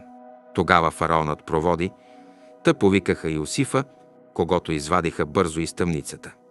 Той се острига, промени дрехите си и дойде при фараона. Фараонът рече на Йосифа, сънувах сън, пък няма кой да го изтълкува, а за тебе съм слушал, че можеш да тълкуваш сънища. Отговори Йосиф фараону и рече, не аз, а Бог ще даде отговор за добро на фараона. И рече фараонът на Йосифа, сънувах, че стоя на брега на реката. И ето, излязоха из реката седем тлъсти и хубави крави и пасяха в тръстиката. Но ето, след тях излязоха други седем крави мършеви, много грозни и пустали. Не съм виждал по цялата египетска земя толкова грозни, като тях. И посталите и мършеви крави изядоха първите седем тлъсти крави. И влязоха тлъстите в отробата им, но се не забелязваше, че бяха влезли в отробата им. Те бяха все тъй мършеви, както и понапред. И аз се събудих. После сънувах, че на едно стъбло израснаха седем пълни и хубави класове. Но ето, след тях израснаха седем тънки, празни и изсушени от източния вятър класове. И празните класове погълнаха седемте хубави класове. Аз разказах това на влъхвите, ала никой не ми го изтълкува. Тогава Йосиф рече фараоно. Сънят фараонов е един. Каквото Бог ще прави, явил е фараон. Седемте хубави крави са седем години. И седемте хубави класове са пак седем години. Сънят е един. Седемте мършави и грозни крави, които излязоха след тях, са седем години, също и седемте празни и изсушени от източния вятър класове са седем гладни години. Ето защо аз казах на фараона. каквото Бог ще прави, явил е на фараона. Ето, идат седем години с голямо изобилие по цялата египетска земя. След тях ще дойдат седем гладни години. И ще се забрави всичкото онова изобилие в египетската земя.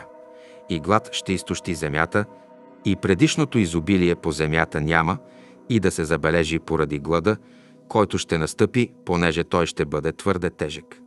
А задето се е присънило фараоно на два пъти, значи, че това е истинско Слово Божие и че Бог наскоро ще го изпълни.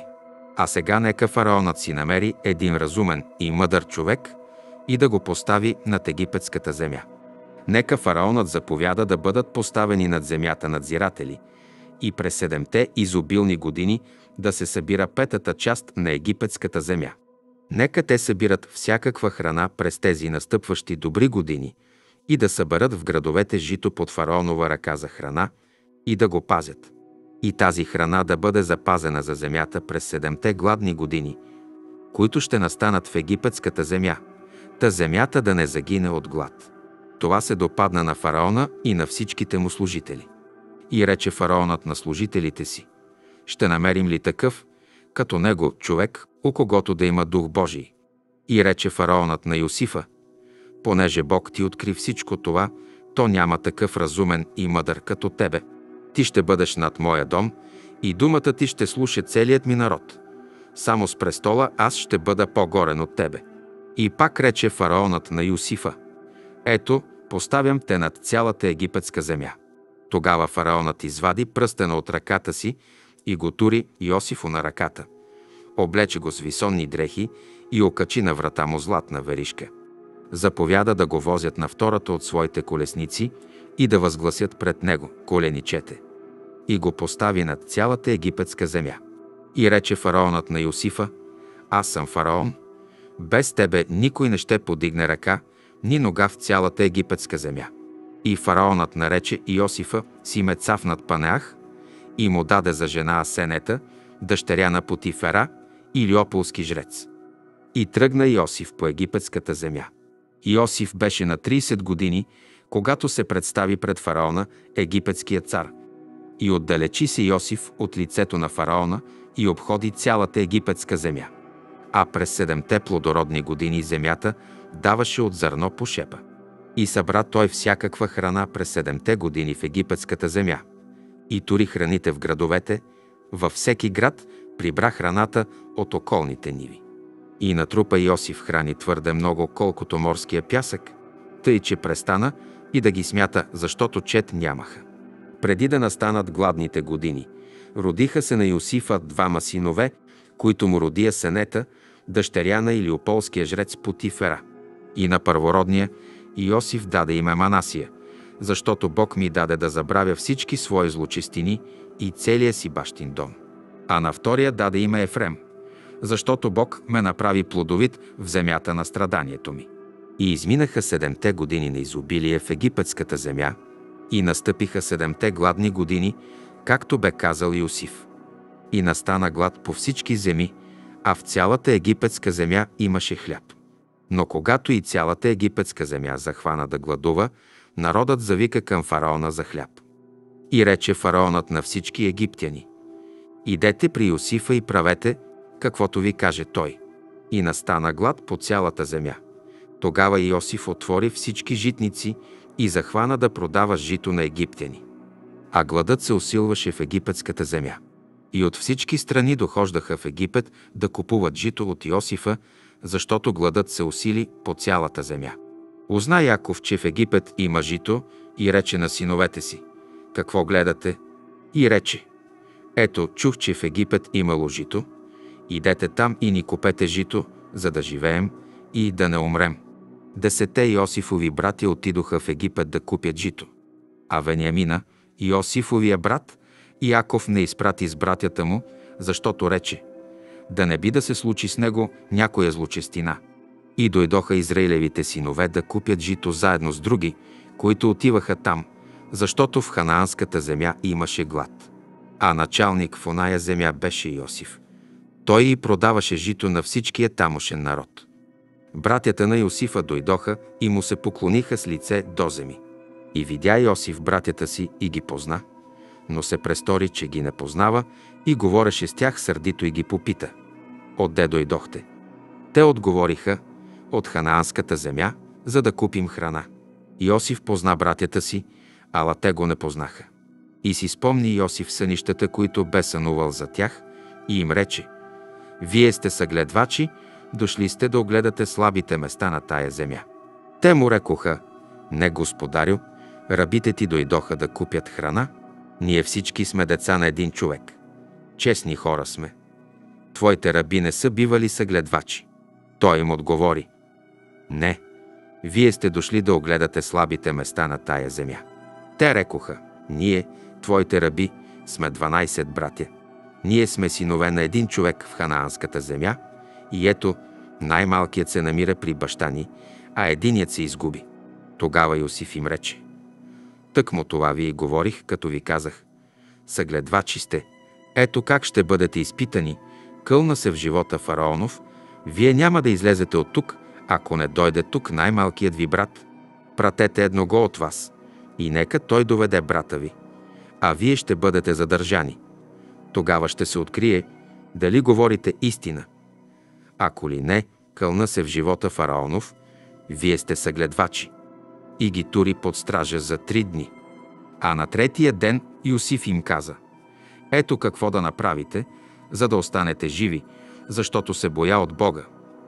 Ако сте честни хора, нека един брат от вас бъде задържан в къщата, дето сте затворени. А вие идете, занесете жито за гладните си челеди, а най- малкия си брат доведете при мене, за да се оправдаят думите ви и да не умрете. Тъй и направиха. И говореха си един други му. Наистина, това ни е наказание за греха против брата ни. Ние видяхме как се той душевно мъчеше, когато ни молеше, ала не послушахме. Затова ни и постигна тая беда. Рувим отговори и им рече, не думах ли ви? Не грешете против детето, но вие не послушахте. Ето кръвта му се дири. А те не знаеха, че Иосиф разбира, понеже си служеха с преводач. Тогава се оттегли от тях и заплака. Върна се при тях и говори с тях и, като взе измежду им Симеона, върза го пред очите им. И заповяда Йосиф да напълнят чувалите им с жито, а среброто им да върнат всеки му в чувала и да им дадат храна за по път. Те и стана с тях. Те натовариха житото на ослите си и потеглиха оттам. И един от тях при нощувката отвори своя чувал, за да даде храна на осела си и видя среброто си при устата на чувала и рече на братята си. Среброто ми върнато. Ето го в чувала ми. Смути се сърцето им и те с трепет думаха един други му. Какво стори Бог с нас? И дойдоха при баща си Якова в ханаанската земя и му разказаха всичко, що се случи с тях. И рекоха, началникът на оная земя приказва с нас сърдито и ни взе за съгледвачи на земята. Ние му рекохме, честни люде сме, не сме съгледвачи. Ние сме 12 братя, синове на баща си. Единият се изгуби, а най-малкият е сега при баща ни в ханаанската земя. А началникът на оная земя ни рече, ето как ще позная, дали сте честни люде. Оставете при мене единия си брат. А вие вземете жито за гладните си челеди, идете си и доведете при мене най-малкия си брат. Тогава ще позная, че не сте съгледвачи, а честни люде, ще ви пусна брата ви и вие ще можете да търгувате в тая земя. А когато изпразняха чувалите си, ето, че всеки му възелът със среброто беше в чувала му. Като видяха възлите със среброто си, те и баща им се оплашиха. А баща им Яков рече, оставихте ме без деца. И Йосифа няма, и Симеона няма, а искате и Вениамина да вземете. Всичко това се струпа върху мене. Рувим отговори на баща си. Убий двамата ми синове, ако ти го не доведа. Дай го в моите ръце. Аз ще ти го върна. Той рече, няма да иде син ми с вас, защото брат му умря и той остана сам. Ако се случи злочистина с него по пътя, в който ще отидете, ще свалите с едината ми стъга в гроба. Гладът се усили в страната. И когато те изядоха житото, що бяха донесли от Египет, баща им каза Идете пак, та ни купете малко храна. А Иуда му каза, оня човек строго ни поръча, като рече, да се не явявате пред лицето ми, ако брат ви не бъде с вас. Ако пратиш с нас брата ни, ще отидем и ще ти купим храна. Ако пък го не пратиш, няма да отидем. Защото оня човек ни рече, да се не явявате пред лицето ми, ако брат ви не бъде с вас. Израил рече, защо ми сторихте такова зло, като казахте на оня човек, че имате още един брат? Те отговориха, оня човек разпитваше за нас и за рода ни, като думаше. Жив ли е още баща ви? Имате ли друг брат? И ние му отговорихме на тия запитвания. Можехме ли да знаем, че ще ни каже? Доведете брата си. А Иуда каза на баща си Израиля. Пусни момчето с мене и ние ще станем и отидем, та да бъдем живи и да не умрем нито ние, нито ти, нито децата ни. Аз отговарям за него, от моите ръце ще го искаш. Ако ти го не доведа и не изправя пред лицето ти, ще остана виноват пред тебе през всички дни на живота си. Да не бяхме се бавили, до сега щяхме да отидем два пъти. Баща им Израил им каза, като е тъй, ето какво ще направите. Вземете със себе си плодове от тая земя и занесете подарък на оня човек малко балсам и малко мед, стиракса и смирна фъстъци и миндали. Вземете и друго сребро в ръцете си. А среброто, което бе върнато и турено при устата на чувалите ви, върнете с ръцете си. Може да е станало грешка. Вземете и брата си, пастанете и идете пак при оня човек, а всемогъщи Бог да ви даде да намерите милост пред оня човек, та да ви отпусне и другия ви брат и Вениамина. Аз пък, ако трябва вече да остана без деца, нека остана без деца. И уния мъже взеха тия подаръци, взеха в ръце и двойно повече сребро, и Вениамина, пастанаха та отидоха в Египет и се явиха пред Юсифа. Йосиф, като видя между тях Вениамина, рече на своя домакин. Заведи тия люда у дома, заколи нещо от добитъка и приготви, защото тия люде ще ядат с мене на пладне. Оня човек направи, както рече Йосиф, и заведе ония люде в Йосифовия дом. Оплашиха се ония люде, задето ги въведоха в Йосифовия дом, и рекоха, карат ни заради среброто, върнато в чувалите ни, за да намерят предлог против нас, да ни нападнат и да вземат роби нас и нашите осли. И приближиха се до Йосифовия домакин и заговориха му при къщните врата. И рекоха, послушай, господарю, ние вече идвахме и попреди да купуваме храна, па се случи, че когато се спряхме на нощувка и отворихме чувалите си, ето среброто на всеки го при устата на чувала му, среброто ни бе по теглото му и ние го връщаме с ръцете си. А за купуване храна донесохме друго сребро в ръцете си. Ние не знаем кой беше турил среброто ни в нашите чували. Той отговори. Бъдете спокойни, не бойте се. Вашият Бог и бащиният ви Бог тури това имане в чувалите ви. Среброто ви аз получих. И доведе при тях Симеона. И оня човек въведе човеците в Йосифовия дом и даде вода, та умиха нозете си. Даде и храна на техните осли.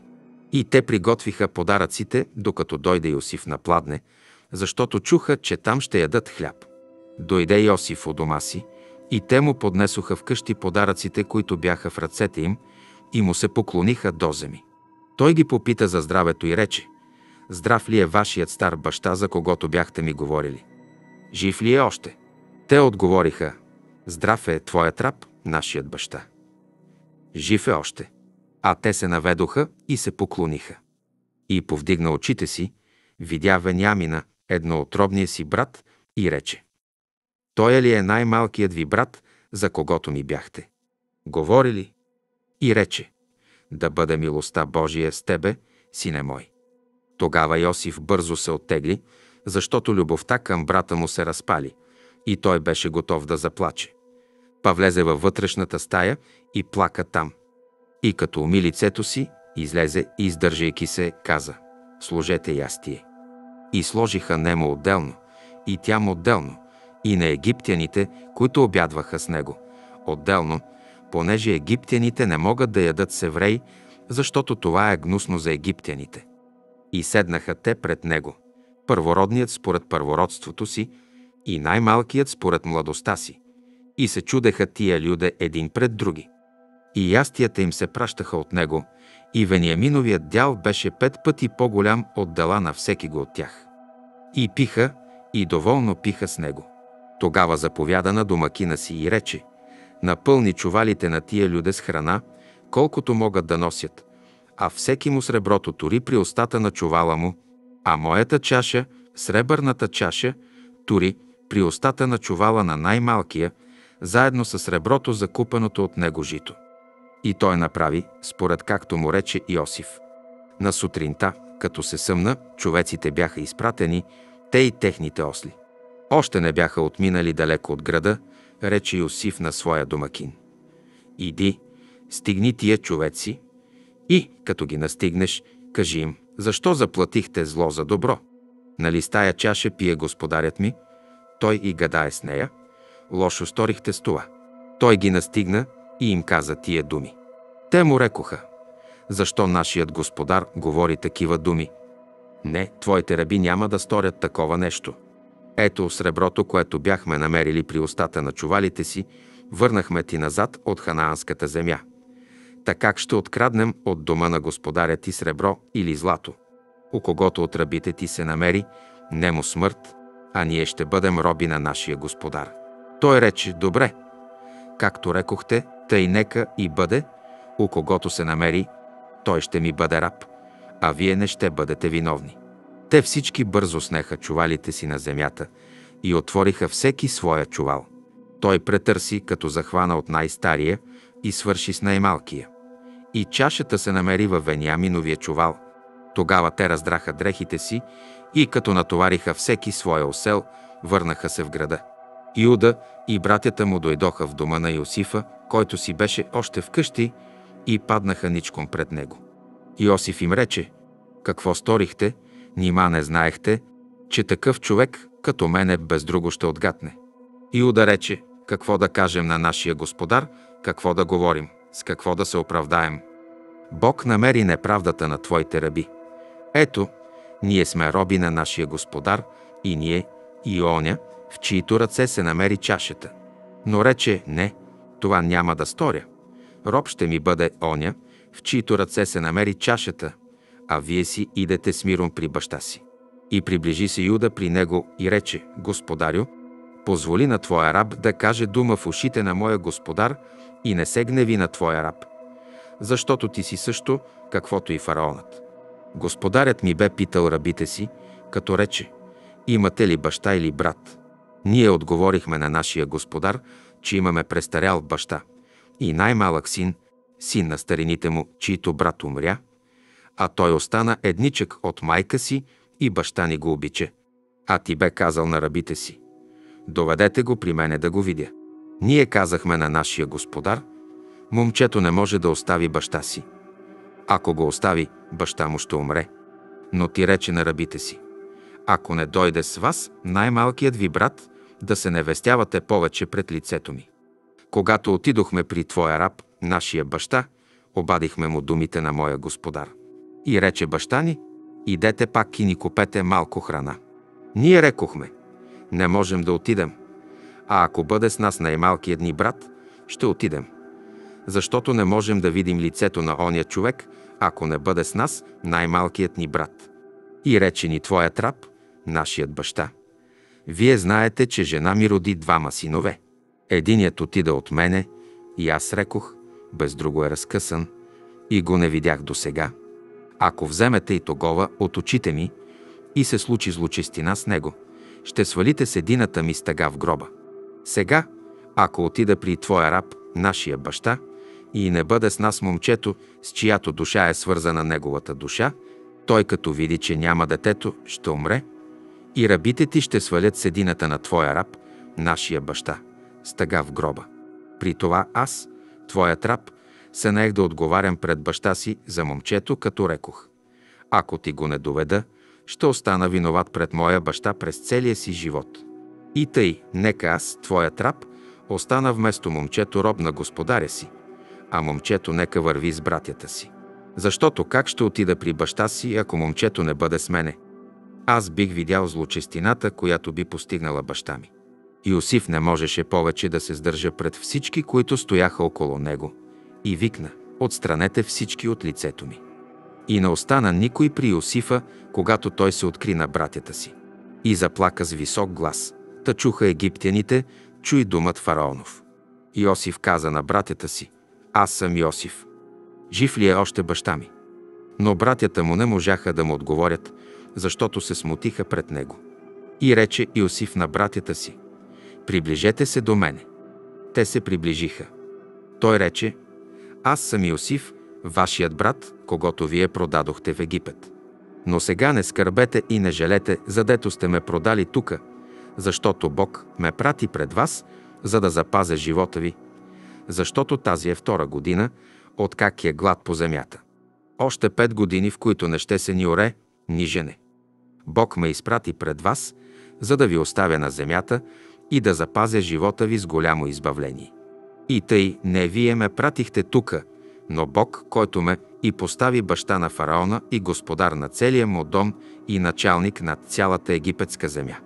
Идете по-скоро при баща ми и му кажете. Тъй каза син ти Йосиф, Бог ме постави господар над цял Египет. Дойди при мене, не се бави. Ти ще живееш в земята Гесем и ще бъдеш близо до мене, ти и синовете ти, и твоите внуци, и дребният и едрият ти добитък, и всичко твое. И ще те изхраня там, защото глад ще има още пет години, та да не паднеш в немотия, ти и домът ти и всичко твое. И ето, вашите очи и очите на брата ми Венямина виждат, че моите уста говорят с вас. А на баща ми кажете за всичката ми слава в Египет и за всичко, що видяхте, и доведете по-скоро баща ми тука. И хвърли се върху шията на брата си Венямина и плака, плака и Вениамин на неговата шия. И целува всичките си брати и плака, като ги прегръщаше. След това говориха с него братята му. Дойде слух до фараоновия дом, че Йосифовите братя пристигнали. И драго беше на фараона и на служителите му. И рече фараонът на Йосифа, кажи на братята си. Ето какво ще направите. Натоварете добитъците си и вървете в ханаанската земя. И вземете баща си и семействата си и дойдете при мене. Аз ще ви дам най-доброто в египетската земя и вие ще ядете тластината на тая земя. На тебе пък заповядвам да им кажеш. Направете това. Вземете си от египетската земя колесници за децата и жените си. Доведете баща си и дойдете. И не желете вещите си, защото аз ще ви дам каквото има най-добро от цялата египетска земя. Те и направиха синовете Израилеви. Иосиф им даде колесници, според заповедта фараонова, даде им и храна за път. Всеки му от тях даде дрехи по две премени, а на Вениамина даде 300 сребърника и пет премени. Също и на баща си прати 10 осела, натоварени с най-добри египетски произведения и 10 ослици, натоварени с жито, хляб и храна за попът на баща си. Тогава изпрати братята си и те тръгнаха, като им поръча, не дейте се кара по пътя. И тръгнаха те от Египет и стигнаха в ханаанската земя при баща си Якова и му известиха, като рекоха. Иосиф е жив и сега господарува над цялата египетска земя. Сърцето му трепна, обаче им не вярваше. А когато му предадоха всичко, що им бе казал Иосиф, и когато видя колесниците, които бе изпратил Иосиф, за да го вземат, тогава се съживи духът на баща им Якова и рече Израил, Стига, син ми Йосиф е още жив, ще отида и ще го видя, преди да умра. И тръгна Израил с всичко, що имаше, дойде в Вирсавия и принесе жертва на Бога на баща си Исаака. И каза Бог на Израиля в нощно видение. Якове, Якове. Той рече, ето ме. Бог рече, аз съм Бог, Бог на баща ти. Не бой се да идеш в Египет, защото там ще произведа от тебе голям народ. Аз ще отида с тебе в Египет, аз и ще те изведа назад. Иосиф с ръката си ще ти затвори очите. Яков тръгна от Вирсавия и синовете Израилеви качиха баща си Якова и децата си и жените си на колесниците, които фараонът бе пратил, за да го доведат. и взеха добитъка си и имота си, който бяха спечелили в ханаанската земя, и дойдоха в Египет. Яков и целият му род с него. Той доведе със себе си в Египет синовете си и внуците си, дъщерите си и внучките си и целия си род. Ето имената на Израилевите синове, които дойдоха в Египет. Яков и синовете му. Първороденият на Якова Ровим. Синове Ровимови, Ханох и Фало, Хецрон и Харми. Синове Симеонови, Емуил и Ямин, Охат и Яхин, Цохар и Саул, син от Хананейката. Синове Левиеви, Гирсон, Каат и Мерари. Синове Иудини, Ирионан, Шела, Фарес и Изара. Но Ирионан умряха в ханаанската земя. Синове на Фареса бяха Есрум и Хамул. Синове Исахарови, Тола и Фува, Йофи и Шимрон. Синове Заволонови и Серет, Елон и Ехлил. Тия са синове на Лия, които тя бе родила на Якова в Месопотамия, заедно с дъщеря му Дина. Всички негови синове и дъщери бяха 33 души. Синове Гадови, Цифион и Хаги, Шуни и Ецбон, Ери, Ароди и Арели. Синове Асирови, Имна и Ишва, Ишви и Брия и сестра им Серах. Синове Бриеви, Хевер и Малхил. Тия са синове от Зелфа, която Лаван бе дал на дъщеря си Лия. Тя роди на Якова 16 души. Синове от Рахил, жена на Якова. Йосиф и Вениамин. А на Йосифа се родиха в египетската земя Манасия и Ефрем, които му роди Сенета, дъщеря на Илиополския жрец Потифер. Синове Вениаминови, Бела, Бехер и Ашбел, Гера и Нааман, Ехи и Рош, Мупим, Хупим и Арт. Тия са синове от Рахил, които се родиха на Якова. Всичко 14 души. Син Данов, Хушим, синове Нефталимови, и Ахцеил, и Гуни, и Ецер, и Шилем. Тия са синове на Вала, която Лаван бе дал на дъщеря си Рахил. Тя ги роди на Якова. Всичко седем души. Всички, които дойдоха с Якова в Египет и които бяха излезли от чреслата му, освен жените на Якововите синове, бяха всичко 66 души. Иосифовите синове, които му се родиха в Египет, бяха двама души. Всички от Якововия дом, дошли в Египет, бяха 70 души.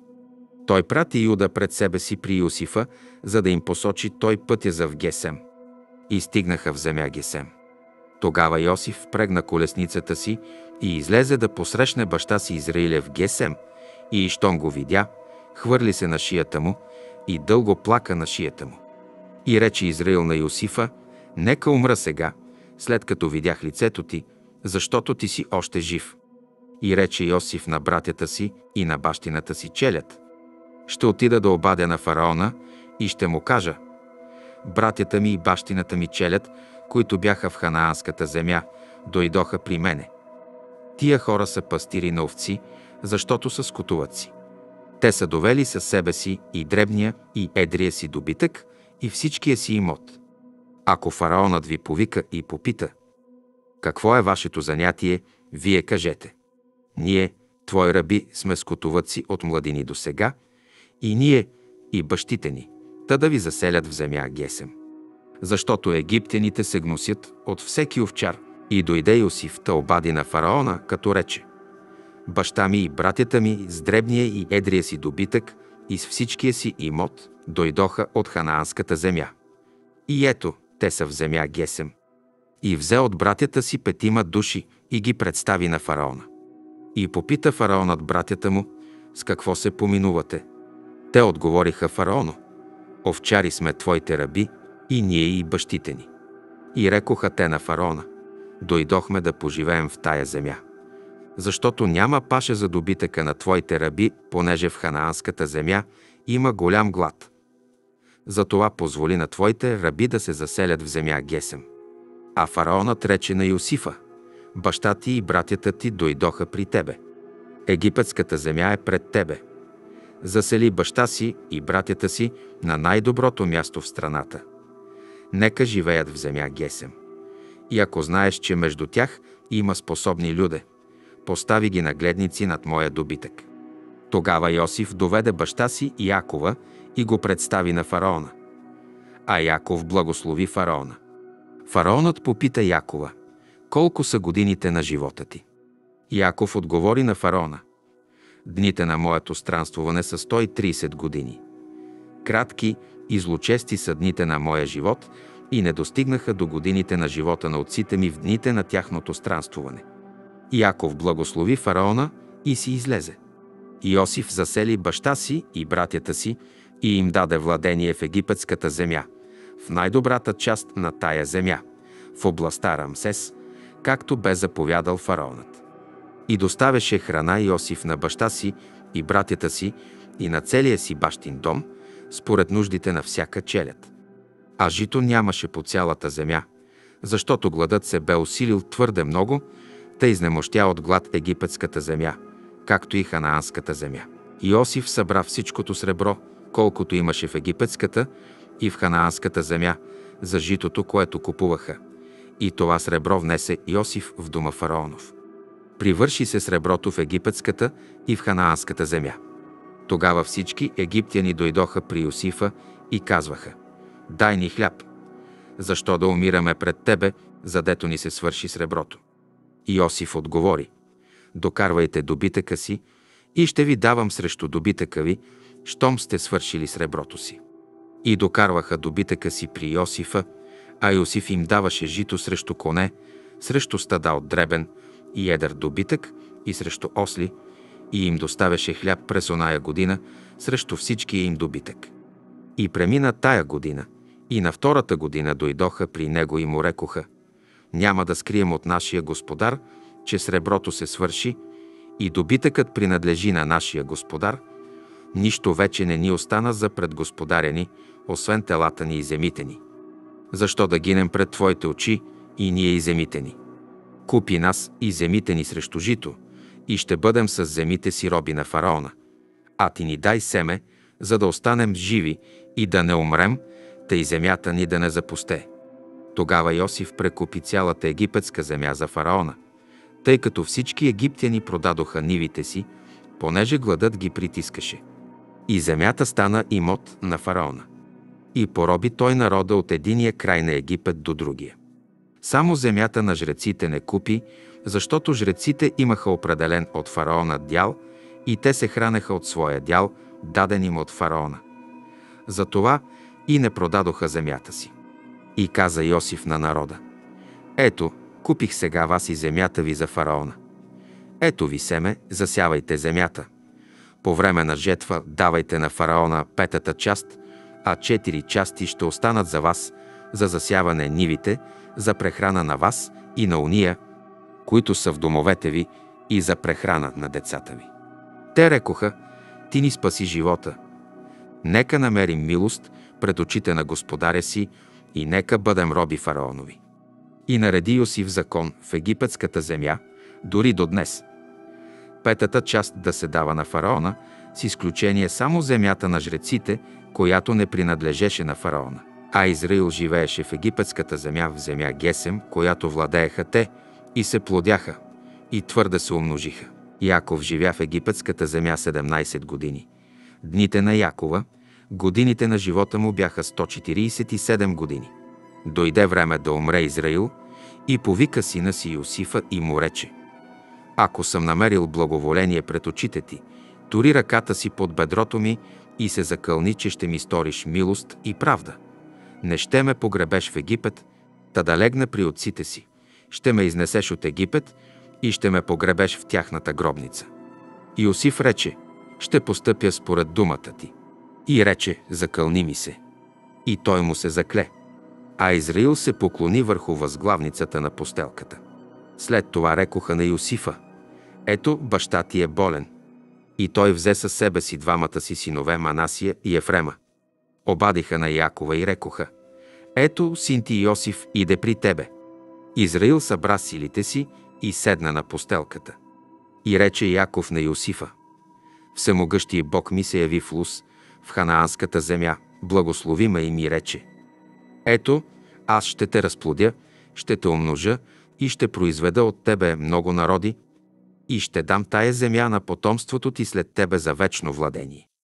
И сега двамата ти синове, които ти се родиха в египетската земя, преди да дойда при тебе в Египет, са мои, Ефрем и Манасия, както Рувим и Симеон, ще бъдат мои. А децата ти, които ти се родят след тях, ще бъдат твои. Те с името на братята си ще се наричат в наследството им.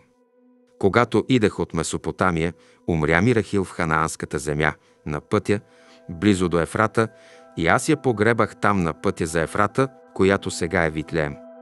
И видя Израил синовете Иосифови и попита, кои са тия? Отговори Йосиф на баща си. Тия са синовете ми, които Бог ми даде тука, рече. Доведи ги при мене и аз ще ги благословя. А очите на Израиля бяха отслабнали от старост, та не можеше да вижда ясно. Иосиф ги приближи до него, а той ги целуна и ги прегърна. И рече Израил на Йосифа, аз се не надявах да видя лицето ти. Пак ето Бог ми показа и децата ти. Тогава Йосиф ги отведе от коленете му и му се поклони с лице до земи. След това Йосиф хвана двамата, Ефрема в дясната си ръка срещу лявата на Израиля, а Манасия в лявата срещу дясната на Израиля и ги приближи към него. Но Израил простря и възложи дясната си ръка върху главата на Ефрема, макар тоя да беше по-малък, а лявата върху главата на Манасия. Той нарочно възложи така ръцете си, макар Манасия да беше първороден. И благослови Йосифа и рече Бог, пред когото ходиха отците ми Авраам и Исаак, Бог, който ме е пасал, откак съществувам до днес. Ангелът, който ме избави от всяко зло, да благослови тия деца, да бъдат именувани с моето име и с името на отците ми, Авраама и Исаака и да се наплодят в множество по земята. И видя Йосиф, че баща му възложи дясната си ръка върху главата на Ефрема и му стана мъчно. И взе ръката на баща си, за да я премести от главата на Ефрема върху главата на Манасия, и рече Йосиф на баща си. Не тъй, татко, защото този е първородният. Възложи върху неговата глава десницата си. Но баща му се не съгласи и рече. Зная, сине мой, зная, и от него ще излезе народ, и той ще бъде велик, ала по-малкият му брат ще бъде по-голям от него, и от неговото семе ще произлезе многоброен народ. И благослови ги в оня ден, като каза, чрез вас Израил ще благославя и казва, Бог да ти стори като на Ефрема и Манасия. И постави Ефрема по-горе от Манасия. Тогава Израил рече на Йосифа, ето аз умирам, но Бог ще бъде с вас и ще ви върне в земята на отците ви. Аз ти давам повече, отколкото на братята ти един дял, който взех от ръцете на аморейци с мече си и лъка си. И повика Яков синовете си и рече, съберете се и ще ви обадя какво ще се случи с вас за напред. Съберете се и послушайте вие, синове на Якова, послушайте баща си Израиля. Ровиме, първородни сине мой, ти си моя крепост и начатък на силата ми, върховен по достоинство и върховен по могъщество. Но ти буйствува като вода, не ще имаш преднина, защото ти се качи на бащиното си легло, ти оскверни постелката ми, качи. Симеон и Леви са братя, мечовете им са уръдия на жестокост. В съвета им да не влезе душата ми и в събранието им да не участва славата ми, защото те в гнева си убиха човек и по своя прищявка прерязаха жилите на телец. Проклет е гневът им, защото е жесток, и яроста им, защото е свирепа.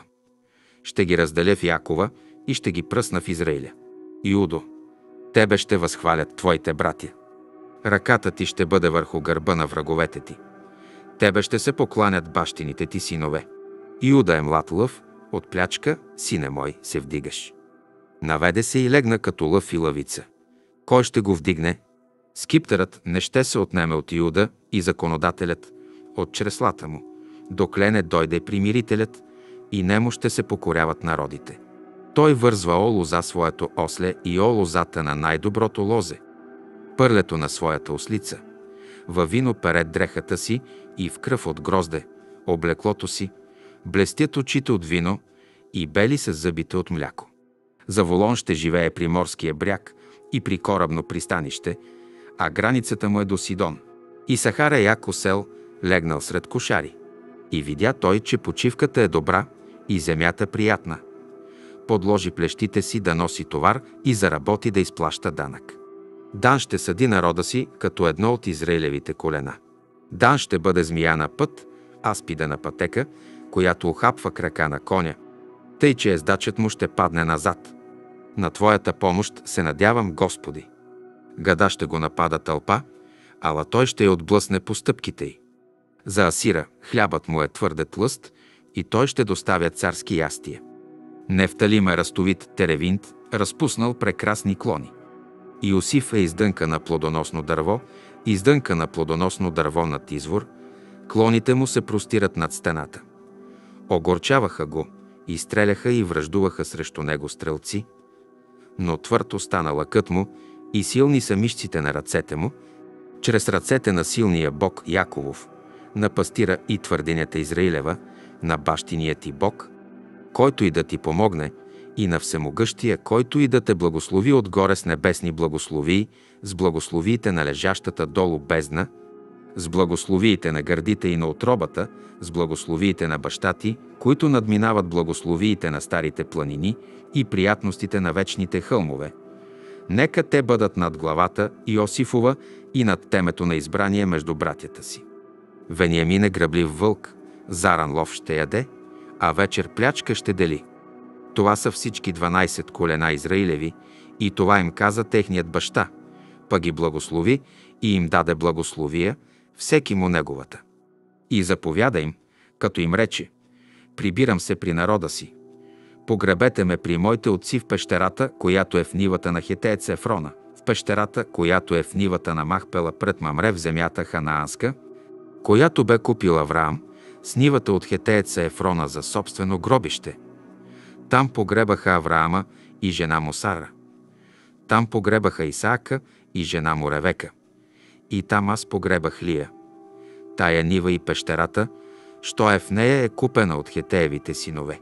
И свърши Яков завещанието към синовете си, простряно взе на постелята, почина и се прибра при своя народ. Иосиф падна върху лицето на баща си, плака над него и го целува. И заповяда Йосиф на своите слуги лекари да балсамират баща му, и лекарите балсамираха Израиля. И стори той 40 дена, защото толкова дни са нужни за балсамиране. И оплакваха го египтяни 70 дена. И когато изминаха дните на плач за него, Иосиф рече на фараоновите придворни, думайки Ако съм спечелил благоволение пред вашите очи, кажете на фараона тъй. Баща ми ме закле, като рече Ето, умирам в моя гроб, що съм си изкопал в ханаанската земя, там ме погреби. И сега бих искал да ида да погреба баща си и да се върна. А фараонът отговори. Иди погреби баща си, както те е заклел. Тогава Йосиф отиде да погребе баща си. И с него отидоха всички слуги на фараона, старейшините на дома му и всички старейшини на египетската земя, и цялата челят на Йосифа, и братята му, и бащината му челят. Само децата си и дребния и едрия си добитък оставиха в земя Гесем.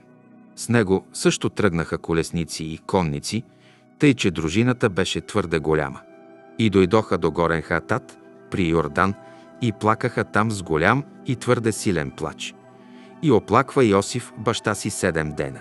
Хананейци, жители на оная земя, като видяха тоя плач в горен Хатат, казаха «Голям е тоя плач у египтяните».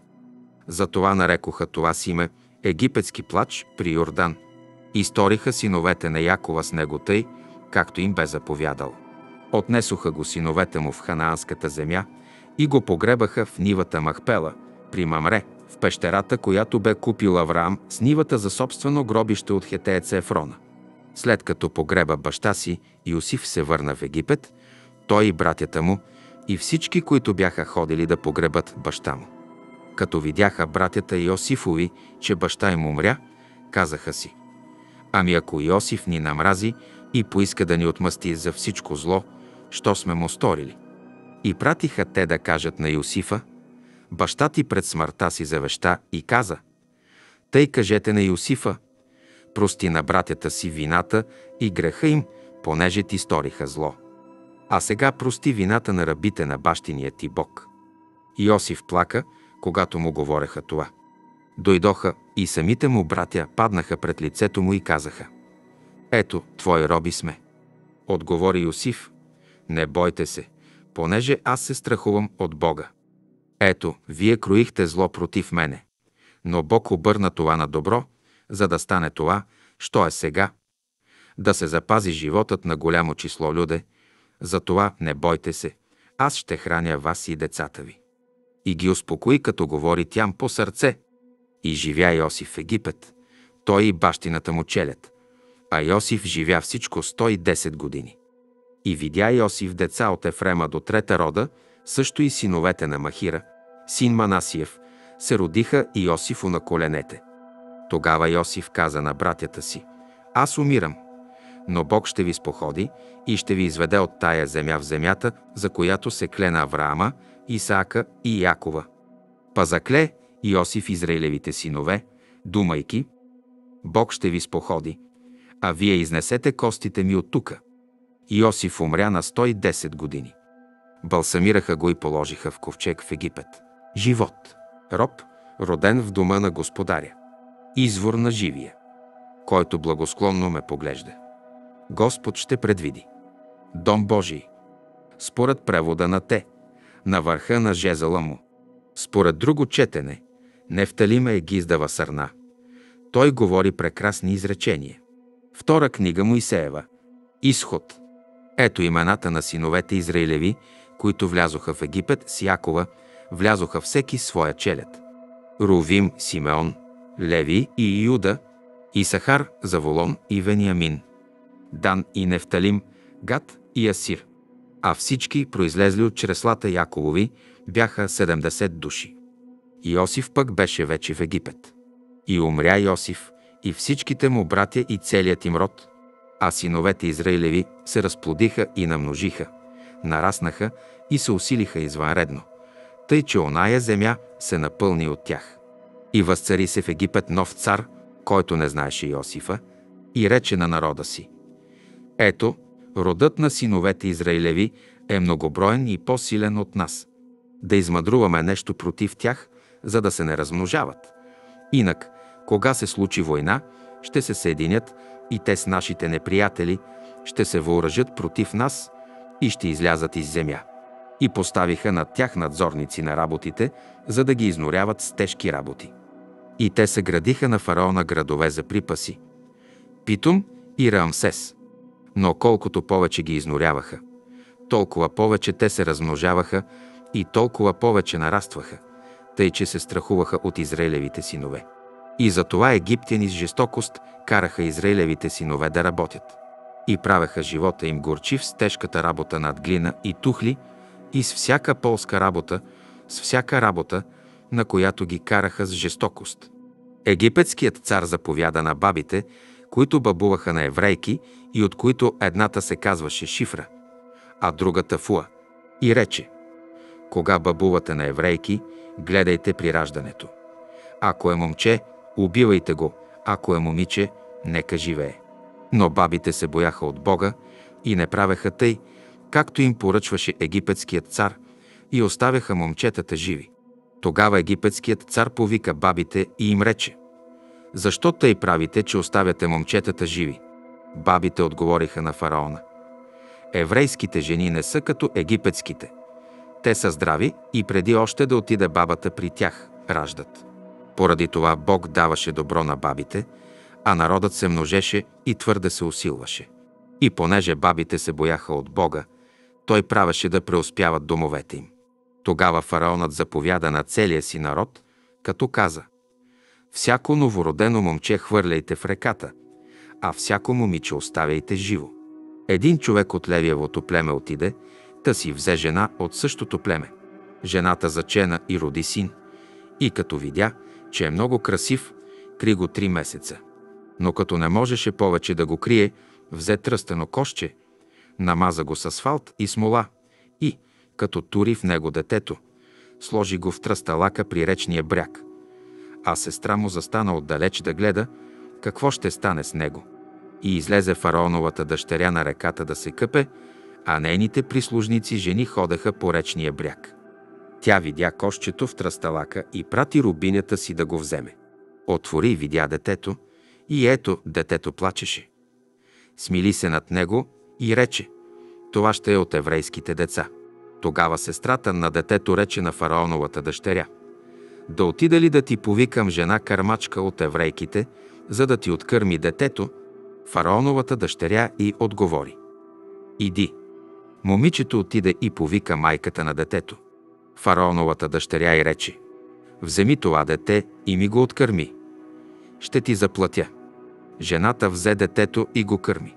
И порасна детето, и тя го заведе при фараоновата дъщеря, и той стана като син, и нарече тя името му Моисей, защото казваше, от вода го извадих. След много време, когато Моисей порасна, случи се, че излезе при братята си и видя тежките им работи. Видя още, че един египтянин бие едного еврейна от братята му. И като се огледа насам нататък и видя, че няма никого, той уби египтянина и го скри в пясъка. На другия ден ни излезе пак и ето двама евреи се карат и рече на виновния. Защо биеш ближния си? А той отвърна. Кой те постави началник и съдия над нас? Да не мислиш да ме убиеш, както уби египтянина. Моисей се оплаши и си рече, без друго това нещо се е узнало. И научи се фараонът за това нещо и искаше да погуби Моисея. Но Моисей побягна от фараона и се спря в Мадиамската земя и седна при един кладенец. Мадиамският свещеник имаше седем дъщери. Те дойдоха, извадиха вода и напълниха коритата, за да напоят овците на баща си. И дойдоха овчарите и ги отпъдиха. Тогава стана Моисей и ги защити и напои овците им. Върнаха се при баща си Рагуила. И той попита, защо тъй скоро си дойдохте днес? Те отговориха, един египтянин ни защити от овчарите, дори ни извади вода и напои овците. Той рече на дъщерите си, а да е той.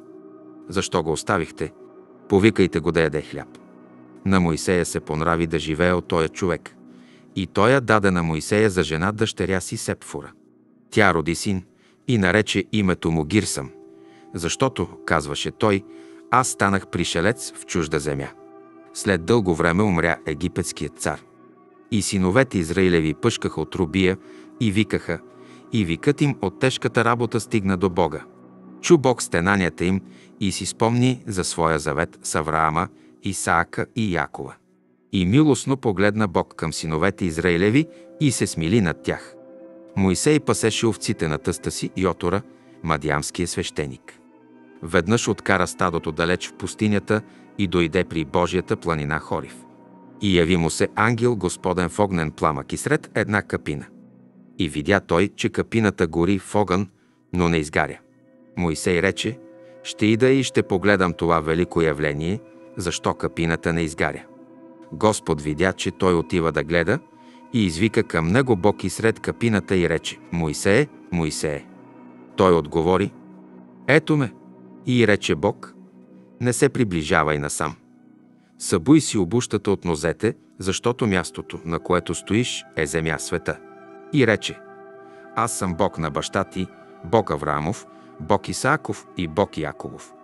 Моисей закри лицето си, защото се боеше да погледне към Бога.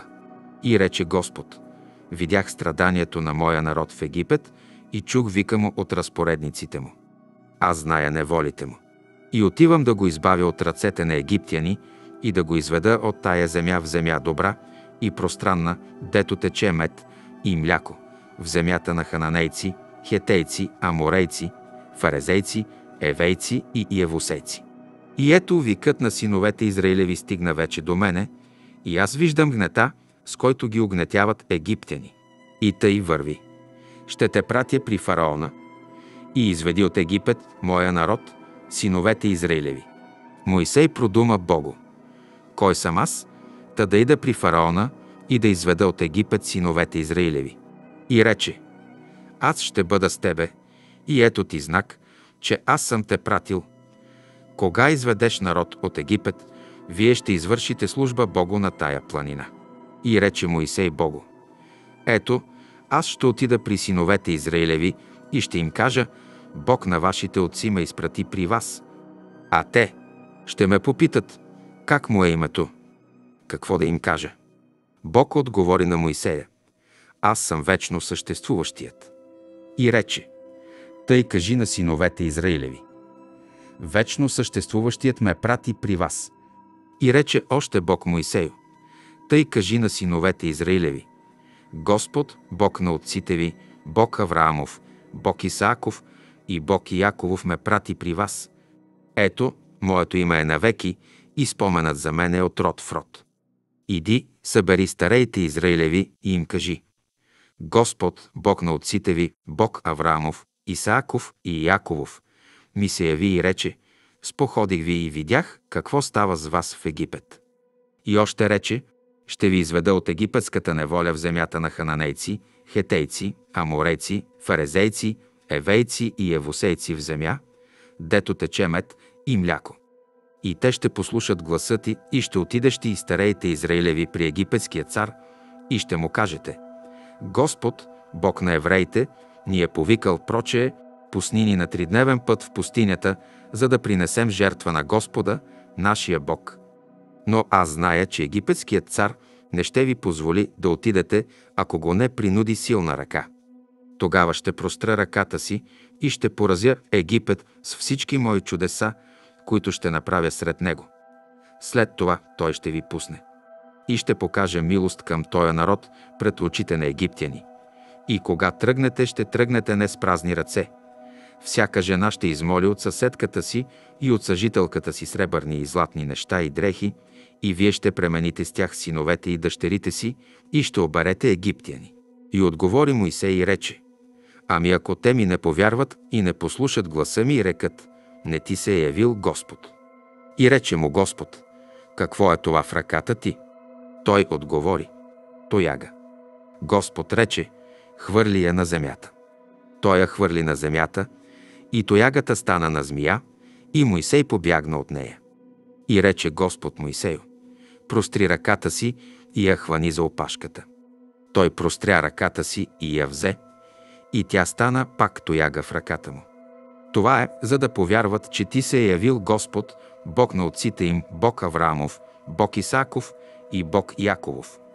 Рече му още Господ, тури си ръката в пазухата си. И той си тури ръката в пазухата си, извади я, и ето, ръката му бе побеляла от проказа, като сняг. Рече, тури си пак ръката в пазухата си. И той си тури ръката в пазухата си, и я извади от пазухата си, и ето, тя пак стана такава, каквото бе тялото му. Ако ти не повярват и не послушат гласа на първата личба, те ще повярват на гласа на втората личба. Ако ли не повярват и на двете тия личби и не послушат гласа ти, вземи вода от реката и я излей на земята. И водата, взета от реката, ще стане кръв на земята.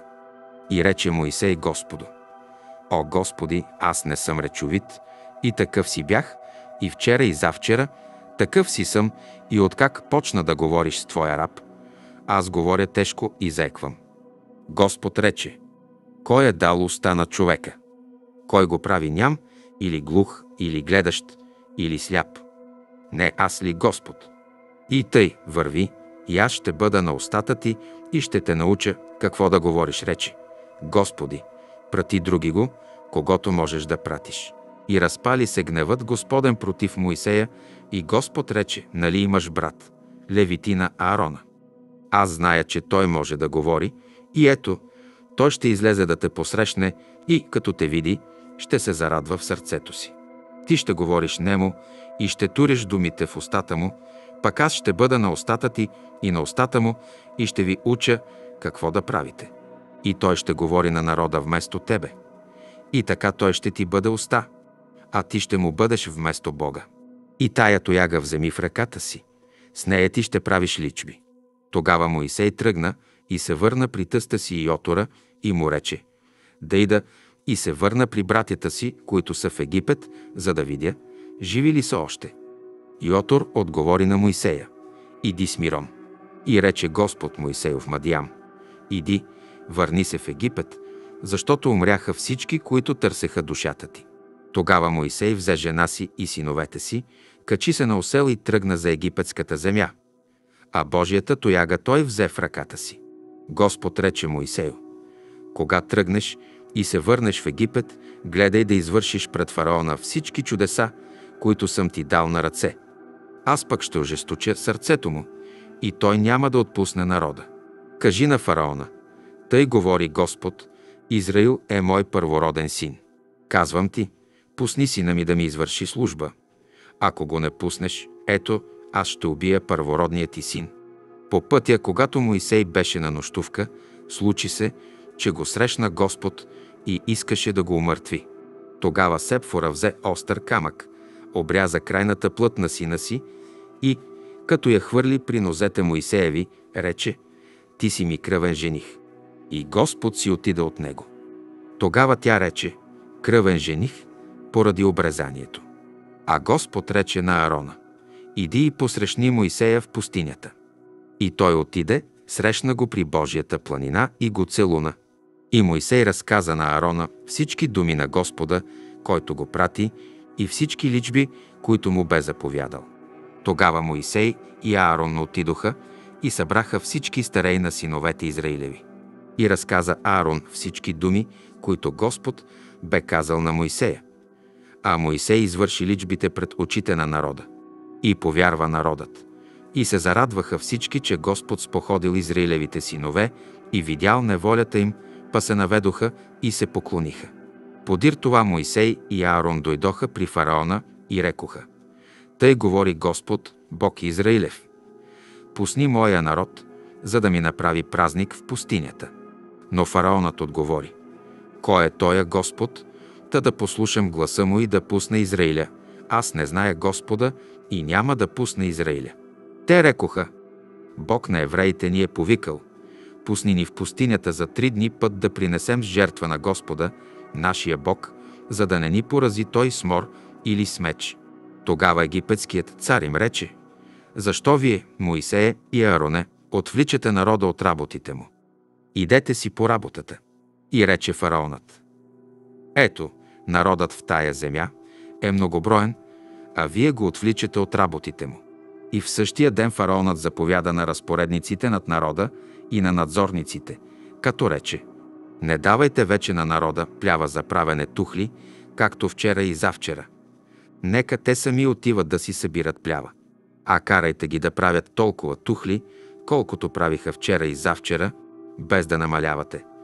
Те стоят празни, затова и викат да и да ми принесем жертва на нашия Бог, да им се даде повече работа, за да работят и да се не занимават с празни думи.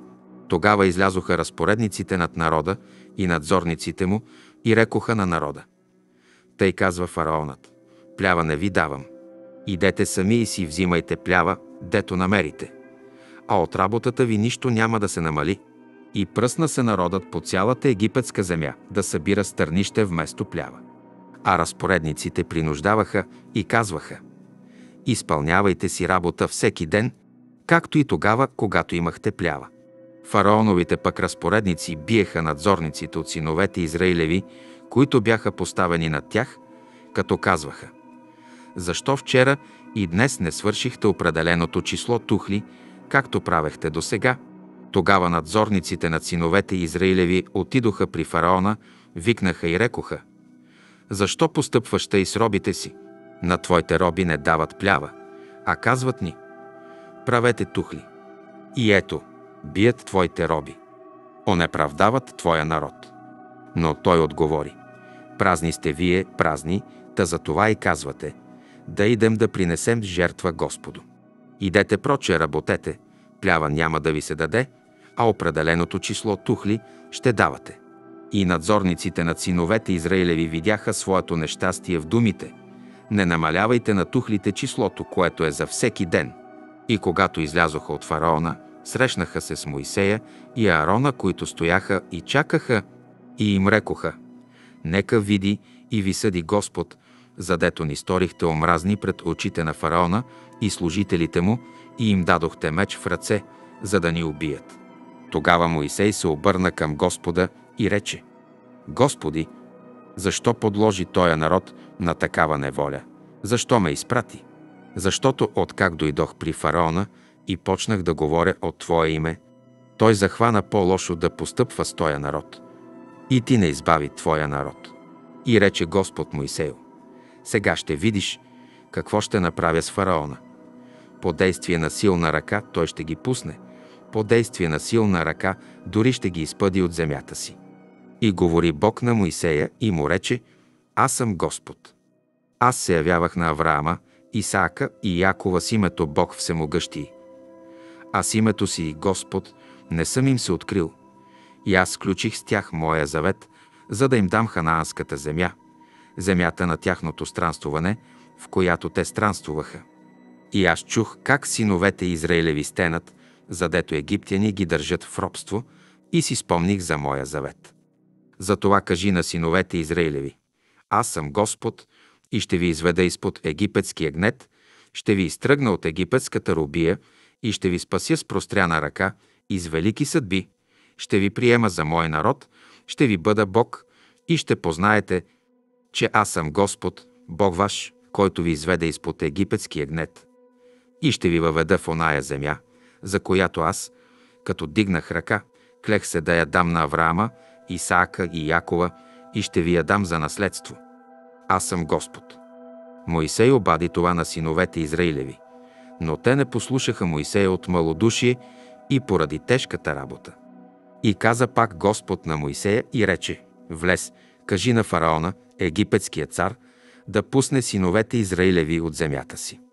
А Моисей отговори пред Господа и рече, ето синовете Израилеви ме не слушат. Как тогава ще ме послуша фараонът? При това аз съм зайклив. И говори Господ на Моисея и Аарона и им даде заповеди до синовете Израилеви и до фараона, египетския цар, да изведат синовете Израилеви от египетската земя. Ето началниците на поколенията им, синове на Ровима, първороден син Израилев, Ханох и Фало, Хецрон и Харми, това са семейства Ровимови. Синове Симеонови, Емуил и Ямин, Охат и Яхин, Цохар и Саул, син на Хананейката. Това са семейства Симеонови. Ето имената на синовете Левиеви според родовете им. Гирсон, Каат и Мерари. А годините на живота Левиев бяха 137. Синове Гирсонови, Ливни и Шимеи са семействата им. Синове Каатови, Амрам и Исхар, Хеврон и Узил. А годините на Каатовия живот бяха 133. Синове Мерариеви, Махли и Муши. Това са семейства Левиеви според родовете им. Амрам взе Леля си Йохаведа за жена и тя му роди Аарона и Моисея. А годините на живота Амрамов бяха 137. Синове Ицхарови, Корей, Нефек и Зихри. Синове Озилови, Мисаил, Елцафан и Ситри. Аарон взе за жена Елисавета, дъщеря Аминадавова, сестра на Асонова, и тя му роди Надава и Евиуда, Елеазара и Итамара. Синове Корееви. Асир, Елкана и Авиасав. Това са семейства Корееви. Елеазар, сина Аронов, взе за жена една от дъщерите Футилови и тя му роди Финееса. Това са началниците на левитските поколения според семействата им. Аарон и Моисей, те са уния, на които Господ каза Изведете синовете Израилеви от египетската земя според както са на дружини. Те именно говориха на фараона, египетския цар, да изведат синовете Израилеви от Египет. Това са Моисей и Аарон. И тъй в онова време, когато Господ говори на Моисея в египетската земя. Господ каза на Моисея и рече Аз съм Господ. Кажи на фараона, египетския цар, всичко, що ти казвам. А Моисей рече пред Господа Ами, че аз съм зайклив, как ще ме послуша фараонът?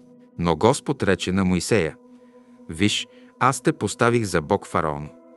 А брат ти Аарон ще бъде твой пророк. Ти ще говориш всичко, що ти заповядвам. А брат ти Аарон ще говори на фараона, да пусне синовете Израилеви от земята си. Но аз ще ожесточа фараоновото сърце и ще умножа моите личби и моите чудеса в египетската земя. Фараонът няма да ви послуша и аз ще наложа ръката си върху Египет и ще изведа моето воинство, моя народ, синовете Израилеви, от египетската земя, с велики съдби. Тогава египтяни ще познаят, че аз съм Господ, когато простра ръката си върху Египет и изведа синовете Израилеви и сред тях. Моисей и Аарон направиха. Както им заповяда Господ, те направиха. Моисей беше на 80, а Аарон на 83 години, когато почнаха да говорят на фараона. И каза Господ на Моисея и Аарона, като рече. Ако фараонът ви каже, сторете чудо, ти кажи на Аарона. Вземи тоягата си и я хвърли пред фараона. Тя ще стане на змия. Моисей и Аарон дойдоха при фараона и направиха така, както заповяда Господ. И хвърля Аарон тоягата си пред фараона и пред служителите му, и тя стана на змия. Тогава фараонът повика мъдреците и магиосниците, и тия влъхви египетски направиха същото с магиите си. Всеки от тях хвърли тоягата си, и те станаха на змии, но Ароновата тояга погълна техните тояги. Фараоновото сърце се ожесточи и той ги не послуша, както и бе говорил Господ. И рече Господ на Моисея, Кораво е сърцето на фараона. Той не скланя да пусне народа. Иди утре при фараона. Ето, той ще излезе при водата, а ти застани на пътя му, при брега на реката, и тоягата, която се превръща в змия, вземи в ръката си и му речи Господ, Бог на евреите, ме прати да ти кажа. Пусни моя народ, за да ми извърши служба в пустинята. Но ето, ти и до сега не послуша. Тъй казва Господ. По това ще познаеш, че аз съм Господ. Ето стая тояга, що е в ръката ми, ще ударя по водата, която е в реката, и тя ще се превърне в кръв, и рибата в реката ще измре, и реката ще се осмърди, и египтяни ще се гносят да пият вода от реката. И рече Господ на Моисея, кажи на Аарона, вземи тоягата си и простри ръката си върху водите на египтяни, върху реките им, върху потоците им, върху езерата им и върху всяко тяхно водовместилище и ще се превърнат в кръв и ще бъде кръв по цялата египетска земя и в дървени и каменни съдове. Тогава Моисей и Аарон направиха, както заповяда Господ. И дигна тоягата и удари по речната вода пред очите на фараона и пред очите на служителите му. И всичката вода в реката се превърна в кръв, и рибата в реката измря, и реката се осмърди, и египтяни не можеха да пият вода от реката. И кръв беше по цялата египетска земя. Но и влъхвите египетски направиха същото със своите магии. Сърцето на фараона се ожесточи и той ги не послуша, както и бе казал Господ. Обърна се фараонът и отиде у дома си. Сърцето му и от това не се трогна. И всички египтяни взеха да копаят около реката, за да намерят вода за пиене, защото не можеха да пият вода от реката. И се изминаха седем дена, откак Господ порази реката. И рече Господ на Моисея, иди при фараона и му кажи, тъй казва Господ, пусни моя народ, за да ми извърши служба. А ако се не съгласиш да го пуснеш, ето, аз ще поразя цялата ти област с жаби. И реката ще загъмжи от жаби, и те ще излязат и ще влязат в твоята къща, и в твоята спалня, и в леглото ти, и в къщите на твоите служители, и на твоя народ, и в пещите ти, и в нощвите ти. И върху тебе, и върху твоя народ, и върху всичките ти служители ще полазят жаби. И рече Господ на Моисея, кажи на Аарона, простри си ръката с тоягата си върху реките, върху потоците и върху езерата и изведи жаби по египетската земя. Аарон простря ръката си върху египетските води. И жабите излязоха, та покриха египетската земя. Но и влъхвите сториха същото с магиите си. Изведоха жаби по египетската земя. Тогава фараонът повика Моисея и Аарона и рече Помолете се на Господа да премахне жабите от мене и от народа ми, и аз ще пусна израилския народ да принесе жертва Господу.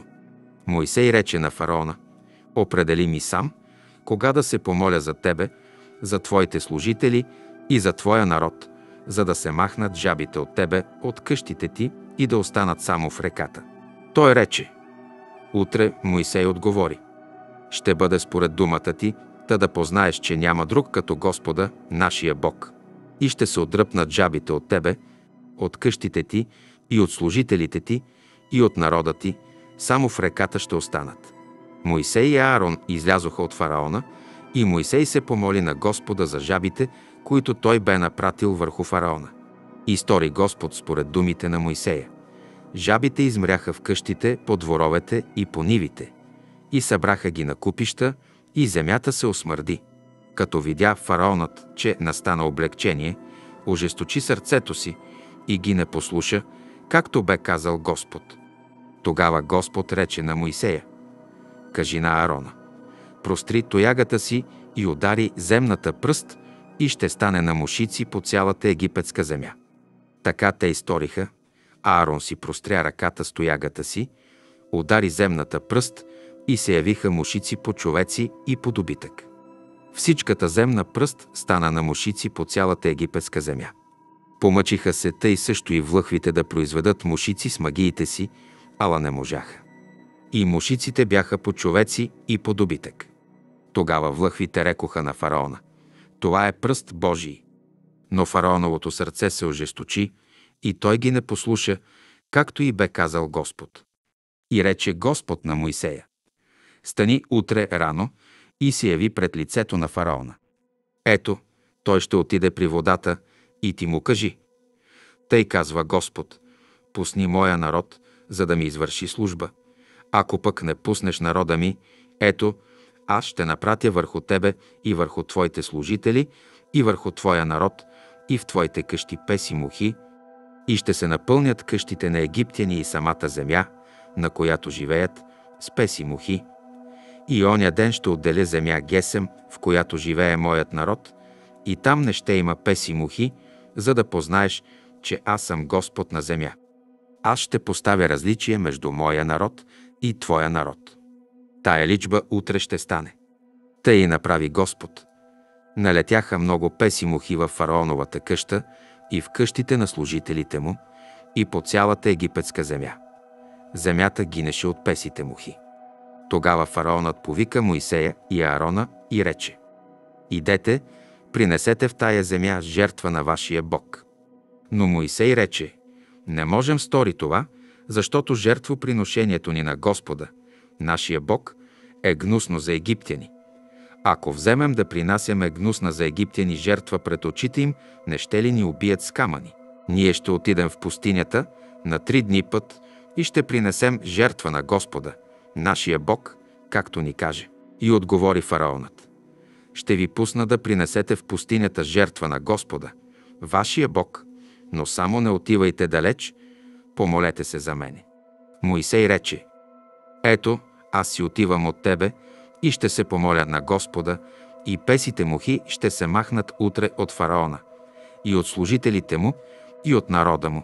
Стига само фараонът да престане да ни мами, като не пуска народа да принесе жертва Господу. Отиде си Моисей от фараона и се помоли на Господа. И Господ направи според думата на Моисея и премахна песите мухи от фараона. От служителите му и от народа му не остана нито една. Но и тоя път фараонът ожесточи сърцето си и не пусна народа.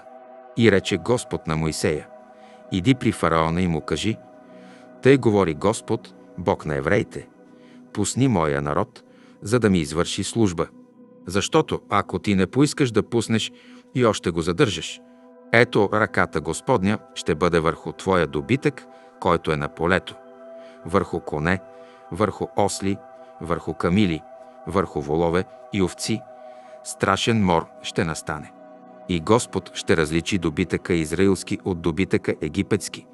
И от всичкия на синовете Израилеви нищо няма да умре. И определи Господ времето, като рече Утре ще стори това Господ в тая земя. И на другия ден Господ направи това.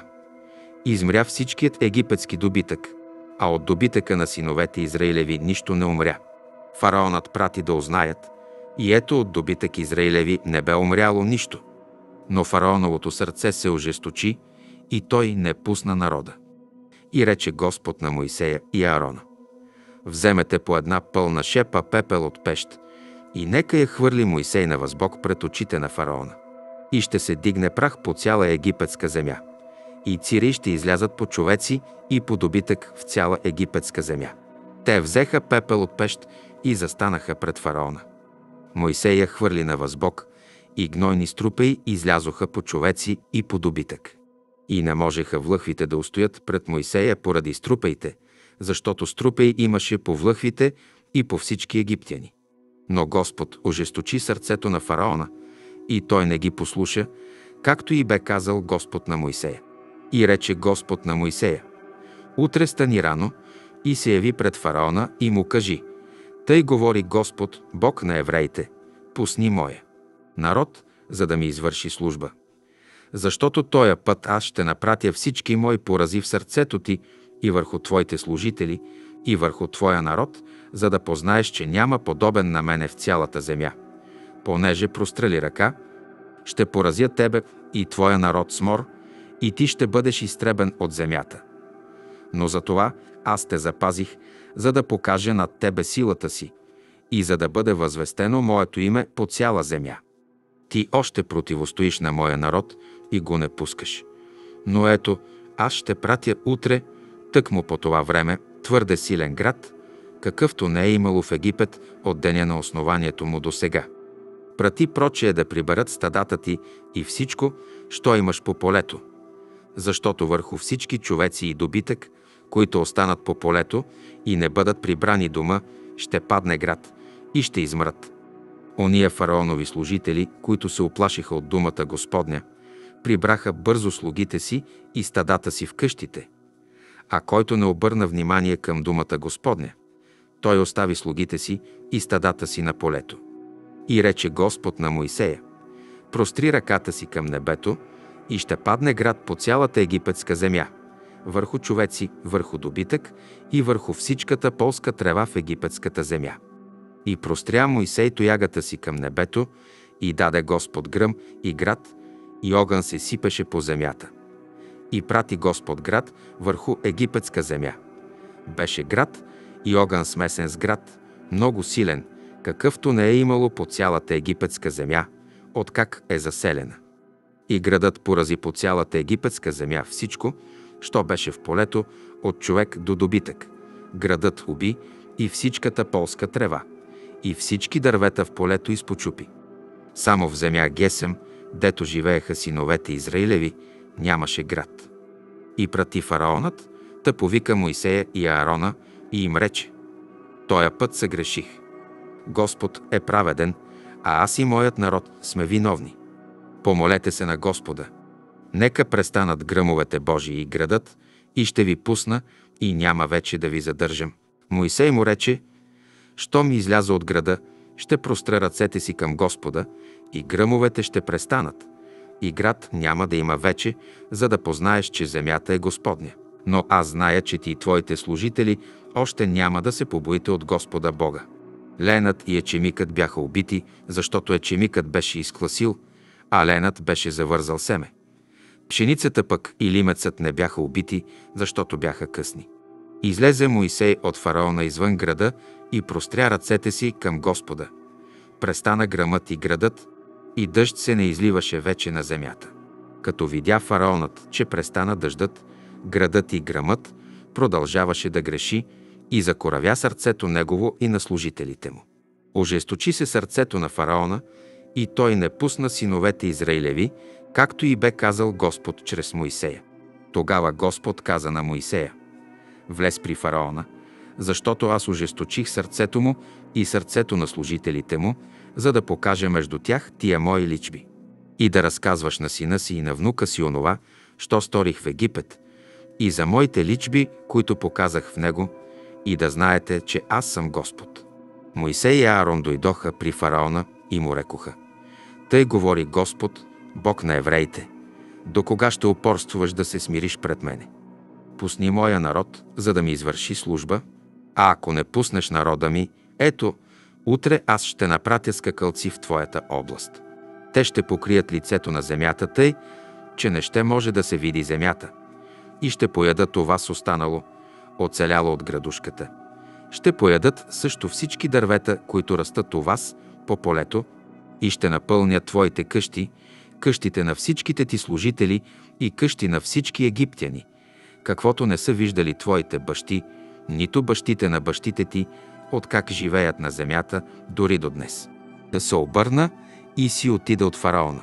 Тогава служителите фараонови рекоха на фараона. До кога ще ни мъчи тоя?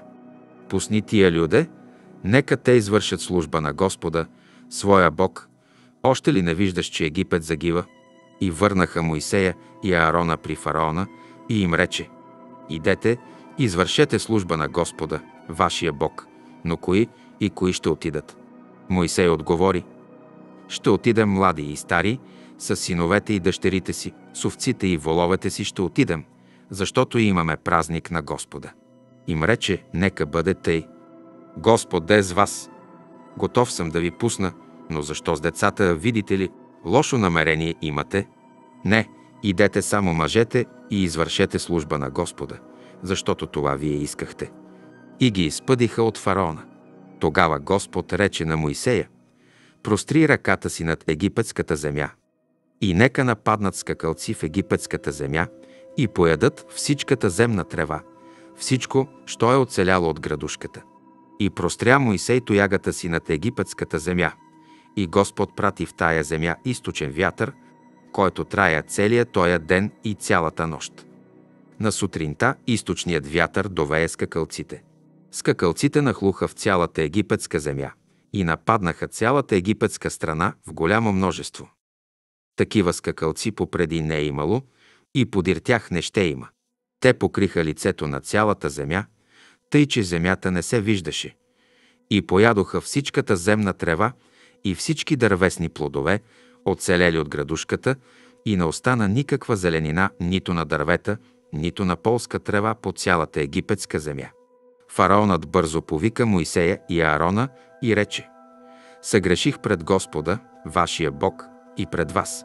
Сега простете греха ми още тоя път и се помолете на Господа, вашия Бог, само да дигне от мене тая смърт. Си излезе от фараона и се помоли на Господа. И даде Господ от противната страна западен, твърде силен вятър, и той дигна скакалците, да ги нахвърли в Червено море. Не остана нито един скакалец в цялата египетска страна. Но Господ ожесточи сърцето на фараона и той не пусна Израилевите синове. И рече Господ на Моисея, простри ръката си към небето и ще настане мрак по египетската земя. Такъв мрак, че дори да се пипа. Моисей простря ръката си към небето и настана гъст мрак по цялата египетска земя три дни наред. Един други го не виждаха и никой не става от мястото си три дена. А в жилищата на всички израилеви синове беше видело. Фараонът повика Моисея и рече Идете, извършете служба на Господа. Само дребният и едрият ви добитък да остане, а децата ви нека отидат с вас. Но Моисей рече Дай ни в ръце също жертви и всесъжение, които да принесем на Господа, нашия Бог. Нека дойдат с нас и стадата ни, не бива да остане ни копито, защото от тях ние ще вземем за жертва на Господа, нашия Бог, но докле не пристигнем там, не знаем какво ще принесем в жертва на Господа. И Господ ожесточи сърцето на фараона, и той не иска да ги пусне. И рече му фараонът, махни се от мене. Пази се, не се явявай вече отпреде ми.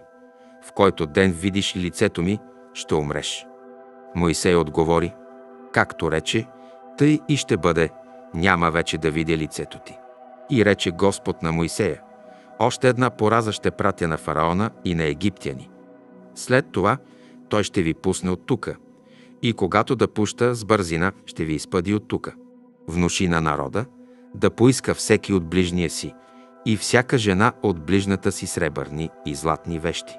И даде Господ, че народът намери милост пред очите на египтяни, и Моисей беше велик в египетската земя, пред очите на служителите фараонови и пред народ. И рече Моисей, тъй говори Господ, около полунощ аз ще мина посред Египет и ще умре всеки първороден син в египетската земя от първородния син на фараона, който седи на престола си, до първородния син на рубинята, която е на мелницата, и всичко първородно от добитъка. И ще бъде голям писък по цялата египетска земя, какъвто не е бивал и какъвто няма вече да бъде. А у Израилевите синове ние да куче език няма да помръдне нито против човек, нито против добитък, за да познаете каква разлика прави Господ между египтяни и между израилтяни. Тогава ще дойдат всички тези твои служители при мене, ще ми се поклонят и ще рекат излез ти и целият народ, който предвождаш. След това аз ще си изляза. И излезе от фараона с гняв. И рече Господ на Моисея, фараонът ви не послуша, за да се умножат моите чудеса в египетската земя. Моисей и Аарон направиха всички тия чудеса пред фараона, но Господ ожесточи сърцето на фараона и той не пусна Израилевите синове от земята си. Господ каза на Моисея и Аарона в египетската земя, думайки – Тоя месец да ви бъде начало на месеците, пръв да ви бъде между месеците на годината. Кажете пред цялото общество на Израиля. В десетия ден на тоя месец нека всеки си вземе по едно агне според челядите, по агне на челят. Ако пък челята е толкова малка, че не ще може да изяде агнето, нека той и най-близкият на дома му съсед го вземат според колкото души са на брой, като се смята съразмерно с онова – колко всеки може да изяде от агнето. Агнето ви трябва да бъде без недостатък, мъжко едногодишно. Вземете готовците или от козите и да се пази то у вас до 14-тия ден на тоя месец.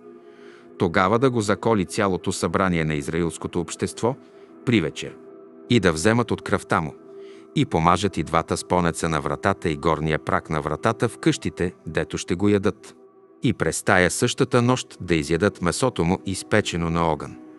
Да го изядат с безквасен хляб и с горчиви треви. Не яще от него недопечено или сварено във вода, но яще го изпечено на огън, главата с нозете и дробинето. Не оставяйте от него до сутринта, а останалото от него изгорете на огън до сутринта. А яще го тъй, препасани през кръста, с обуща на нозе и стояга в ръка – яще го набързо. Това е Пасха Господня. Аз пък същата тая нощ ще мина по египетската земя и ще поразя всяко първородно в египетската земя, от човек до добитък, и ще произведа съд над всички египетски богове. Аз съм Господ. А оная кръв ще ви бъде белек на къщите, дето се намирате. И, като видя кръвта, ще ви отмина – и между вас не ще има изтребителна пораза, когато поразявам египетската земя. И тоя ден да ви бъде за спомен и празнувайте го като празник за Господа през ваши родове. Празнувайте го като вечно узаконение. Седем дни яще безквасен хляб. Още от първия ден махнете кваса от къщите си, защото който яде квасно от първия до седмия ден, тая душа ще бъде изтребена и сред Израиля. В първия ден да имате свещено събрание – и в седмия ден свещено събрание. Никаква работа да се не върши в тия дни, освен онова, което трябва всеки му за ядене. Само това можете да вършите. Да тачите празник без квасници, защото в този ден аз изведох вашите опълчения от египетската земя, и да тачите този ден в родовете си като вечно узаконение. От 14-тия ден на първия месец вечерта яще безквасен хляб до вечерта на 21-я ден от същия месец. Седем дни не бива да има квас в къщите ви, защото който яде квасно, оная душа ще бъде изтребена из обществото на Израиля, бил той пришелец или туземец. Нищо квасно да не ядете. Във всичките си живелища яще безквасен хляб. Тогава свика Моисей всички стареи израилеви и им рече – Изберете и си вземете агнета според челедите си и заколете пасхата. И вземете китка от Исоп, потопете я в кръвта, що е в съда, и помажете горния прак и двата спонеца на вратата с кръвта, що е в съда, и никой от вас да не излиза от къщните си врата до сутринта. И ще мине Господ да поразява Египет. И като види кръвта на горния прак и на двата спонеца, Господ ще отмине вратата – и не ще остави погубителя да влезе в къщите ви да поразява. Пазете това като закон за себе си и за синовете си довеки. Кога влезете в земята, която Господ ще ви даде, както бе казал, пазете тая служба. И кога ви попитат децата ви, какво означава тая служба, кажете, това е пасхална жертва Господу, който отмина къщите на синовете Израилеви в Египет, когато поразяваше египтяни, а нашите къщи избави. Тогава народът се наведе и се поклони. И отидоха синовете Израилеви и сториха, както Господ заповяда на Моисея и Аарона, тъй и направиха. Около среднощ Господ порази всички първородни в египетската земя от първородния син на фараона, който седеше на престола си, до първородния син на пленника, който беше в тъмница и всичко първородно у добитъка. И стана фараонът през нощта, той и всичките му служители и цял Египет. И дигна се голям писък по Египет, защото не остана къща, дето да нямаше мъртвец. Тогава повика Моисея и Аарона през нощта и каза «Станете, излезте и сред народа ми, както вие, тъй и синовете Израилеви, и идете, да извършете служба на Господа, както говорихте, вземете и дребния и едрия си добитък, както говорихте, идете и ме благословете. И египтяни нудеха народа, за да го изкарат по-скоро от земята си. Защото казваха, всички ще измрем. И народът задигна тестото си, преди да възиде, а като увиха нощвите в дрехите си, взеха ги на рамената си. И синовете Израилеви сториха според Моисеевата дума и поискаха от египтяни сребърни и златни вещи и дрехи. А Господ показа милост към народа пред очите на египтяни. И те му даваха, тъй че той оплени египтяни. И потеглиха синовете Израилеви от Рамсес за Сукхот до 600 000 пешаци мъже, освен децата. С тях излязоха и много разноплеменни люде, и дребен и едър добитък, твърде голямо стадо. И от тестото, което изнесоха от Египет, изпекоха безквасни питки, защото то не бе още възишло, понеже бяха изпъдени от Египет и не можеха да се бавят и дори храна не си приготвиха за път. А времето, през което синовете Израилеви проживяха в Египет, беше 430 години. След като се изминаха 430 години, в същия оня ден, през нощта, излезе цялото опълчение Господне от египетската земя. Това е нощ на бдение Господу за извеждането им от египетската земя. Тая същата нощ е бдение Господу за всички синове Израилеви в родовете им. И рече Господ на Моисея и Аарона. Ето наредбата за Пасхата.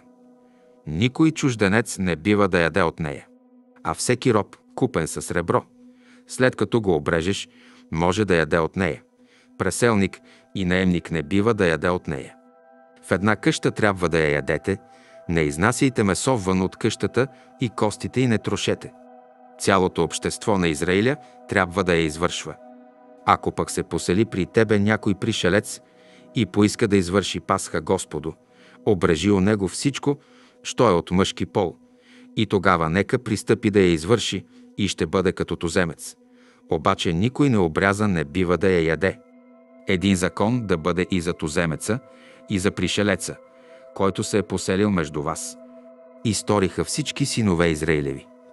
Както заповяда Господ на Моисея и Аарона, тъй и направиха. В същия оня ден Господ изведе синовете Израилеви от египетската земя, според както бяха разделени на опълчение. И рече Господ на Моисея, като каза Посвети ми всяко първородно, което разтваря всяка отроба от синовете Израилеви, от човек до добитък, мои са те. И рече Моисей на народа. Помнете тоя ден, в който излязохте от Египет, от дома на робството, защото със силна ръка ви изведе Господ от там и не яще квасно. Днес излизате в месеца Вив. И когато те въведе Господ в земята на хананейци и хетейци, аморейци, евейци и евосейци, за която Той се кле на твоите отци, че ще ти я даде, земя, дето тече мед и мляко. Извършвай тая служба в тоя месец. Седем дена яш безквасен хляб и в седмия ден да бъде празник Господу. Безквасен хляб да ядеш седем дена и да се не намира от тебе квасен хляб. И ни в едно твое място да се не намира от тебе квасно. В оня ден извести на сина си и кажи – Ту е заради онова, което Господ ми направи, когато излязох от Египет. И това да ти бъде знак на ръката ти и спомен пред очите ти, та законът Господен да бъде в устата ти, защото с силна ръка те изведе Господ от Египет. Изпълнявай тая наредба в определеното време всяка година. И кога те въведе Господ в земята ханаанска, както той се кле на тебе и на отците ти, и ти я даде. Отделяй Господу всяко, което отваря отроба, и всяко първородно мъжко от добитъка, който имаш Господу. А всяко от ослите, което отваря, заменя и сагне. Ако пък не го замениш, откупи го. И всяко първородно човеческо от синовете ти откупувай. И кога отпосле те попита син, ти рече, «Що е това, ти му кажи?» С силна ръка ни изведе Господ от Египет, от дома на робството. Защото когато фараонът се противеше да ни пусне, Господ умъртви всички първородни в египетската земя, от първородно човеческо до първородно от добитъка.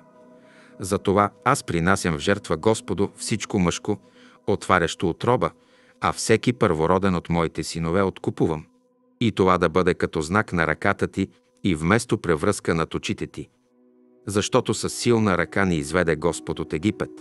А когато фараонът пусна народа, Бог го не поведе по пътя на филистимската земя, понеже е близък, защото Бог рече да не би народът да се разкае, като види война, и да се върне в Египет.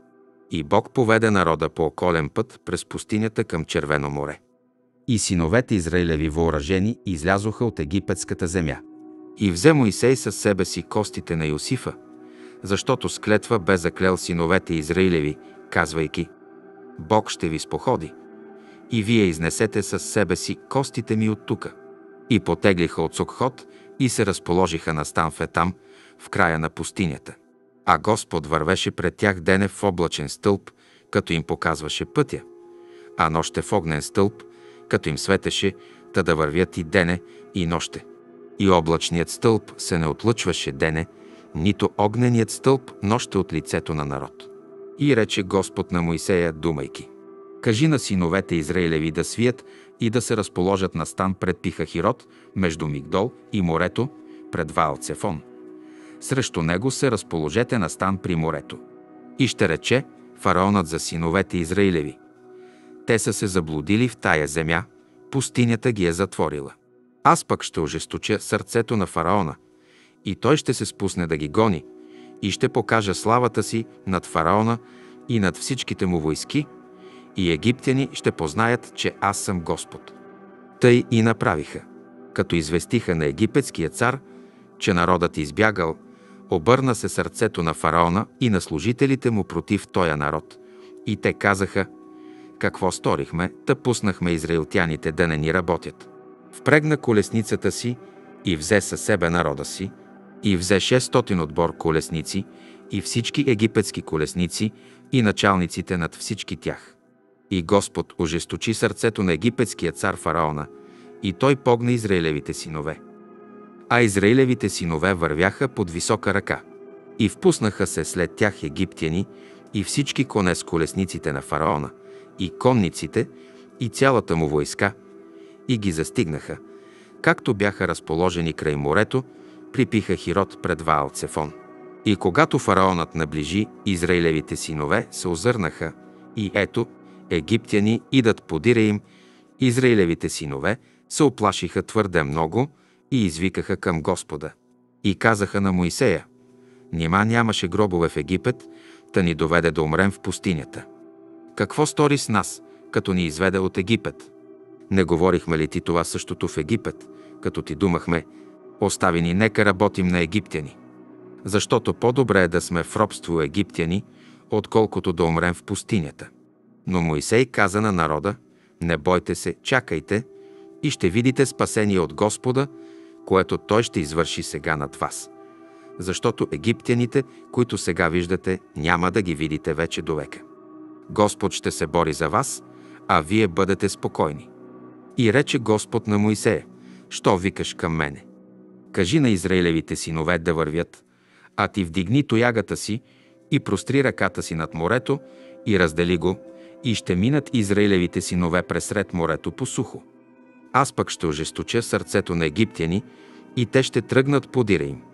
И ще покажа славата си над фараона и над цялата му войска, над колесниците му и над конниците му. И ще познаят египтяни, че аз съм Господ, когато покажа славата си над фараона, над колесниците му и над конниците му. И вдигна се ангел Божий, който вървеше пред стана на Израиля – и тръгна от дира им, вдигна се и облачният стълб от преда им и застана отзада им. И влезе по средата между египетския стан и между стана на Израиля. За едните беше облак и мрак, а на другите осветляваше нощта и през цялата нощ не се доближиха едни с други. Тогава Моисей простря ръката си над морето и през цялата нощ Господ тласкаше морето с силен източен вятър, да направи морето суша. И водите се разцепиха. И тръгнаха Израилевите синове посред морето по сухо. Водите бяха тям като стена, отдясно и отляво. Втурнаха се египтяни и влязоха подире им в средата на морето всички коне на фараона, колесниците му и конниците му. И по утрин на стража погледна Господ на египетския стан от огнения и облачния стълб и разбърка стана на египтяни. И направи да се изплеснат колелата от колесниците им, тъй че с мъка ги влечеха. Тогава египтяни рекоха, да бягаме от израилтяните, защото Господ се бори за рад тях против египтяни. И рече Господ на Моисея, простри ръката си над морето и да се възвърнат водите върху египтяни, върху колесниците им и върху конниците им.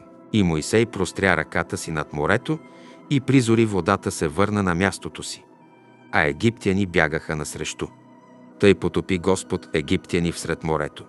И водата се върна и покри колесниците и конниците на всичката фараонова войска, които бяха влезли подире им в морето, не остана ни един от тях. А Израилевите синове минаха по сухо пресред морето. Водите тям като стена, отдясно и отляво. Него ден Господ избави израилтяните от ръцете на египтяни. И израилевите синове видяха египтяните мъртви на морския бряг. Израилтяните видяха великата ръка, която Господ показа над египтяни. Народът се оплаши от Господа и повярва на Господа и на неговия служител Моисея. Тогава Моисей и Израилевите синове изпяха на Господа тая песен, думайки да възпея Господа, защото се славно прослави. Коня и ездача му хвърли в морето. Господ е моя сила и моя слава. Той ми стана спасение. Той е мой Бог и ще го прославя. Бог на баща ми и ще го превъзнеса. Господ е силен воин. И ехова му е името. Колесниците на фараона и войската му хвърли той в морето и отборните му военачалници потънаха в червено море. Бездните ги покриха, те потънаха в дълбините като камък. Твоята десница, Господи, се прослави с сила. Твоята десница, Господи, съкруши неприятеля. С величието на славата си ти повали възстаналите против тебе. Ти изпрати гнева си и той ги изгори като слама. От твоето духване се разцепиха водите, вълните застанаха като стена, бездните се сгъстиха в сърцето морско. Неприятелят каза, ще се втурна, ще догоня, ще разделя плячката. Ще се насити с тях душата ми, ще извадя мече си, ще ги изтреби ръката ми. Ти духна с дъха си и морето ги покри. Те потънаха като олово в страшните води. Кой е като Тебе, Господи, между боговете? Кой е като Тебе, величествен със светост, многопочитан с похвали, творец на чудеса? Ти простря десницата си. Земята ги погълна. Ти водиш с Твоята милост Тоя народ, който ти избави, и го придружаваш с силата си в жилището на Твоята светиня. Чуха народите и треперят. Ужас обзе филистимските жители. Тогава се смутиха едомските князе, трепет обзе муавитските главатари, паднаха в униние всички ханаански жители. Нека нападне върху им страх и ужас. От силата на Твоята мишца да онемеят като камък, докле премине Твоят народ, Господи, докле премине тоя народ, който ти си придобил. Заведи го и го настани в планината на Твоето притежание, на мястото, което Ти, Господи, си направил свое жилище в светилището, което Твоите ръце, Владико, са създали. Господ ще царува до веки и вечно.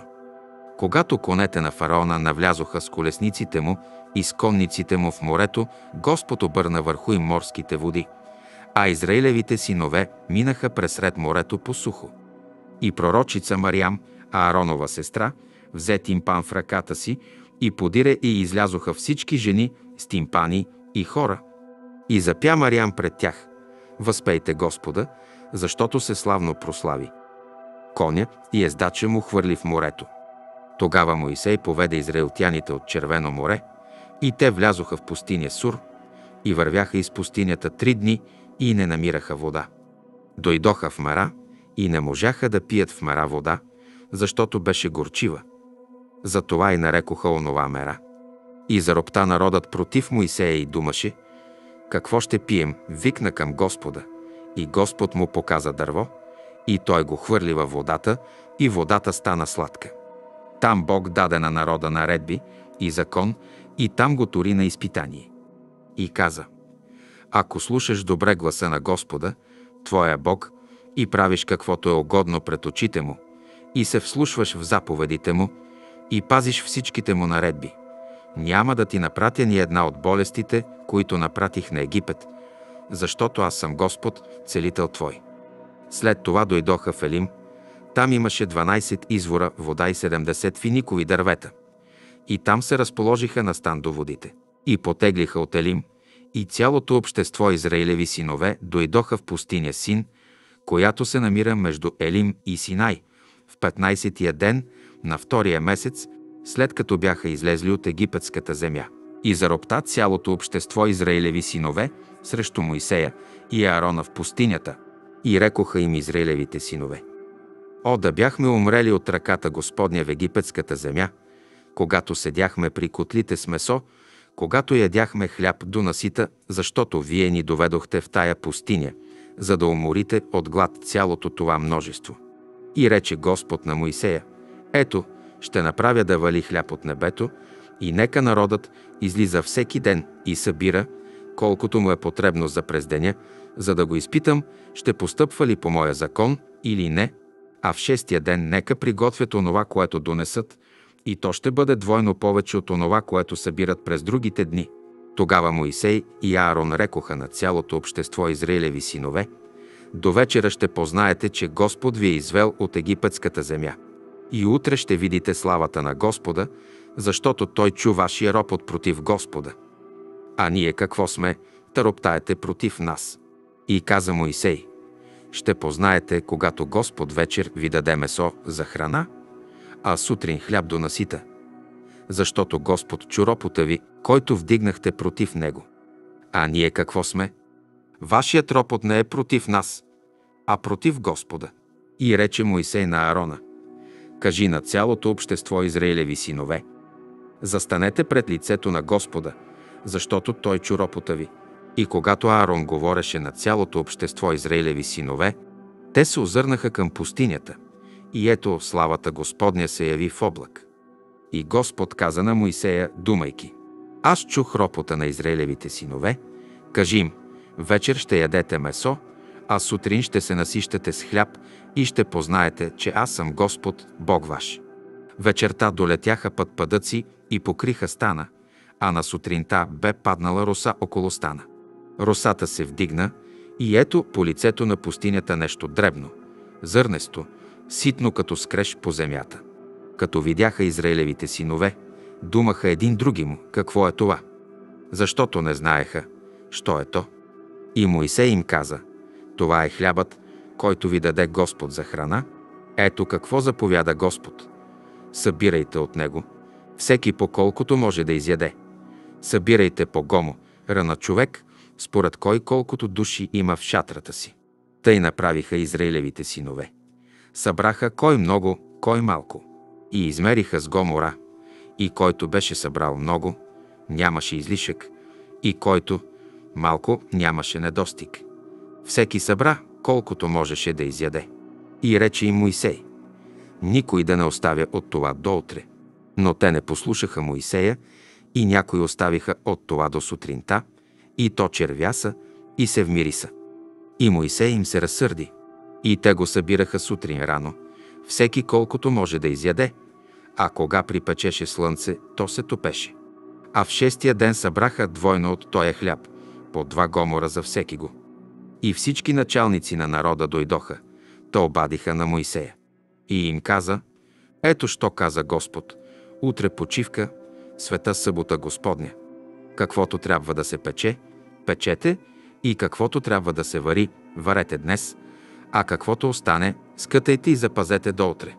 И скътаха това до сутринта, както заповяда Моисей, и то не се вмириса, и червей нямаше в него. И рече Моисей, яще го днес, защото днес е събота Господня. Днес няма да го намерите на полето. Шест дена го събирайте, а седмия ден е събота. В тоя ден няма да го има.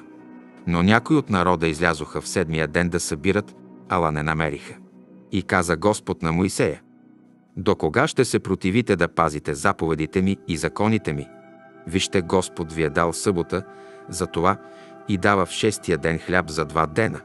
Нека всеки си стои, в седмия ден никой да не излиза от мястото си. И в седмия ден народът си почиваше. Израилевият дом нарече тоя хляб симе – мана.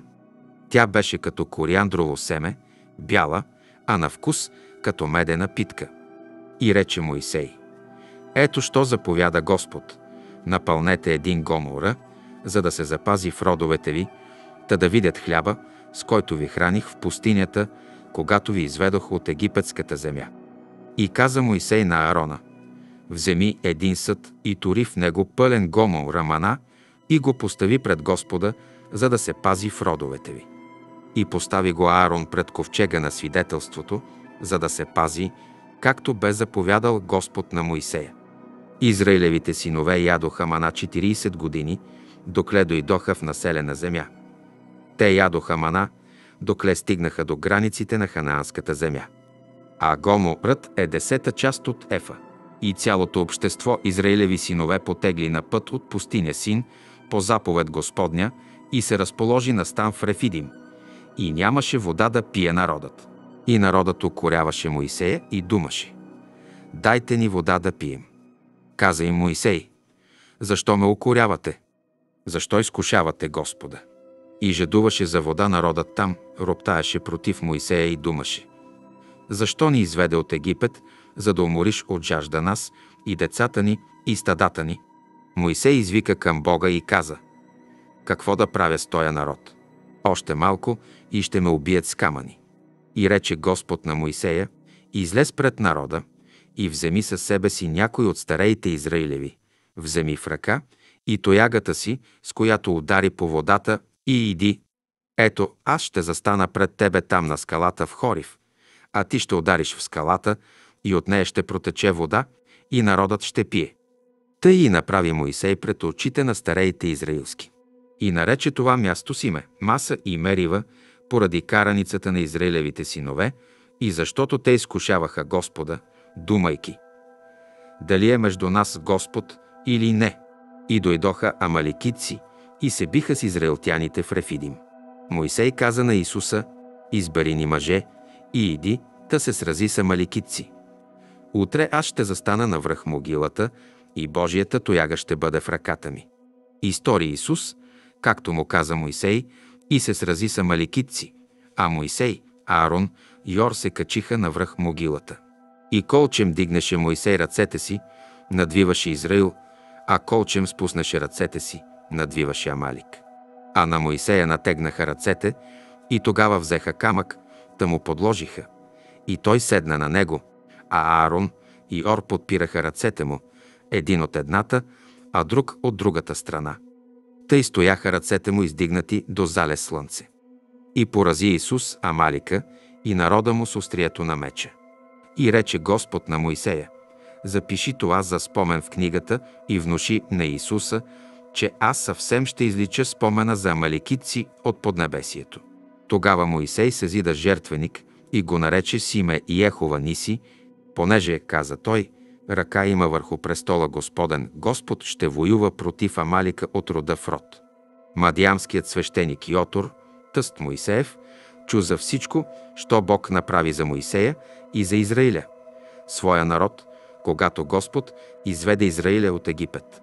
И Моисеевият тъст Иотор взе Сепфора, жената на Моисея, която Моисей по-рано бе изпратил назад, и двамата и синове. На единия името беше Гирсам, защото казваше Моисей, пришелец съм аз в чужда земя. А на другия името беше Елиезер, защото Бог на моя баща ми беше помощник и ме избави от фараоновия меч. И Моисеевият тъст Йотор дойде с синовете му и с жена му при Моисея в пустинята, дето се беше той разположил на стан при Божията планина, и обади на Моисея. Аз, твоят тъст Йотор, ида при тебе, ида и жена ти, и двамата и сина с нея. Моисей излезе да посрещне тъста си и се поклони и го целуна, и след като се поздравиха един други, влязоха в шатрата. И разказа Моисей на тъста си за всичко, що Господ стори с фараона и с египтяни за Израиля, и за всички мъчноти, каквито те срещнаха по пътя и как Господ ги избави. И Отор се зарадва за всички добрини, които Господ бе показал на Израиля, когато го избави от ръцете на египтяни, и каза Йотор, Благословен да е Господ, който ви избави от ръцете на египтяни и от фараоновата ръка, който избави тоя народ изпод властта на египтяни. Сега аз познах, че Господ е по-велик от всички богове, тъкмо в онова, с което се те превъзнасяха пред израилтяните. И Моисеевият тъст Йотор принесе всесъжение и жертви Богу. И дойде Аарон и всички израилеви старейшини да ядат хляб с Моисеевия тъст пред Бога. На другия ден седна Моисей да съди народа. И народът стоеше пред Моисея от сутрин до вечер. И видя тъстът Моисеев всичко, що той правеше с народа и каза «Какво правиш ти с народа? Защо само ти седиш, а цял народ стои пред тебе от сутрин до вечер?» Отговори Моисей на тъста си. Народът дохожда при мене да иска съд от Бога. Кога им се случи някоя работа, те идват при мене и аз отсъждам помежду им и явявам Божиите наредби и законите му. Но тъстът Моисеев му каза, тъй, както правиш, не е добре. Ти ще измъчиш и себе си, и народа, който е с тебе, защото много тежка е тая работа за тебе. Ти самичък не можеш я върши. Затова послушай думите ми, аз ще ти дам съвет и Бог ще бъде с тебе. Бъди ти посредник пред Бога за народа и представяй на Бога работите. Учи ги на наредби и на законите и посочва им пътя, по който те трябва да вървят и делата, които трябва да вършат. А ти избери измежду целия народ мъже способни, богобоязливи, мъже правдолюбиви, мразещи корист и тори над тях за хилядници и стотници, педесетници и десетници. Нека те съдят народа във всяко време и да ти обаждат за всяка важна работа, а за всички малки работи да съдят те сами – и на тебе ще е по-леко, и те ще носят с тебе заедно товара. Ако направиш това и Бог ти заповяда това, тогава ще можеш от рая. И целият този народ ще си отива с миром на мястото. И послуша Моисей думите на тъста си и направи всичко, що говори. И избра Моисей от целия Израил способни мъже и ги постави началници на народа, хилядници, стотници, педесетници и десетници – и те съдеха народа във всяко време. За важни работи обаждаха на Моисея, а за всички малки работи съдеха сами. И изпрати Моисей тъста си, и той отида в земята си. В третия месец, след като Израилевите синове бяха излезли от египетската земя, в самия ден на новолунието, стигнаха в Синайската пустиня. И тръгнаха от Рефидим, да дойдоха в Синайската пустиня и се разположиха там на стан в пустинята – там, срещу планината, се разположи Израил на стан. А Моисей възлезе при Бога и Господ извика към него от планината, думайки. Тъй кажи на Якововия дом и възвести на Израилевите синове. Вие видяхте, що направих аз на египтяни и как ви носих на орлови криле и ви доведох при себе си. И тъй, ако слушате гласа ми и пазите завета ми, ще бъдете мой избран народ измежду всички народи – защото цялата земя е моя, и вие ще ми бъдете царство от свещеници и народ свет. Това са думите, които ще кажеш на Израилевите синове. И дойде Моисей и повика старейте народни и им предложи всички тия думи, които му заповяда Господ. И целият народ отговори изедно, като каза Всичко, що е казал Господ, ще изпълним. И Моисей предаде Господу думите на народа. Господ рече на Моисея Ето, аз ще дойда при тебе в гъст облак, за да чуе народът. Как ще говоря с тебе, та да ти вярва за винаги. А Моисей яви Господу думите на народа. И рече Господ на Моисея, иди при народа и освети го днес и утре. Нека изперат дрехите си и да се приготвят за третия ден, защото в третия ден ще слезе Господ на Сина и планина пред очите на целия народ. И тегли за народа черта от всички страни и кажи Пазете се да се не качите на планината, нито да се допирате до подножието й. Всеки, който се допре до планината, ще бъде предаден на смърт, ръка да се не допре до него, а с камъни да го убият или със стрела да го застрелят. Добитък ли бъде или човек, жив да не остане. Кога провлечено засвири тръбата, могат да се качат на планината. Тогава слезе Моисей от планината и дойде при народа, освети народа, и те опраха дрехите си. И каза на народа, бъдете готови за третия ден, не се приближавайте до жена. На третия ден, утринта, имаше гръмове и светкавици, и гъст облак над планината, и много силен тръбен глас. И целият народ, който беше встана, затрепери. И изведе Моисей народа от стана да посрещне Господа и се спряха при полите на планината. А планина Синай беше цяла в дим, защото Господ бе слязал върху нея в огън. И се издигаше от нея дим като дим от пещ, и цялата планина силно се тресеше, и тръбният глас ставаше все по-силен и по-силен. Моисей говореше, и Бог му отговаряше с глас. И слезе Господ на Синай планина, на връх планината, и повика Господ Моисея на връх планината, и Моисей се качи. И рече Господ на Моисея, слез и поръча и на народа, да се не втурват към Господа да го видят, за да не паднат мнозина от тях. А свещениците, които се приближават към Господа, трябва да осветят себе си, за да ги не порази Господ. Тогава Моисей отговори на Господа, не може народът да се качи на Синай планина, понеже ти ни изрично забрани, като каза, тегли черта около планината и я освети. И Господ му каза, иди, слез, после възлез заедно с Аарона. Свещениците пък и народът да се не втурват да се качват при Господа, за да ги не порази. И слезе Моисей при народа и му разказа. Тогава Бог изрече всички тия думи, като каза Аз съм Господ, Бог Твой, който те изведох от египетската земя, от дома на робството. Да нямаш други богове, освен мене. Не си прави комир и никакво изображение на онова, що е горе на небето, що е долу на земята и що е във водата под земята. Не им се кланяй и не им служи, защото аз съм Господ, Бог Твой, Бог ревнител, който за греха на бащи наказвам до трета и четвърта рода децата, които ме мразят, и който показва милост до хилядно коляно към уния, които ме обичат и пазят моите заповеди. Не изговаряй на празно името на Господа, Твоя Бог, защото Господ няма да остави ненаказано ногова, който изговаря името му на празно. Помни съботния ден, за да го светиш. Шест дена работи и върши всичките си работи. А седмият ден е събота на Господа, Твоя Бог, не и върши в него никаква работа ни ти, ни син ти, ни дъщеря ти, ни робът ти, ни рубинята ти, ни твой добитък. Нито пришелецът ти, който се намира в жилищата ти. Защото в шест дена създаде Господ небето и земята, морето и всичко, що е в тях, а в седмия ден си почина. Затова Господ благослови съботния ден и го освети. Почитай баща си и майка си, за да живееш дълго на земята, която Господ, Бог твой, ти дава. Не убивай, не прелюбодействувай, не кради, не лъжесвидетелствувай против ближния си. Не пожелавай дома на ближния си, не пожелавай жената на ближния си, нито роба му, ни робинята му, ни вола му, ни осела му, нищо, което е на ближния ти. Целият народ чуваше гръмовете и тръбния глас и гледаше пламъка и планината, която се димеше. Като видя това, целият народ отстъпи и стоеше надалеч.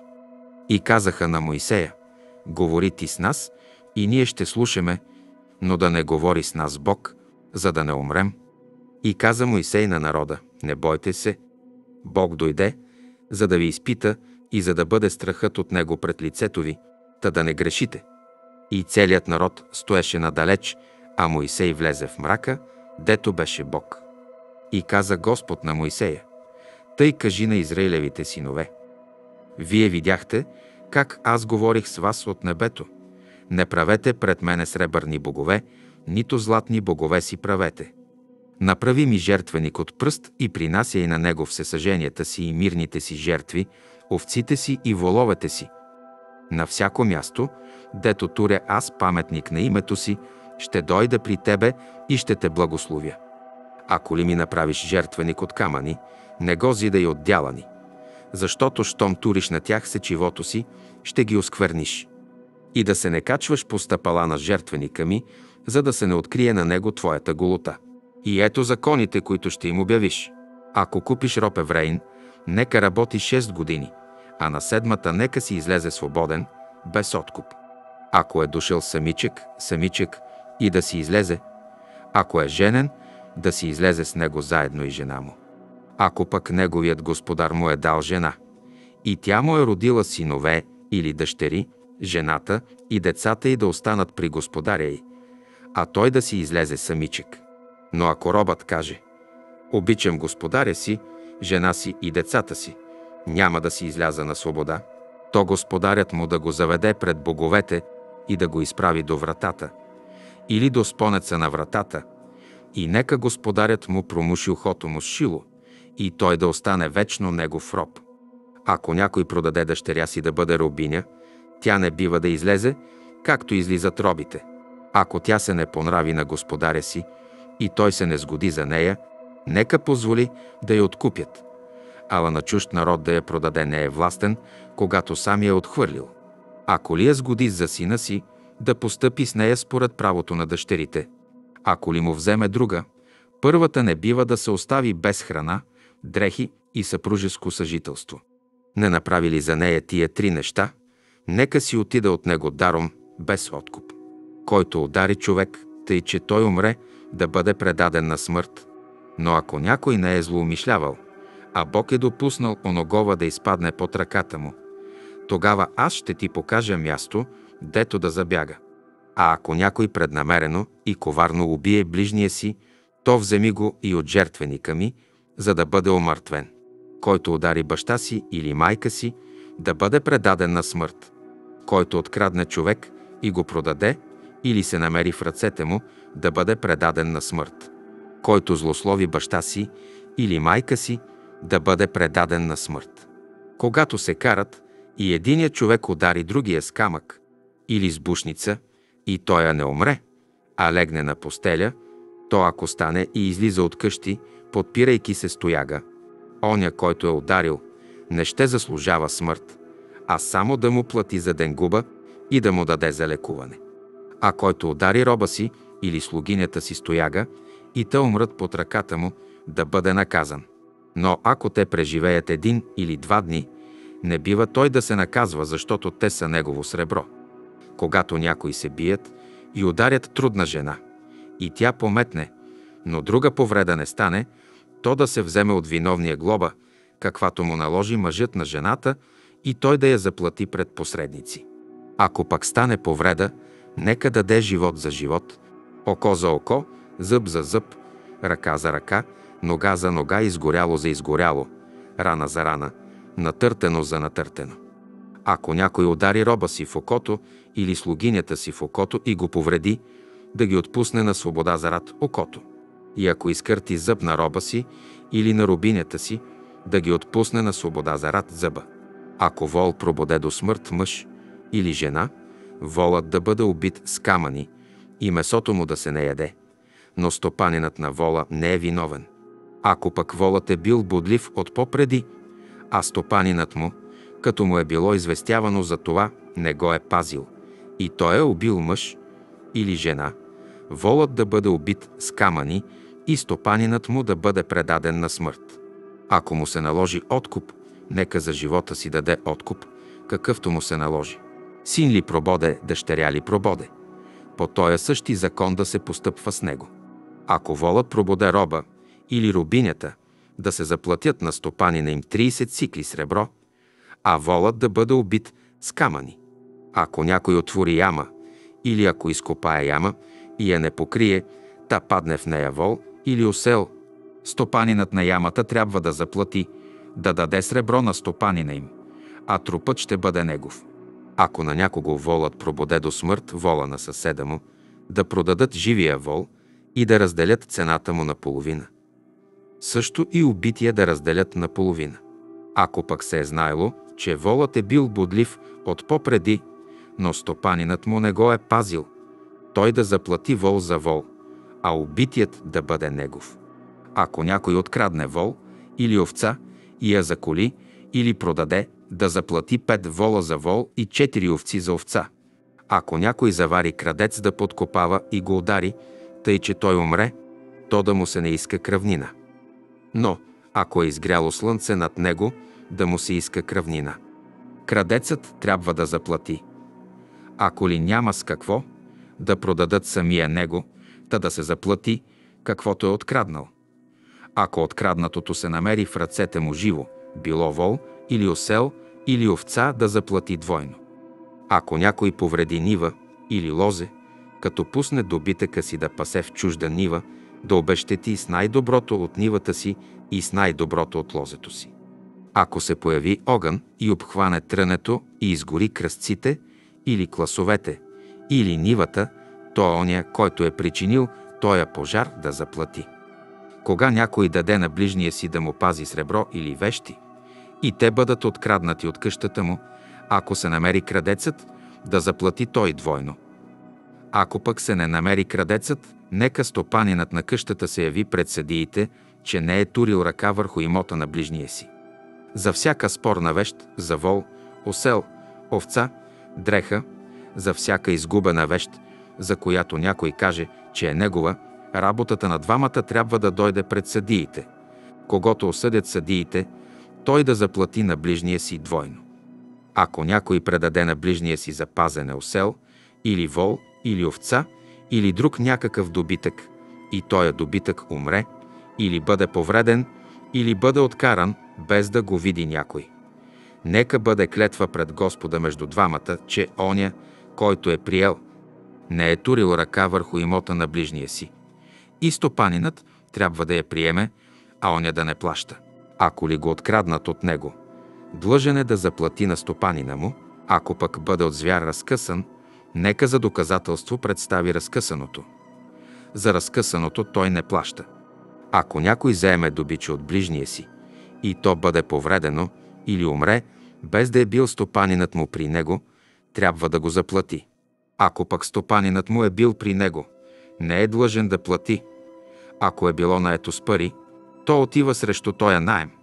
Ако някой преласти девица незгодена и преспи с нея, да й даде вено за жена. Ако ли бащата не се съгласи да му я даде, да заплати толкова сребро, колкото се пада за вено на девици. Врачка да се не оставя жива.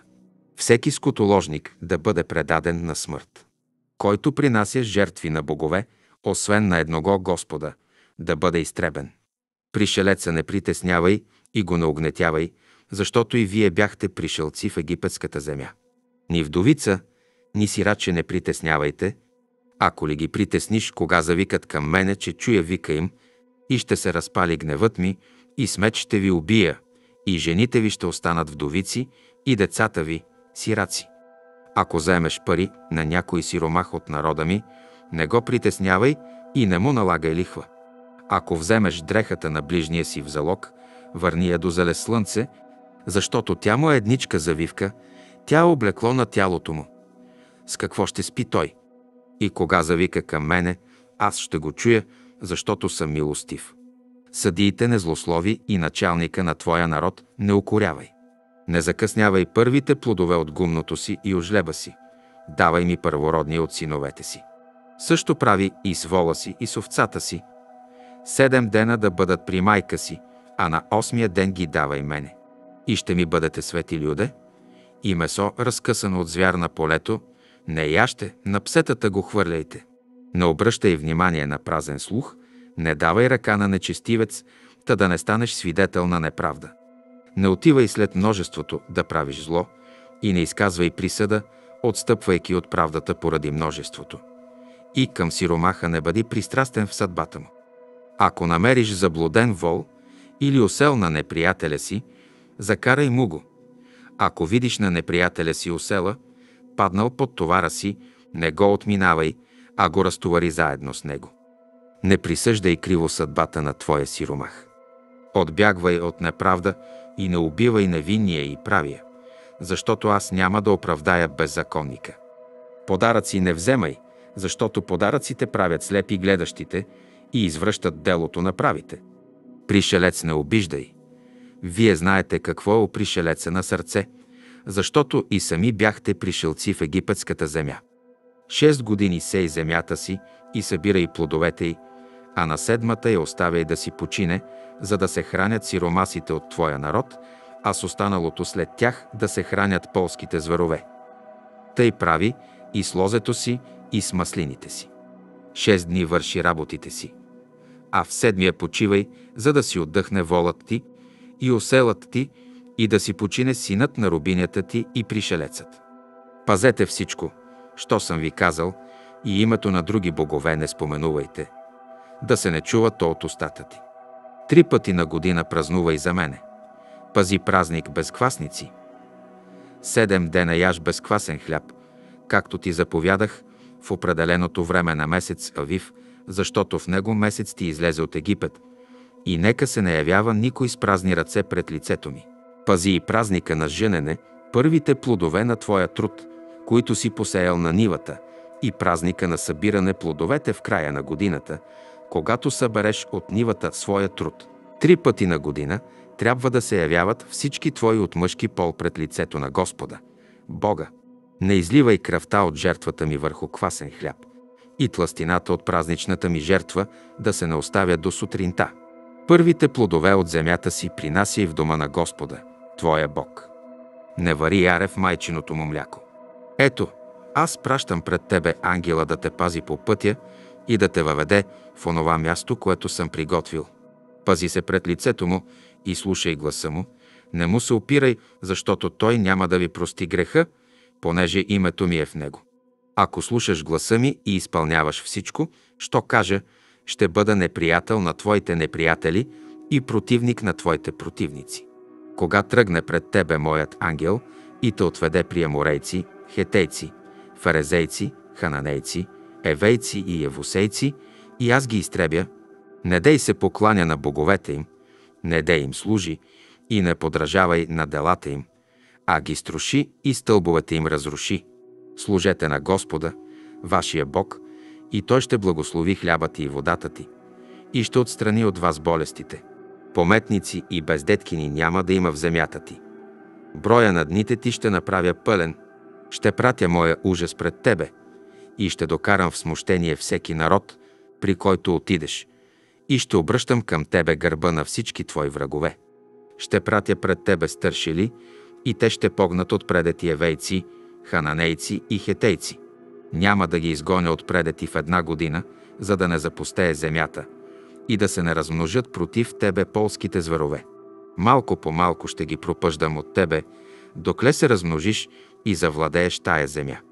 Ще прокарам границите ти от Червено море до Филистимско море и от пустинята до река, защото ще предам в ръцете ви жителите на тая земя и ще ги пропъдиш отпреде си.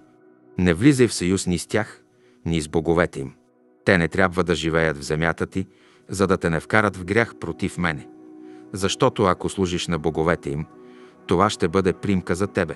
И каза Бог на Моисея, възлез при Господа ти и Аарон, Надав и Авиут и 70 израилеви старей, и поклонете се отдалеч. Нека само Моисей се приближи до Господа, а те да се не приближават, и народът да не възлиза с него. Моисей дойде и повтори пред народа всички Господни думи и всички закони. И целият народ отговори в един глас и рече Всичко, каквото е казал Господ, ще сторим. Тогава Моисей написа всички думи Господни и като стана сутринта, рано, издигна под планината жертвеник и 12 камъка, според броя на 12-те израилеви колена, и прати момци от израилевите синове, и те принесоха всесъжение и заклаха телци за мирна жертва Господу. Моисей взе половината кръв и я наля в чаши, а с другата половина пораси жертвеника. И взе книгата на завета и прочете гласно пред народа, и те рекоха. Всичко, каквото е казал Господ, ще сторим и ще бъдем послушни. И взе Моисей кръвта и пораси народа, като думаше. Ето кръвта на завета, който Господ сключи с вас според всички тия думи. После възлезе Моисей и Аарон, Надав и Евиут и 70 израилеви стареи и видяха Бога Израилев. И под нозете му имаше нещо като изделие от чист сапфир и ясно като самото небе. И Бог не простря ръката си върху избраните от Израилевите синове. Те видяха Бога и ядоха и пиха. И каза Господ на Моисея, възлез при мене на планината и стой там. Ще ти дам каменни плочи и закон и заповеди, които написах за тях на пулка. И стана Моисей си Исуса, своя служител, и възлезе Моисей на Божията планина. А на старейте каза, останете тука, докле се върнем при вас. Ето Аарон и Ор с вас, който има съдба, нека дохожда при тях. Моисей възлезе на планината и облак покри планината и слава Господня осени планина Синай и облакът я покриваше шест дена, а на седмия ден повика Моисея и сред облака. А славата Господня навръх планината изглеждаше пред очите на Израилевите синове като огън, който изпояжда. Моисей влезе всред облака и възлезе на планината. И стоя Моисей на планината 40 дена и 40 нощи. И рече Господ на Моисея, думайки, кажи на Израилевите синове да ми направят приноси. От всеки човек, който дава от сърце, вземайте принос за мене. Ето приносите, които трябва да приемате от тях. Злато, сребро и мед, вълна синя, пурпурена и червена, висони козина, овнешки червени кожи, кожи сини и дърво ситим, елей за светилника, аромати за помазен елей и за благовонно кадиво, камък оникс и камъни за украшение на ефода и на градника. И ще ми направят те светилище и аз ще живея помежду им. Всичко, както аз ти показвам. И образеца на скинията, и образеца на всичките и съдове. Така да направите. Направете ковчег от дърво ситим. Дълъг два лакти и половина, широк лакът и половина и висок лакът и половина. И обкови го с чисто злато, обкови го отвътре и отвън, и направи отгоре около него златен венец. И излей за него четири златни гривни и закрепи ги на четирите му долни егли. Две гривни на едната му страна, две гривни на другата му страна. Направи от дърво ситим върлини и обкови ги злато. И прекарай върлините през гривните от страни на ковчега, за да се носи с тях ковчегът. Върлините трябва да си бъдат в гривните и не бива да се вадят от него. А в ковчега тури откровението, което аз ще ти дам. Направи също и очистилище от чисто злато. Дълго два лакти и половина и широко лакът и половина. И направи два херовима от злато, изковани ги направи на двата края на очистилището. Направи единия херовим на единия край, а другия херовим на другия край. Направете херовимите да бъдат издадени от двата края на очистилището и херовимите да бъдат с разперени отгоре крила, като покриват с крилата си очистилището, а лицата им да бъдат едно срещу друго. Лицата на херовимите да гледат към очистилището. И тори очистилището отгоре на ковчега, а в ковчега тори откровението, което ще ти дам. Там, над очистилището, между двата херовима, които са над ковчега на откровението, аз ще ти се явявам и ще говоря с тебе за всичко, каквото ще заповядам чрез тебе на Израилевите синове. И направи трапеза от дърво ситим, два лакти дълга, лакът широка и лакът и половина висока, и обкови я с чисто злато, а наоколо и направи златен венец. Наоколо и направи страници, колкото една длан, и на страниците и направи златен венец наоколо. И направи за нея четири златни гривни и прикрепи гривните на четирите агли при четирите и крака. При страниците трябва да има гривни, за да се провират върлини, та да се носи с тях трапезата.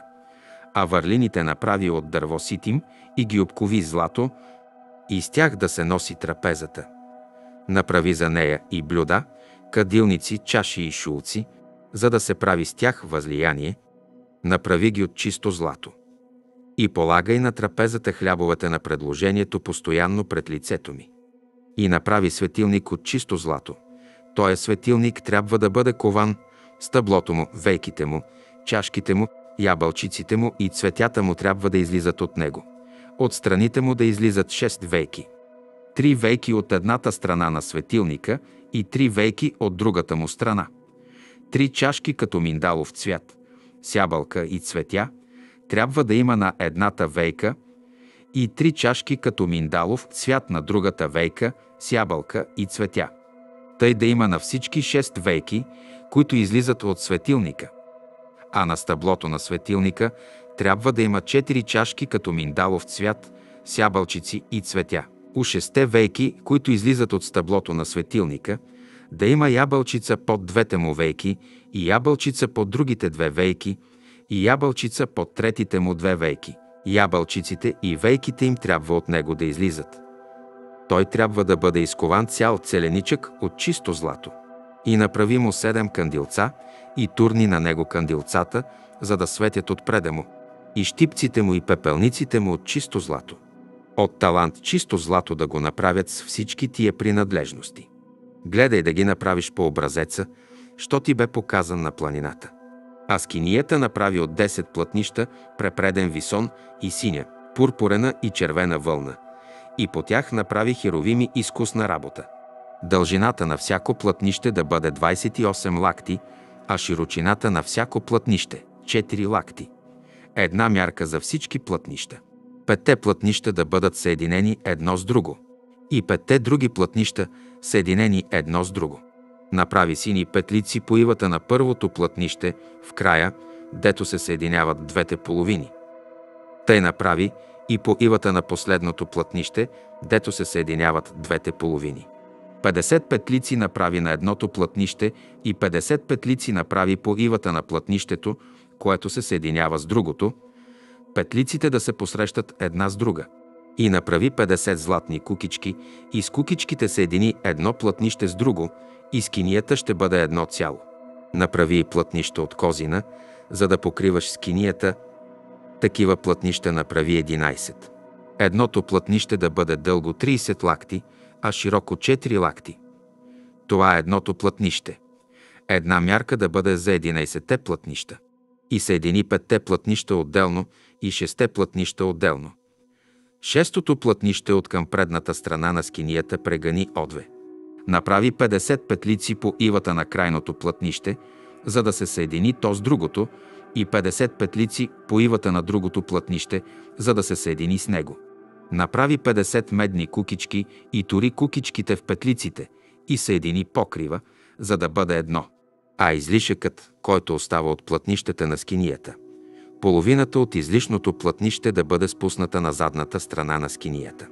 Излишъкът пък от дължината на плътнищата на скинията, лакът от едната и лакът от другата страна. Да бъде спуснат от страни на скинията от едната и от другата страна, за да я покрива. И направи покривка за покрива от червено боядисани овнешки кожи и още една покривка от сини кожи за отгоре. И направи от дърво ситим дъски за скинията, които да стоят прави.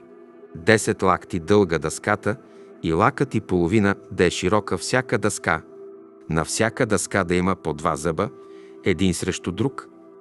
Тъй направи с всички дъски на скинията. Тъй направи дъските за скинията.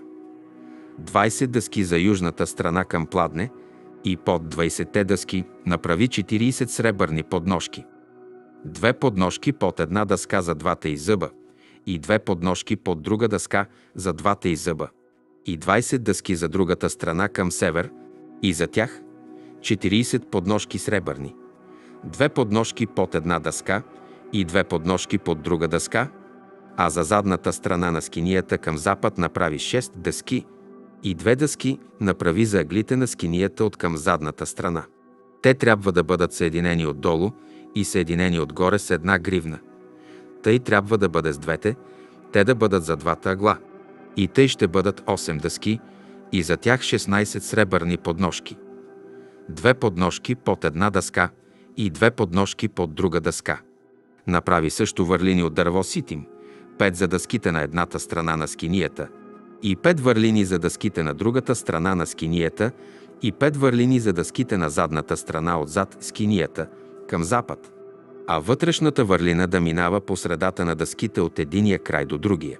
Дъските обкови с злато, гривните за провиране на върлините, направи от злато, и върлините обкови с злато. И въздигни скинията по образеца, що ти бе показан на планината.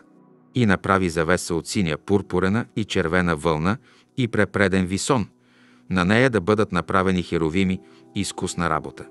И окачи я на четири стълба от ситим, обковани с злато, с златни кукички на четири сребърни подножки. И окачи завесата на кукичките и внеси там зад завесата ковчега на откровението. И завесата ще ви отделя светилището от святая светих. И тури очистилището върху ковчега на откровението в святая светих. И тури трапезата извън завесата и светилника, срещу трапезата от страни на скинията към юг, а трапезата тури на северната страна. И направи завеса за входа на скинията от синя, пурпурена и червена вълна и от препреден висон везана работа. Направи за завесата пет стълба от ситим и ги обкови с злато, кукичките за тях да са златни, и излей за тях пет медни подножки. И направи жертвеник от дърво ситим, дълъг пет лакти, широк пет лакти, та да е четвъроегален и висок три лакти. И направи рогове на четирите му ъгли, тъй че роговете да излизат от него. И го обкови с мед. Направи за него котлета за изсипване в тях пепелта и лопатки и блюда, и вилици и въгленици. Всички съдове направи от мед. Направи за него медна решетка като мрежа, а на мрежата, на четирите ягли, направи четири медни гривни и турия в жертвеника отдолу, та да дойде мрежата до половината на жертвеника. И направи върлини за жертвеника, върлини от дърво ситим, и ги обкови с мед. И проври върлините в гривните, тъй че върлините да бъдат от двете страни на жертвеника, кога се носи. Направи го празен отвътре от дъски, както бе ти показано на планината, тъй да направят. Направи двор на скинията. От южната страна към пладне завесите за двора да бъдат от препреден висон, дълги 100 лакти за едната страна. Стълбове за тях да има 20 и медни подножки за тях 20. Кукичките на стълбовете и скобите им да бъдат сребърни. Тъй от към северната страна надлъж да има завеси, дълги 100 лакти. Стълбовете за тях да бъдат 20 и медни подножки за тях 20. Кукичките на стълбовете и скобите им да бъдат сребърни а по широчината на двора от западна страна да има завеси дълги 50 лакти. Стълбовете за тях да бъдат 10 и подножките им 10. По широчината на двора от предната страна към изток да има завеси, дълги 50 лакти. От едната страна да има завеси 15 лакти, стълбовете за тях да бъдат 3 и подножките им 3. И от другата страна да има завеси 15 лакти, стълбовете за тях да бъдат три и подножките им три. А за вратата на двора завесата да е 12 лакти от синя, пурпурена и червена вълна и от препреден висон везена работа. Стълбовете за нея да бъдат 4 и подножките им 4. Всички стълбове около двора трябва да са съединени с сребърни скоби. Кукичките им да са сребърни, а подножките им медни. Дължината на двора да бъде 100 лакти, широчината навсякъде 50, а височината 5 лакти. Завесите да бъдат от препреден висон, а подножките на стълбовете медни. Всички принадлежности на скинията за всяка употреба в нея и всички нейни колове и всички дворни колове да са от мед. И заповядай на Израилевите синове да ти донасят чист елей, изтискан от маслини, за светене, за да гори светилникът всякога. В скинията на събранието извън завесата, която е пред ковчега на откровението, ще го пали Аарон и синовете му от вечер до сутрин пред лицето Господне. Това да бъде вечна наредба за поколенията на Израилевите синове. И вземи при себе си и сред Израилевите синове, твоя брат Аарон и синовете му, за да ми бъдат свещеници, а именно Аарон заедно с Надава, Авиуда, Елеазара и Итамара, Ааронови синове. И направи свещени одежди на брата си Аарона за слава и красота. И кажи на всички мъдри по сърце, които съм изпълнил с дух на премъдрост, да направят на Аарона одежди за посвещението му, та да ми бъде свещеник. Ето одеждите, които те трябва да направят. Нагръдник, ефот, горна риза, реснат хитон, кидар и пояс. Нека направят свещени одежди на брата ти Арона и на синовете му, за да ми свещенствуват. Да вземат злато, синя пурпурена и червена вълна и висон и да направят ефот от злато от синя, пурпурена и червена вълна и от препреден висон изкусна работа. Той трябва да има на двата си края два нарамника за свързване, за да се свързва. И поясът на ефода, който е отгоре му, трябва да бъде еднаква с него работа, от злато, от синя, пурпурена и червена вълна и от препреден висон. И вземи два ониксови камъка и издълбай на тях имената на Израилевите синове. Шест от техните имена върху единия камък и шесте останали имена върху другия камък, по реда на рождението им, с помощта на Резбар, който изрязва печати, издълбай на двата камъка имената на Израилевите синове. И вложи ги в златни гнезденца, и тори тия два камъка върху нарамниците на Ефода. Това са камъни за спомен на Израилевите синове. И нека Аарон носи имената им пред Господа на двете си ramена за спомен. И направи гнезденцата от злато. И две варишки от чисто злато, направи ги вити плетена работа и прикрепи витите варишки за гнезденцата. Направи съдийски нагръдник изкусна работа. Направи го също такава работа, както ефодът от злато, от синя, пурпурена и червена вълна и от препреден висон го направи. Той трябва да бъде четириъгълен, двоен, педя дълъг и педя широк. Нареди по него четири реда изработени камъни, наред. Рубин, топаз, изумруд – това е първи ред. Втори ред – карбункул, сапфир и алмаз. Трети ред – опал, ахат и аметист. Четвърти ред – хрисолит, оникс и яспис. Те трябва да се вложат в златни гнезденца. Тия камъни трябва да бъдат 12, според броя, според имената им. На всеки трябва да бъде издълбано, като на печат, по едно име от броя на 12-те колена. На нагръдника направи вити варишки плетена работа от чисто злато и за нагръдника направи две халчици от злато и прикрепи двете халчици за двата края на нагръдника. Закачи двете плетени златни варишки за двете халчици по края на нагръдника, а двата края на двете варишки прикрепи към двете гнезденца и прикрепи към нарамниците на ефода от към лицето му. Направи още две златни халчици и ги прикрепи към двата други края на нагръдника от към оная страна, която е отвътре ефода. Направи и двете златни халчици и ги прикрепи към двата нарамника на ефода отдолу, от към лицето му, дето се съединяват над пояса на ефода. И да вържат нагръдника с халчиците му за халчиците на ефода с връв от синя вълна, за да стои над пояса на ефода и да се не отместя нагръдникът от ефода и Аарон да носи имената на Израилевите синове върху съдийския нагръдник на сърцето си, кога влиза в светилището, за постоянен спомен пред Господа. На съдийския нагръдник положи Урим и Тумим, и те ще бъдат на Аароновото сърце, кога влиза пред лицето Господне. И Аарон винаги да носи на сърцето си съда на Израилевите синове пред лицето Господне. И направи горната риза за ефода цяла синя. В средата и отгоре трябва да има отвор за главата. Около отвора и трябва да има така на обшивка, както има отворът на броня, за да се не дере. По полите и направи ябълки от синя, пурпурена и червена прежда. Наоколо по полите и наоколо златни звънчета да има между тях. Златно звънче и ябълка, златно звънче и ябълка, наоколо по полите на горната риза. Нея да носи Аарон – кога служи, за да се слуша от него звънтене, като влиза в светилището пред лицето Господне и като излиза, за да не умре. И направи гладка плочица от чисто злато и издълбай на нея, както издълбават на печат, светиня Господня, и я привържи с синя връвчица за кидара, за да бъде отпред на кидара. Тя да бъде на Аароновото чело и да носи Аарон върху си недостатъците на приносите, които посвещават Израилевите синове и всички дарове, които те принасят. Тя да бъде постоянно на челото му, за да благоволи Господ към тях. Направи хитона от висон и кидара от висон, направи и пояса везана работа. Направи и на Ароновите синове хитони, направи им пояси и превръзки за главата им направи, за слава и красота, и облечи с тях брата си Арона и синовете му с него, и помажи ги, напълни ръцете им, и освети ги, за да ми бъдат свещеници.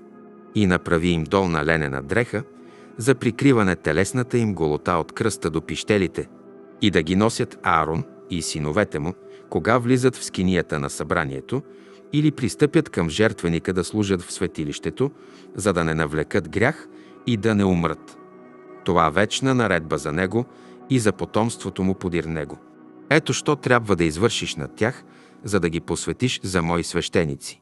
Вземи един телец от воловете и два овена без недостатък, и безквасни хлябове, и безквасни пити, замесени селей, и безквасни питки, намазани селей, от пшенично брашно да ги направиш. И тори ги в една кошница и ги донеси в кошницата, заедно с телеца и двата овена. А Арона пък и синовете му доведи при входа на скинията на събранието и ги уми с вода. И вземи одежди и облечи Аарона с хитона и с горната риза, с ефода и с нагръдника и препаши го с пояса връз ефода. На главата му тури кидар, а на кидара прикрепи венеца на светинята. И вземи помазен елей и излей на главата му и го помажи. Доведи и синовете му и облечи ги с хитони. Препаши ги с пояс, а Арона и синовете му, и тури им превръзки, та свещенството да им принадлежи според наредбата до веки. И напълни ръцете на Арона и синовете му.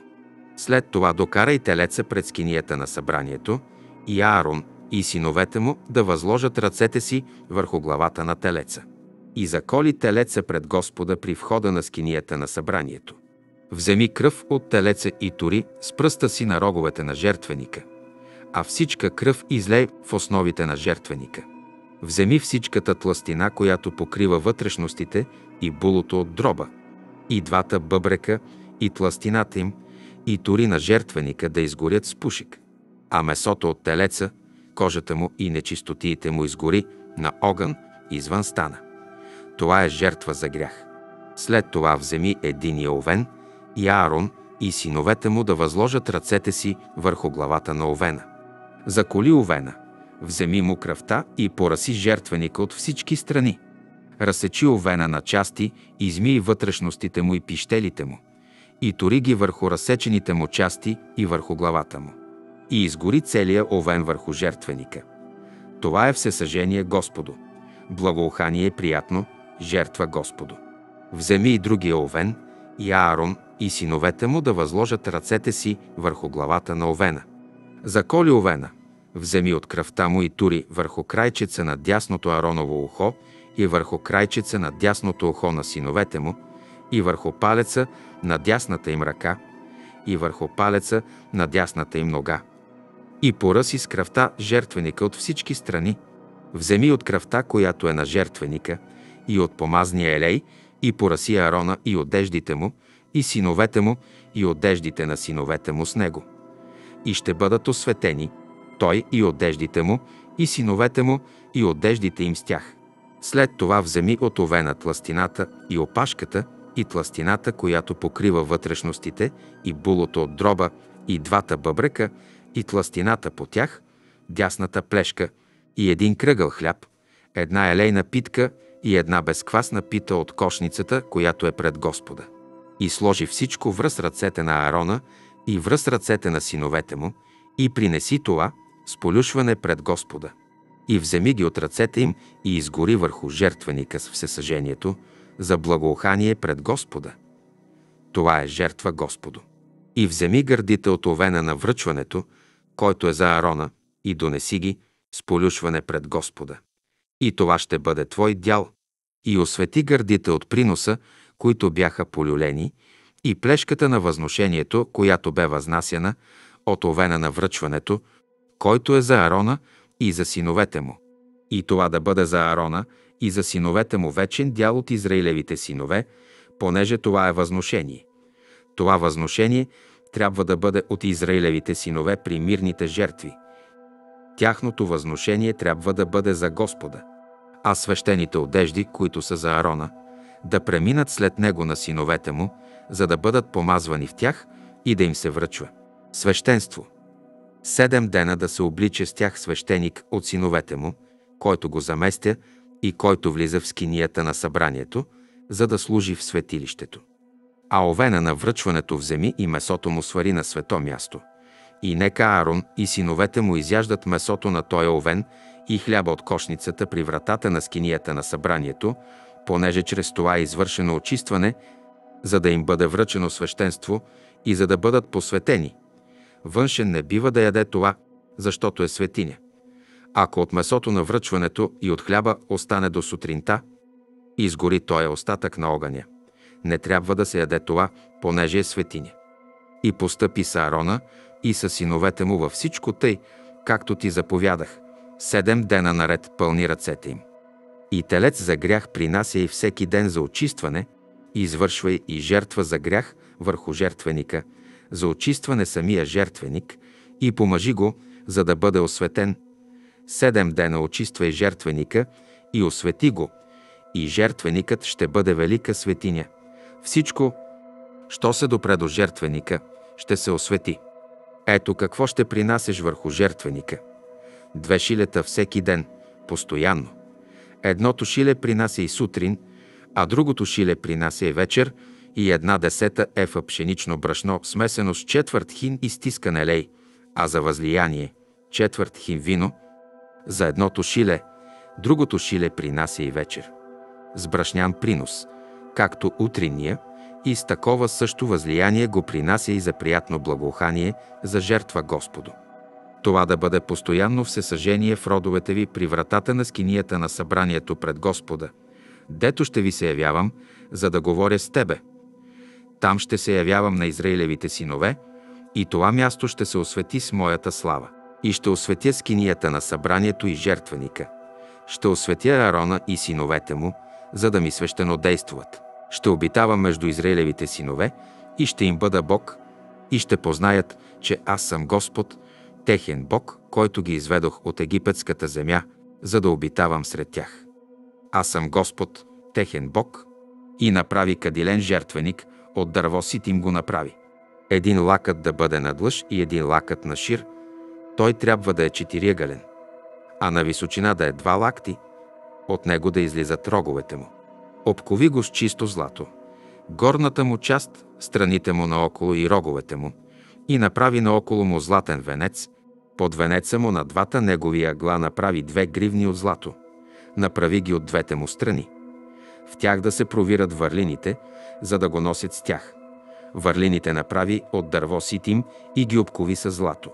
И тори го пред завесата, която е пред ковчега на откровението, срещу очистилището, което е над ковчега на откровението, дето ще ти се явявам. На него Аарон да кади благоволно кадиво. Всяка сутрин, кога приготвя кандилцата, да кади с кадивото. И кога Аарон пали кандилцата вечер, да кади с него. Това е постоянно кадение пред Господа в родовете ви. Не принасяйте на него никакво друго кадиво, ни всесъжение, ни хлебен принос и възлияние не изливайте върху него. Веднъж на година Аарон да извършва очищение на троговете му. С кръвта на очистителната жертва за грях да го очистя веднъж на година в родовете ви. Това е велика светиня пред Господа. Говори Господ още на Моисея и каза Преброявайки Израилевите синове, кога ги преглеждаш, нека всеки даде Господу откуп за душата си при тяхното преброяване. И няма да бъде помежду им изтребителна пораза, кога ги преброяваш. Всеки, който идва за преброяване, трябва да дава половина сикла, свещена сикла. В тая сикла има 20 гери. Половината сикла е принос Господу. Всеки от 20 години нагоре, който идва за преброяване, трябва да дава принос Господу. Богатият не по-много и сиромахът не по-малко от половина сикла трябва да дават принос Господу за откуп на душите ви и вземи откупното сребро от Израилевите синове и употребявай го за служба в скинията на събранието. Това ще бъде спомен за Израилевите синове пред Господа за откуп на душите ви. Говори още Господ на Моисея и каза Направи за миене умивалник от мед и подножката му от мед, постави го между скинията на събранието и жертвеника и налей в него вода. Нека Аарон и синовете му умиват на него ръцете си и нозете си. Кога влизат в скинията на събранието, нека се умиват с вода, за да не умрат, Или кога пристъпят към жертвеника за служба, за принасене жертва Господу, нека те умиват ръцете си и нозете си с вода, за да не умрат. Това да им бъде вечна наредба, нему и на потомците му в родовете им. Говори още Господ на Моисея и каза Вземи си най-добри благоволни вещества. Самоток смирна. 500 сикли, благоволна канела, колко половината от това сиреч, 250 благоволна тръстика, 250 касия, 500 сикли. Според свещената сикла и един хин маслинен елей. И от това направи миро за свещено помазване маст смесена по изкуството на мироварец. Това да бъде миро за свещено помазване. И помажи с него скинията на събранието и ковчега на откровението, трапезата и всичките й принадлежности, светилника и всичките му принадлежности и кадилния жертвеник, жертвеника за всесъжение и всичките му принадлежности, умивалника и подножката му. Освети ги и ще бъдат велика светиня. Всичко, що се допре до тях, ще се освети. Помажи и Аарона и синовете му и посвети ги, за да ми бъдат свещеници. А на Израилевите синове кажи, това да ми бъде миро за свещено помазване в родовете ви. Тялото на други люде не бива да се помазва с него. И от същия състав не варете такова миро. То е светиня. Светиня трябва да бъде за вас. Който направи такова миро, или който помаже с такова външен човек, да бъде изтребен от народа си. Каза още Господ на Моисея, вземи си благоволни вещества. Стакта, уних, миризлив халван и чист ливан, от всички поравно, и направи от тях с изкуството на мироварец кадилна смес, стрита, чиста, света, изчукай я ситно и туряй от нея пред ковчега на откровението в скинията на събранието, дето ще ти се явявам – това ще бъде за вас велика светиня. По тая смес приготвено кадиво не правете за себе си, то да ти бъде светиня за Господа, който направи такова, за да кади с него, да бъде изтребена измежду народа си. Говори още Господ на Моисея, думайки. Ето, аз определих по име Веселила син на Урия, Оров син от Юдино коляно. И го изпълних с Дух Божий, с мъдрост и разум – съзнание и с всяко изкуство, да работи с злато, сребро и мед, да реже камъни за обковка и да изрязва дърво за всякаква работа. И ето давам му за помощника Хисамаховия син Ахоляв от Даново коляно. И в сърцето на всеки мъдър ще вложа мъдрост, за да направят всичко, що ти заповядах. Скинията на събранието и ковчега на откровението и очистилището над него и всички принадлежности на скинията – трапезата и нейни принадлежности, светилника от чисто злато и всичките му принадлежности и кадилния жертвеник, жертвеника за всесъжение и всичките му принадлежности, умивалника и подножката му, служебните одежди и свещените одежди на свещеника Арона и одеждите на синовете му за свещена служба, помазния елей и благоволното кадиво за светилището. Всичко тъй да направят, както аз ти заповядах. Говори още Господ на Моисея и каза Кажи тъй на Израилевите синове. Съботите ми пазете, защото това е знак между мене и вас в родовете ви, за да знаете, че аз съм Господ, който ви освещавам. Пазете съботата, защото тя е света за вас, който я оскверни, да бъде предаден на смърт, който в този ден върши работа. Тая душа трябва да бъде изтребена измежду народа си. Шест дни да вършат работа а в седмия е събота, почивка, посветена Господу. Всеки, който върши работа в съботен ден, да бъде предаден на смърт. Нека Израилевите синове пазят съботата, празнувайки съботата в родовете си като вечен завет. Това е знак между мене и Израилевите синове навеки. Защото в шест дни Господ сътвори небето и земята, а в седмия ден си почина и отдъхна. И когато престана да говори с Моисея на планина Синай, даде му две плочи на откровението, каменни плочи, написани с Божи пръст. Когато народът видя, че Моисей се забави да слезе от планината, събра се при Аарона и му рече «Стани и направи ни Бог, който да върви пред нас, понеже не знаем какво стана с този човек с Моисея, който ни изведе от египетската земя». Аарон им каза, извадете златните обеци от ушите на жените си, на синовете си и на дъщерите си и ми ги донесете. И всички извадиха златните обеци от ушите си и ги донесоха на Аарона. Той ги взе от ръцете им и направи от тях излян телец и го обдяла с длето. И те казаха, ето, Израилю, твоят Бог, който те изведе от египетската земя. Като видя това, Аарон съгради пред телеца жертвеник и извика Аарон, като каза Утре е празник на Господа. На другия ден станаха рано и принесоха всесъжение и доведоха мирни жертви. И седна народът да яде и да пие, а после стана да играе. И рече Господ на Моисея, побързай да слезеш, защото твоят народ, който ти изведе от египетската земя, се разврати. Скоро се отклониха от пътя, който им аз заповядах. Направиха си излян телец и му се поклониха и принесоха му жертва и казаха Ето, Израилю, твоят Бог, който те изведе от египетската земя. И каза Господ на Моисея Аз виждам тоя народ и ето, тоя народ твърдоглав. И тъй, остави ме да се разпали гневът ми против тях. И ще ги изтребя и ще произведа многоброен народ от тебе.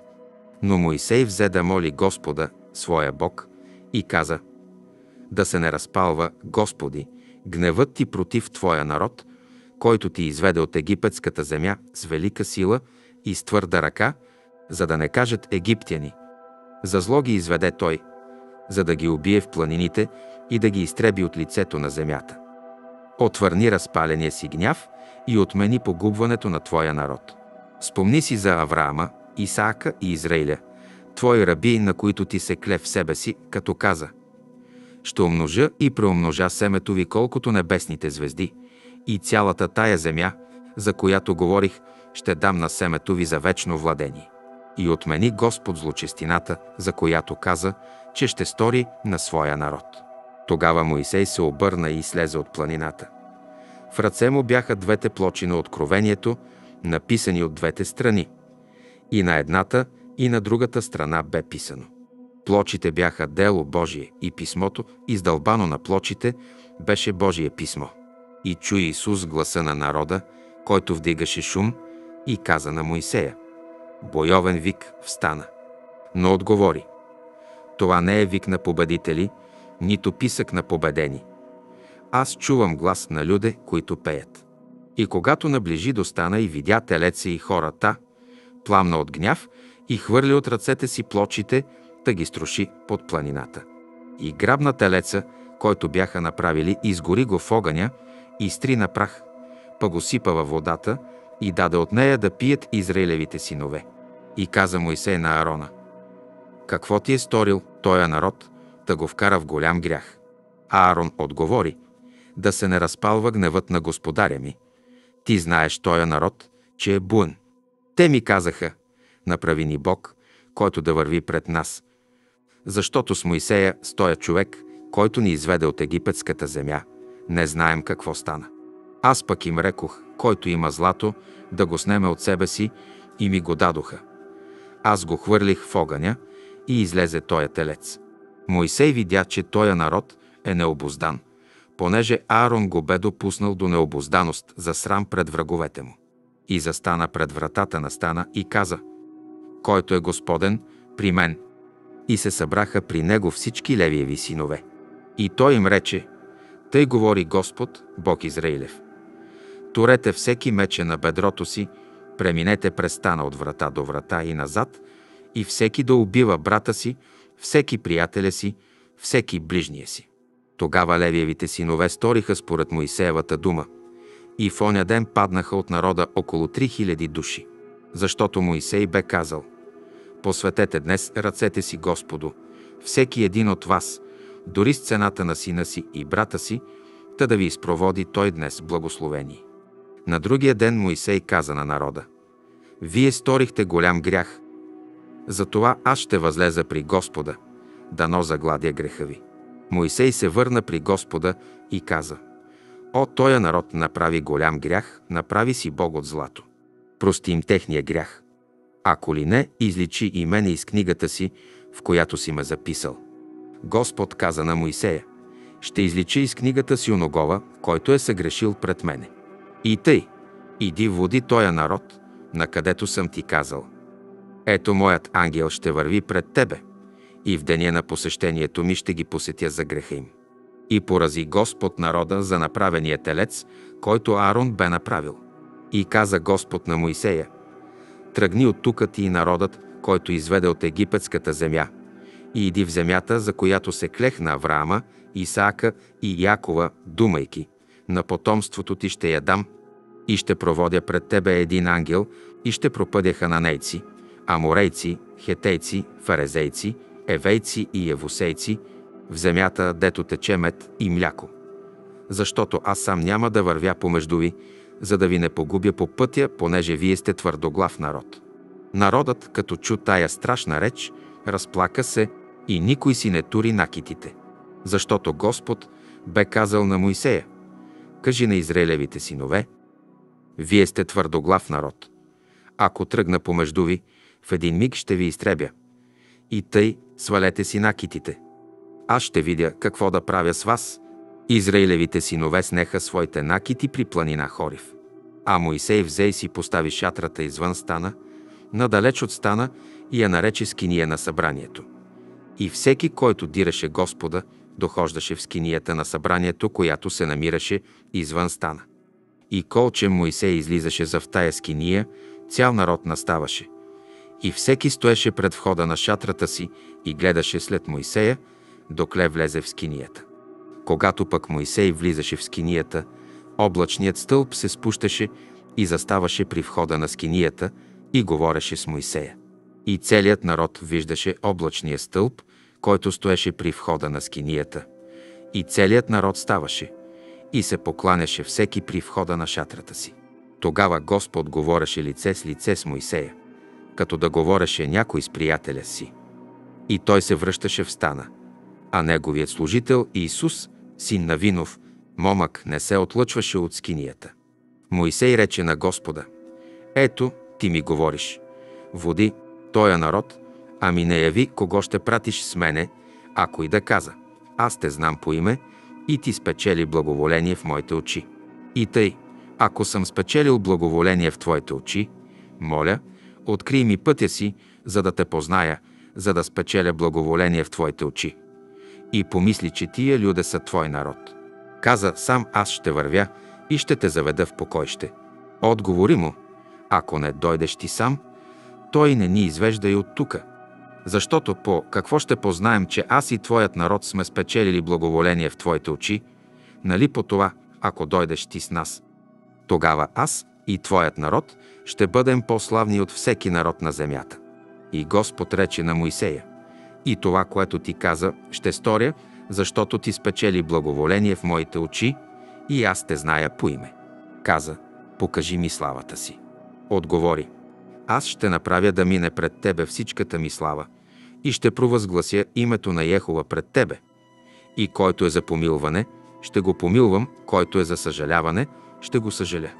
И после каза, лицето ми не можеш видя, защото не може човек да ме види и да остане жив. И каза Господ, ето място при мене, застани на тая скала. И кога минава славата ми, аз ще те туря в пукнатината на скалата и ще те покрия с ръката си, докле отмина, и кога си сваля ръката, ти ще ме видиш изотзад, а лицето ми няма да бъде видимо. И каза Господ на Моисея, издялай си две каменни плочи, като първите, и аз ще напиша върху тия плочи думите, каквито бяха върху първите плочи, които ти струши. И бъди готов за утре. И качи се утре на планина Синай и застани пред мене там, на връх планината. Ала никой да не възлиза с тебе и никой да се не вестява по цялата планина. Дори добитък, дребен и едър, не бива да пасе близо до тая планина. Тогава Моисей издяла две каменни плочи, като първите, стана сутринта рано и възлезе на Синай планина, както му заповяда Господ, и взе в ръцете си двете каменни плочи. И слезе Господ в облак и се спря там близо до него и провъзгласи името на Ехова. И премина Господ пред лицето му и извика Господ, Господ, Бог човеколюбиви и милосърдни, дълготърпеливи, многомилостиви и истинни, който пази милост в хиляди поколения, който прощава вина, престъпление и грях, ала не оставя без наказание, който за вината на бащите наказва децата и децата на децата до трета и четвърта рода. Моисей веднага падна на земята и се поклони и каза Ако съм придобил благоволение в очите ти, Господи, нека дойде Господ между нас, защото Тоя народ е твърдоглав. Прости беззаконията ни и греховете ни и направи нас Твое наследие. Отговори Ето, аз сключвам завет, пред целият ти народ ще направя чудеса, каквито не са станали по цяла земя и у никой народ – и ще види целият народ, между който се намираш ти, делото Господне, защото страшно ще бъде онова, което аз ще сторя за тебе. Пази това, що ти заповядвам сега. Ето, аз изпъждам от лицето ти аморейци, хананейци, хетейци, фарезейци, евейци и евосейци. Внимавай да не влизаш в съюз с жителите на земята, в която ще идеш, за да не станат те примка посред вас. Жертвениците им съборете – идолите им струшете, свещените им дъбрави и сечете, защото не бива да се покланяш на други Бог, освен на Господа, понеже името му е ревнивец. Той е Бог ревнивец. Не влизай в съюз с жителите на оная земя. Та, кога те блудстват подир боговете си и принасят жертви на боговете си, да не поканят и тебе и да не вкусиш от жертвите им. И не взимай от дъщерите им жени за синовете си, да не би дъщерите им като блудствуват подир боговете си, да вкарат и синовете ти в блудство подир боговете им. Не си прави излеяни богове. Пази празника без квасници. Седем дена да ядеш, както съм ти заповядал, безквасен хляб в определеното време на месец Авив, защото в месец Авив излезе ти от Египет. Всичко, що разтваря отроба, е мое, както и всяко мъжко от целия ти добитък, от говеда и овци, що разтваря отроба а първородното от ослите заменява и сагне. Ако ли го не замениш, откупи го. Всички първородни от синовете ти откупвай, да се не явяват пред лицето ми с празни ръце. Шест дни работи, а в седмия ден си почивай. Почивай си и през време на сеидба и жетва. Празнувай празника на седмиците, празника на първите плодове от пшеничната жетва и празника на баритбата в края на годината. Три пъти на година всичкият ти мъжки пол да се явява пред лицето на Ехова, Господа Бога Израилев, защото аз ще разгоня народите от лицето ти и ще разширя границите ти, и никой няма да пожелае земята ти, ако се явяваш пред лицето на Господа, Твоя Бог, три пъти на година. Кръвта от жертвата ми върху квасник не изливай и жертвата на празник Пасха да не пренощува до сутринта. Най-първите плодове от земята си принася и в дома на Господа, Твоя Бог. Не вари яре в майчиното му мляко. Каза още Господ на Моисея, напиши си тия думи, защото с тия думи аз сключвам завет с тебе и с Израиля. И престоя там при Господа 40 дни и 40 нощи, без да яде хляб и без да пие вода. И написа върху плочите думите на завета, десете заповеди. Когато Моисей се връщаше от планина Синай и държеше в ръце двете плочи на откровението, слизайки от планината, Моисей не знаеше, че лицето му изпущаше зари, понеже Бог бе говорил с него. Аарон и всички израилеви синове видяха Моисея и ето, лицето му светеше, и те се бояха да се приближат до него. Тогава Моисей ги повика и дойдоха при него Аарон и всички началници на народа, и Моисей говори с тях. След това се приближиха всички Израилеви синове и той им предаде всичко, що му бе говорил Господ на Синай планина. И когато Моисей престана да говори с тях, турна на лицето си покривало. А колче Моисей влезеше пред лицето на Господа да говори с него, снимаше покривалото, докато излезеше. А като излезеше, разказваше пред Израилевите синове всичко, що бе заповядано. И видяха Израилевите синове, че Моисеевото лице свети.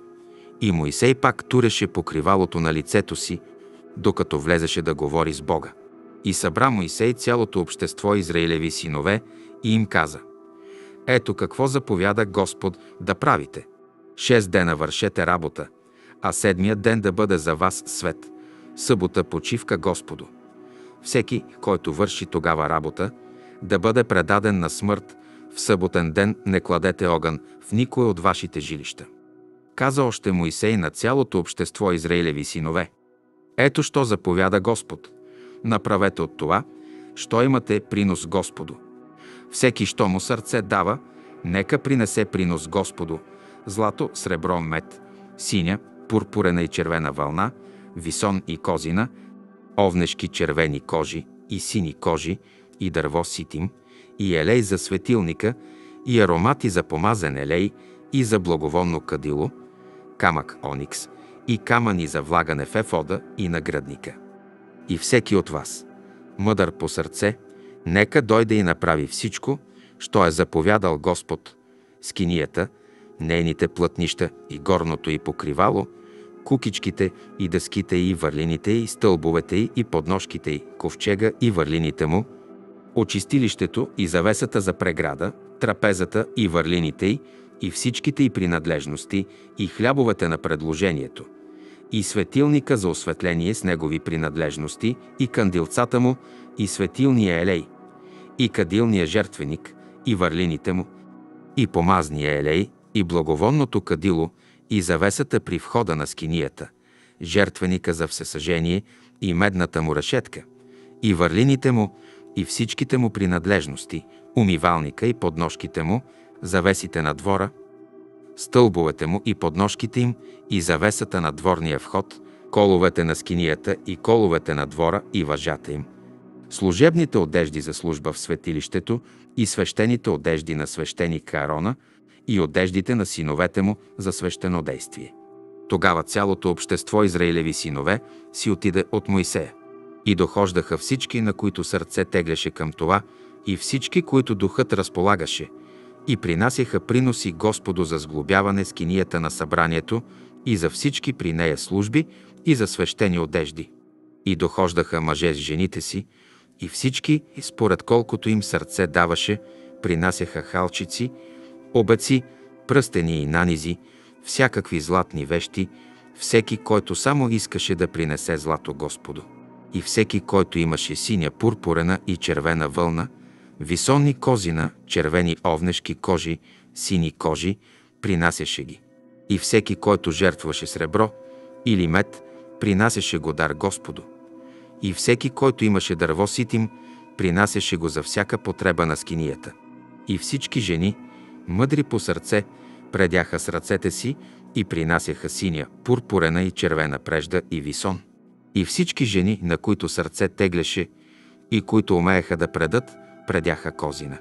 А началниците принасяха ониксов камък и камъни за влагане в ефода и на гръдника, също и елей за светилника и аромати за съставяне помазан елей и за благовонно кадило. И всички мъже и жени от Израилевите синове, на които сърце теглеше да принасят за всяко нещо, което Господ чрез Моисея заповяда да се направи, принасяха доброволен дар Господу. И каза Моисей на Израилевите синове – ето Господ определи по име Веселила, син на Урия, Оров син, от Юдино коляно, и го изпълни с Дух Божий, с мъдрост, с разум, съзнание и с всяко изкуство, да стъкмява изкусни платове, да работи с злато, сребро и мед, и да реже камъни за обковка, да изрязва дърво и да прави всякакви художествени изделия. Павложи в неговото сърце и в сърцето на Холява, сина Хисамахов, от Даново коляно способност да учат други. Той изпълни сърцето им с мъдрост да правят всяка работа на резбар и на изкусен такач, и везач по син, пурпурен, червен и висонов плат, и на такачи, които правят всякакви работи и тъкат изкусни платове. Тогава почна да работи Веселиил и Ахолияв и всички мъдри по сърце, на които Господ даде мъдрост и разум, за да умеят да работят всякаква работа, потребна за светилището, както бе заповядал Господ. И повика Моисей Веселила и Ахолява и всички мъдри по сърце, на които Господ даде мъдрост, и всички, на които сърце теглеше, да се заемат за работа и да работят. И те взеха от Моисея всички приноси, които израилевите синове бяха принесли за потреби на светилището, за да работят. а в същото време продължаваха още да носят при Моисея доброволни дарове всяка сутрин. Тогава дойдоха всички мъдри по сърце, които приготвяха всякакви работи за светилището, всеки дойде от работата си, що работеше, и говориха на Моисея, като казаха Народът принася много повече, отколко е нужно за работите, които заповяда Господ да се направят. И заповяда Моисей и обявиха в стана ни мъж, ни жена да не правят вече нищо за принос в светилището. И народът престана да принася. Имаше доста принесено за всякакви работи, които трябваше да се направят, дори оставаше и лично. Тогава всички мъдри по сърце, които се занимаваха с направа на скинията, приготвиха 10 плътнища от препреден висон и от синя, пурпурена и червена вълна. И по тях направиха херовими изкусна работа. Дължината на всяко плътнище беше 28 лакти и широчината на всяко плътнище 4 лакти. Всички плътнища бяха една мярка. И Веселиил съедини петте плътнища едно с друго. И петте други плътнища съедини едно с друго. И направи сини петлици по ивата на едното плътнище, дето то се съединява с другото. Такива той направи и по ивата на. Последното плътнище, за да го съедини с другото, 50 петлици направи на едното плътнище и 50 петлици направи по ивата на плътнището, дето то се съединява с другото, тия петлици се спосрещаха една с друга. И направи 50 златни кукички и с кукичките съедини едно плътнище с друго и стана скинията едно цяло. После направи плътнище от козина за покриване скинията. Такива плътнища направи 11. Едното плътнище беше дълго 30 лакти, а широко 4 лакти. Единайсетте плътнища бяха една мярка. И съедини 5 плътнища отделно и 6 плътнища отделно. И направи 50 петлици по ивата на крайното плътнище, дето се съединява с другото, и 50 петлици направи по ивата на плътнището, което се съединява с другото. И направи 50 медни кукички, за да съединяват покрива, та да стане едно цяло и направи за скинията покривка от червено боядисани овнешки кожи и покривало за отгоре от сини кожи. И направи от дърво ситим дъски за скинията, за да стоят право. Всяка дъска беше 10 лакти дълга, а един и половина лакът широка. Всяка дъска имаше по два зъба, един срещу друг. Тъй направи той с всички дъски на скинията. И направи за скинията 20 такива дъски за южната страна направи и 40 сребърни подножки под 20-те дъски. Две подножки под една дъска за двата и зъба и две подножки под друга дъска за двата и зъба. И за другата страна на скинията към север направи 20 дъски и 40 сребърни подножки. Две подножки под една дъска и две подножки под друга дъска. А за задната страна на скинията към запад направи 6 дъски. Направи и две дъски за ъгъла в скинията на задната страна. И те бяха съединени отдолу и съединени отгоре с една гривна. Тъй направи той с тях двете на двата ъгъла. И тъй имаше 8 дъски и 16 сребърни подножки, по две подножки под всяка дъска. И направи върлини от дърво ситим, пет за дъските от едната страна на скинията, пет върлини за дъските на другата страна на скинията и пет върлини за дъските на задната страна на скинията и направи вътрешната върлина да минава през средата на дъските от единия край до другия.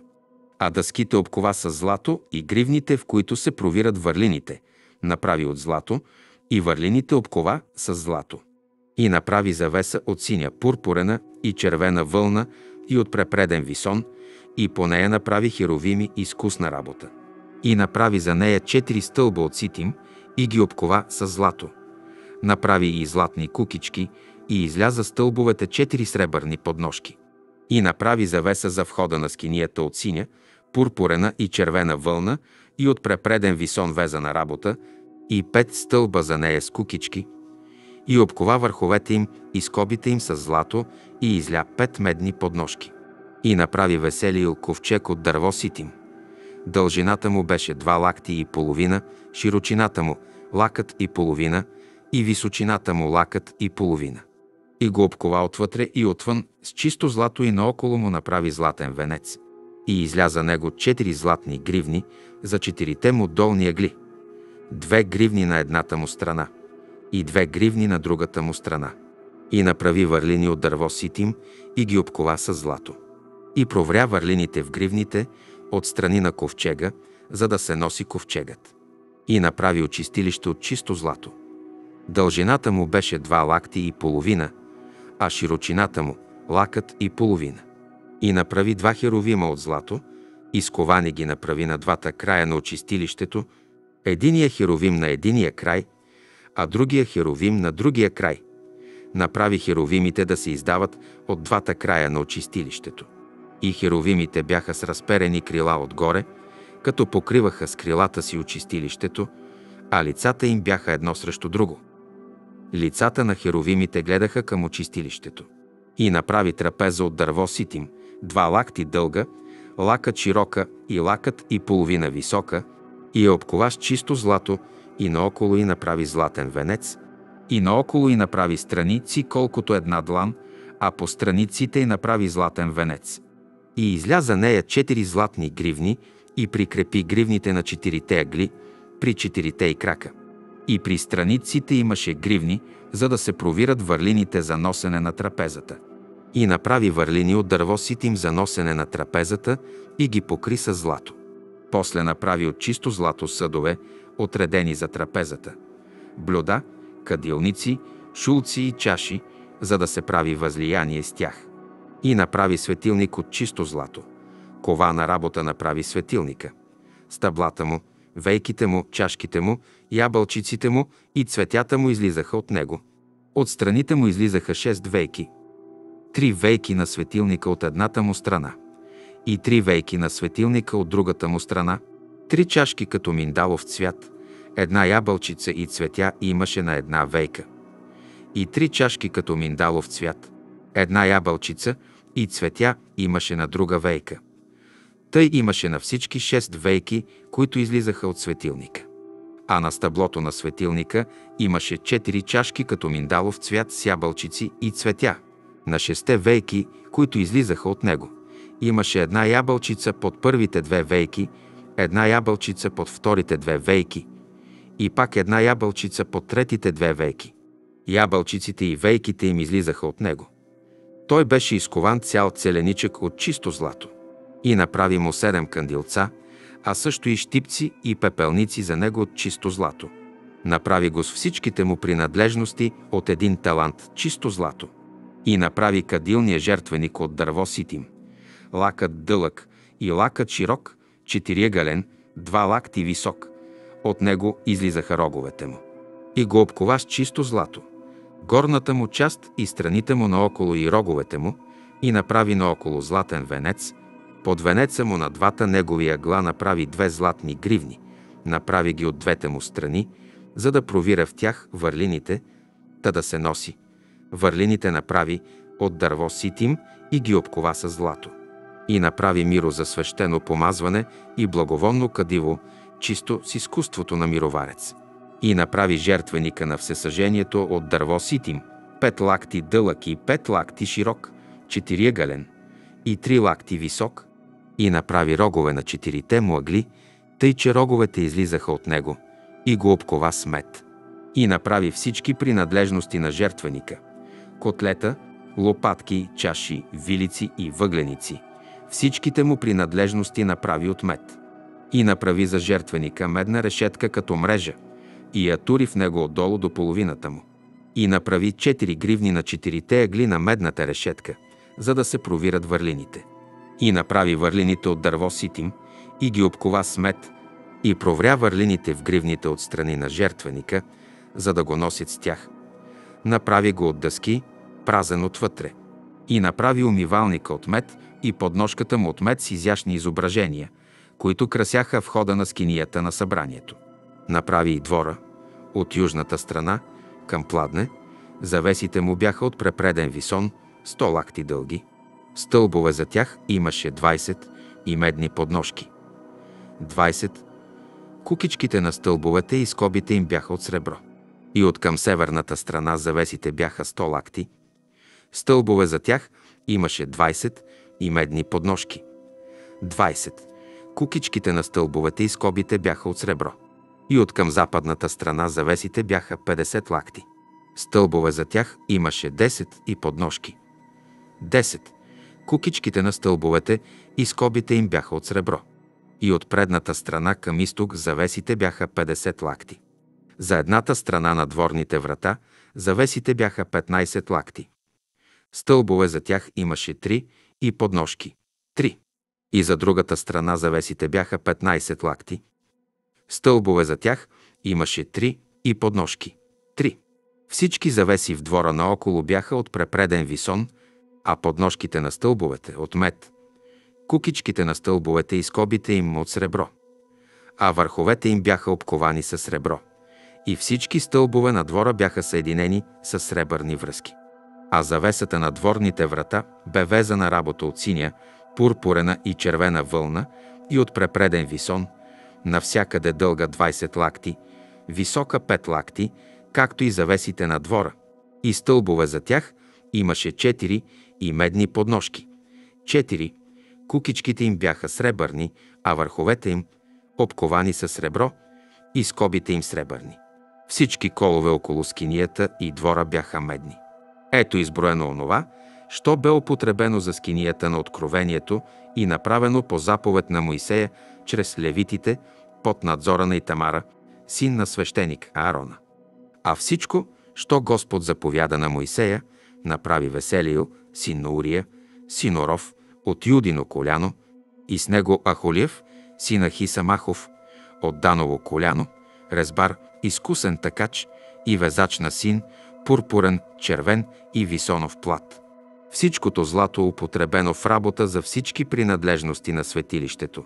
Злато, принесено в дар, беше 29 таланта и 730 сикли, свещени сикли. А среброто от преброените лица на обществото беше 100 таланта и 1775 сикли, свещени сикли. По половина сикла на човек, пресметнато според свещената сикла от всеки го, който идва за преброяване, от 20 години и нагоре, именно от 603 550 души. 100 таланта сребро бе употребено за изливане подножките на светилището и подножките на завесите. 100 подножки от 100 таланта по талант за подножка. А от 1775 сикли той направи кукички за стълбовете и обкова върховете им и направи за тях скоби. А принесената в дар мед беше 70 таланта и 2400 сикли. От нея той направи подножки за стълбовете при входа в скинията на свидетелството и меден жертвеник и медна решетка за него и всички съдове на жертвеника и подножките за стълбовете на целия двор и подножките за стълбовете на дворните врата и всички колове на скинията и всички колове около двора. А от синя пурпурена и червена вълна направиха служебни одежди за служене в светилището. Направиха и свещени одежди за Арона, както бе заповядал Господ на Моисея. И направи ефот от злато от синя, пурпурена и червена вълна и от препреден висон. Изковаха листи от злато и ги нарязаха на нишки, за да ги втъкат между сините, пурпурените, червените и висоновите нишки. Всичко изкусна работа. И направиха му нарамници за свързване. Той беше свързан на двата си края.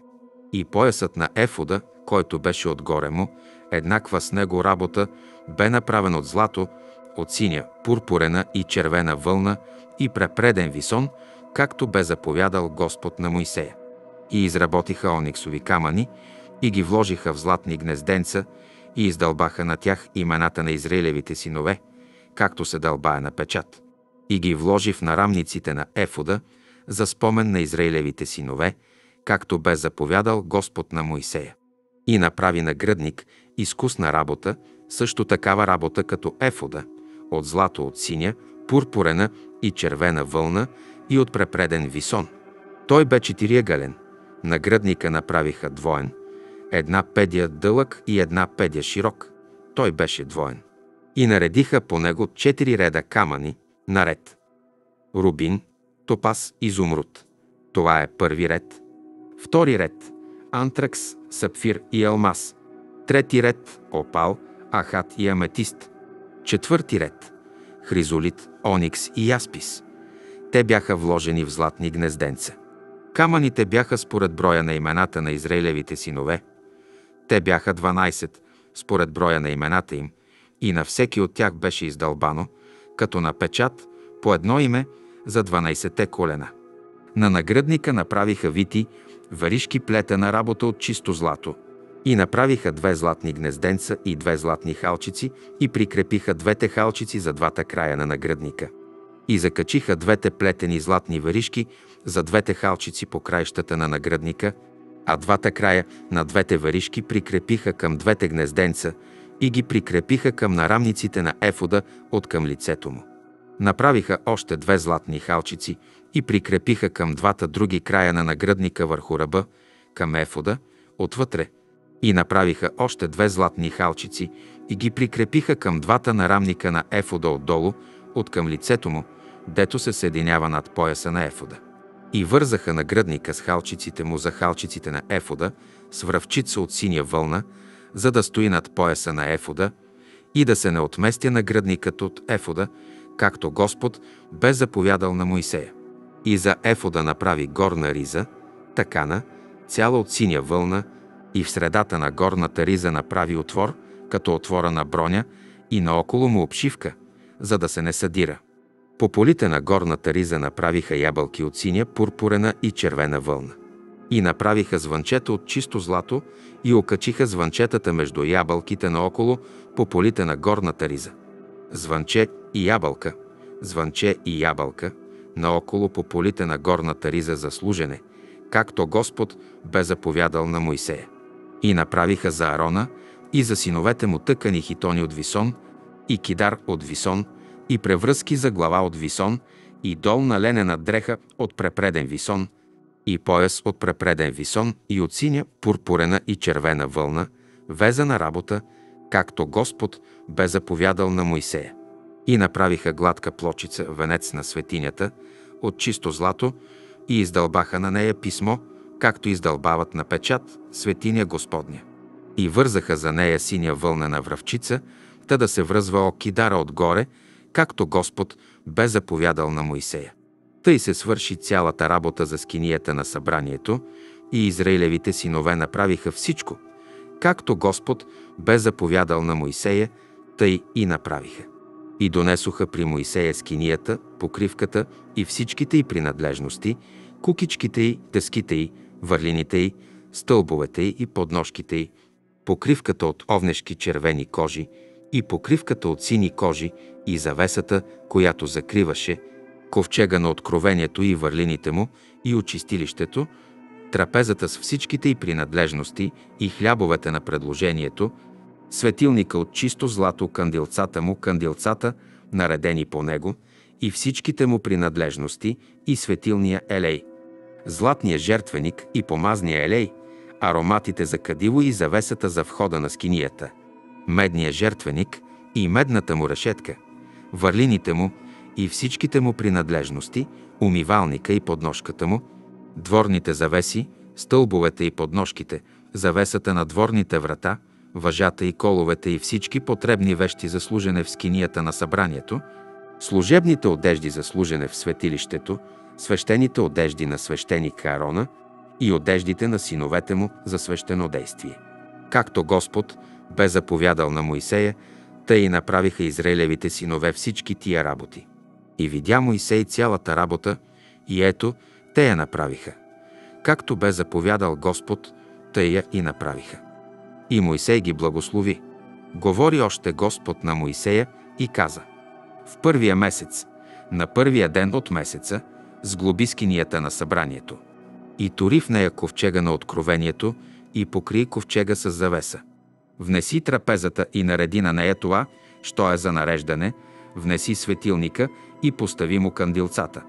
Постави златния жертвеник за кадене пред ковчега на откровението и окачи завесата при входа на скинията. Постави и жертвеника на всесъжението пред входа на скинията на събранието. Постави умивалника между скинията на събранието и жертвеника и налей в него вода. Огради двор наоколо и окачи на дворните врата завесата. И вземи помазния елей, Помажи скинията и всичко, що е в нея, и освети нея и всичките й принадлежности, и ще бъде света. Помажи жертвеника на всесъжението и всичките му принадлежности освети жертвеника, и жертвеникът ще бъде голяма светиня. И помажи умивалника и подножката му и го освети. След това доведи Арона и синовете му при входа на скинията на събранието и ги умий с вода. Облечи Арона в свещените одежди, помажи го и го освети, за да ми бъде свещеник. Доведи и синовете му и ги облечи с хитони и помажи ги, както помаза баща им, за да ми бъдат свещеници и помазването им ще ги освети за вечно свещенство в поколенията им. И Моисей стори всичко, както му бе Господ заповядал, тъй и стори. В първия месец на втората година, в първия ден на месеца, бе сглобена скинията. Изглоби Моисей скинията, тури подножките й, постави дъските й, намести върлините, изправи стълбовете й, разпъна покривката над скинията и тури покривалото върху покривката, както Господ бе заповядал на Моисея. И взета тури откровението в ковчега, и провря върлините в гривните на ковчега и тури върху ковчега очистилището. Внесе ковчега в скинията, окачи завесата и закри ковчега на откровението, както Господ бе заповядал на Моисея. Постави трапезата в скинията на събранието, към северната страна на скинията, извън завесата. Наслага на нея ред хлябове пред Господа, както Господ бе заповядал на Моисея. Той постави светилника в скинията на събранието срещу трапезата, на южната страна на скинията и тури кандилцата пред Господа, както Господ бе заповядал на Моисея. Постави златния жертвеник в скинията на събранието пред завесата и тури на него да гори благовонно кадиво, както Господ бе заповядал на Моисея. Окачи завеса при входа на скинията. Постави и жертвеника на всесъжението при входа на скинията на събранието и принесе на него всесъжение и хлебен принос, както Господ бе заповядал на Моисея. Постави умивалника между скинията на събранието и жертвеника и наля в него вода за миене, и от него Моисей и Аарон и синовете му миеха ръцете си и нозете си. Колчен влизаха в скинията на събранието и се доближаваха до жертвеника, умиваха се, както Господ бе заповядал на Моисея. И огради двор наоколо скинията и жертвеника и окачи завесата на дворните врата. Тъй свърши Моисей работата. Тогава облакът покри скинията на събранието и слава Господня изпълни скинията. И Моисей не можеше да влезе в скинията на събранието, защото облакът я осеняваше и слава Господня изпълнеше скинията. Колчем се дигнеше облакът от скинията, Израилевите синове потегляха през всичките си пътувания. Ако се не дигнеше облакът, те не тръгваха, докле се не дигне, защото облакът Господен стоеше над скинията денем, а нощем имаше над нея огън пред очите на целия дом Израилев през всичките им пътувания. И Ехова. В месеца на класовете. Горчило. Изкушение и караница. Господ е мое знаме. Сиреч пред съдиите. Горна къса одежда. Златна дъска върху похлопака на ковчега. Горна къса дреха. Долна дълга дреха. Украшение за глава. Трета книга Моисеева. Левит. И повика Господ Моисея и му каза от скинията на събранието, думайки. Обади на синовете Израилеви и им кажи. Кога някой от вас иска да принесе Господу жертва, то ако е от добитък, принасяйте жертвата си от едър и дребен добитък. Ако жертвата му е всесъжение от едър добитък, нека я принесе от мъжко, що е без недостатък. Нека я доведе при вратата на скинията на събранието, за да придобие благоволение пред Господа. И да възложи ръката си върху главата на жертвата за всесъжение и ще придобие благоволение за очистване от греховете си. И да заколи телеца пред Господа, а синовете Ааронови, свещениците, да донесат кръвта и да поръсят с кръвта около връст жертвеника, що е при входа на скинията на събранието, и да ударе жертвата за всесъжение и да я разсече на части. А синовете Ааронови, свещениците, да накладат на жертвеника огън и да наслагат на огъня дърва, синовете Аронови и свещениците да наслагат частите, главата и тластината връз дървата, които са на огъня, върху жертвеника. а вътрешностите на жертвата и нозете й да измие с вода и свещеникът да изгори всичко върху жертвеника. Това е всесъжение, жертва, благоухание, приятно Господу. Ако жертвата му за всесъжение е от дребен добитък, овци или кози, нека я принесе от мъжко, що е без недостатък, и да я заколи пред Господа от страни на жертвеника към север и синовете Ааронови, свещениците, да поръсят с кръвта и около връст жертвеника и да я разсекат на части, като отделят главата и тластината й. И свещеникът да ги наслага върху дървата, които са на огъня върху жертвеника. А вътрешностите и нозете свещеникът да измие с вода и да донесе всичко и да го изгори върху жертвеника. Това е всесъжение, жертва, благоухание, приятно Господу. Ако ли принася Господу всесъжение от птици, нека принесе жертвата си от горголици или от млади гълъби. Свещеникът да я донесе при жертвеника, да извие главата и да я изгори върху жертвеника, а кръвта да изцеди по стената на жертвеника. Да отдели гушата и заедно с парата й и да я хвърли до жертвеника към изток на пепелището и да я скърши между крилете й, без да ги отделя, и свещеникът да изгори на жертвеника върху дървата, които са на огъня. Това е всесъжение, жертва, благоухание, приятно Господу. Ако някой иска да принесе Господу хлебна жертва, нека принесе пшенично брашно, да го полее селей и да тори върху моливан, и да го донесе на синовете Ааронови свещениците, и свещеникът да вземе пълна шепа от брашното селея и всичкия ливан, и да изгори това на жертвеника за спомен. Това е жертва, благоухание, приятно Господу. А остатъците от хлебната жертва да бъдат за Аарона и за синовете му. Това е велика светиня от жертвите Господни. Ако пък жертвата ти е от хлебен принос, печен в пещ, принася и безквасни пшенични хлябове, замесени селей, и безквасни питки, намазани селей. Ако жертвата ти е хлебен принос, печен в тава, тя трябва да бъде от пшенично брашно, замесено селей, без квас. Разчупи го на късове и го полей селей. Това е хлебен принос. Ако хлебната ти жертва е приготвена в подница, тя трябва да бъде от пшенично брашно селей. И приготвената от това жертва принеси Господу, представи я на свещеника, а той да я занесе при жертвеника. И да вземе свещеникът част от тая жертва за спомен и да я изгори на жертвеника. Това е жертва, благоухание, приятно Господу. А остатъците от хлебната жертва да бъдат за Аарона и за синовете му. Това е велика светиня от жертвите Господни. Никаква хлебна жертва, която принасяте Господу, не правете квасна, защото нито квасно, нито мед не трябва да изгаряте за жертва Господу. Тях принасяйте Господу като жертва от начатъци, а на жертвеника да се не слагат за приятно благоухание. Всяка твоя хлебна жертва соли с сол и не оставяй жертвата си без солта на завета на твоя Бог. При всяка твоя жертва принася и сол. Ако принасяш Господу хлебна жертва от първи плодове, принася и за дар от първите си плодове отчукани зърна от класове и сушени на огън, полей ги селей и тури върху им ливан. Това е хлебен принос. И за спомен свещеникът да изгори част от зърната и елея с всички е ливан. Това е жертва Господу. Ако жертвата на някого е мирна жертва, и ако той я принася от едър добитък, мъжко или женско, нека принесе Господу такава, която е без недостатък.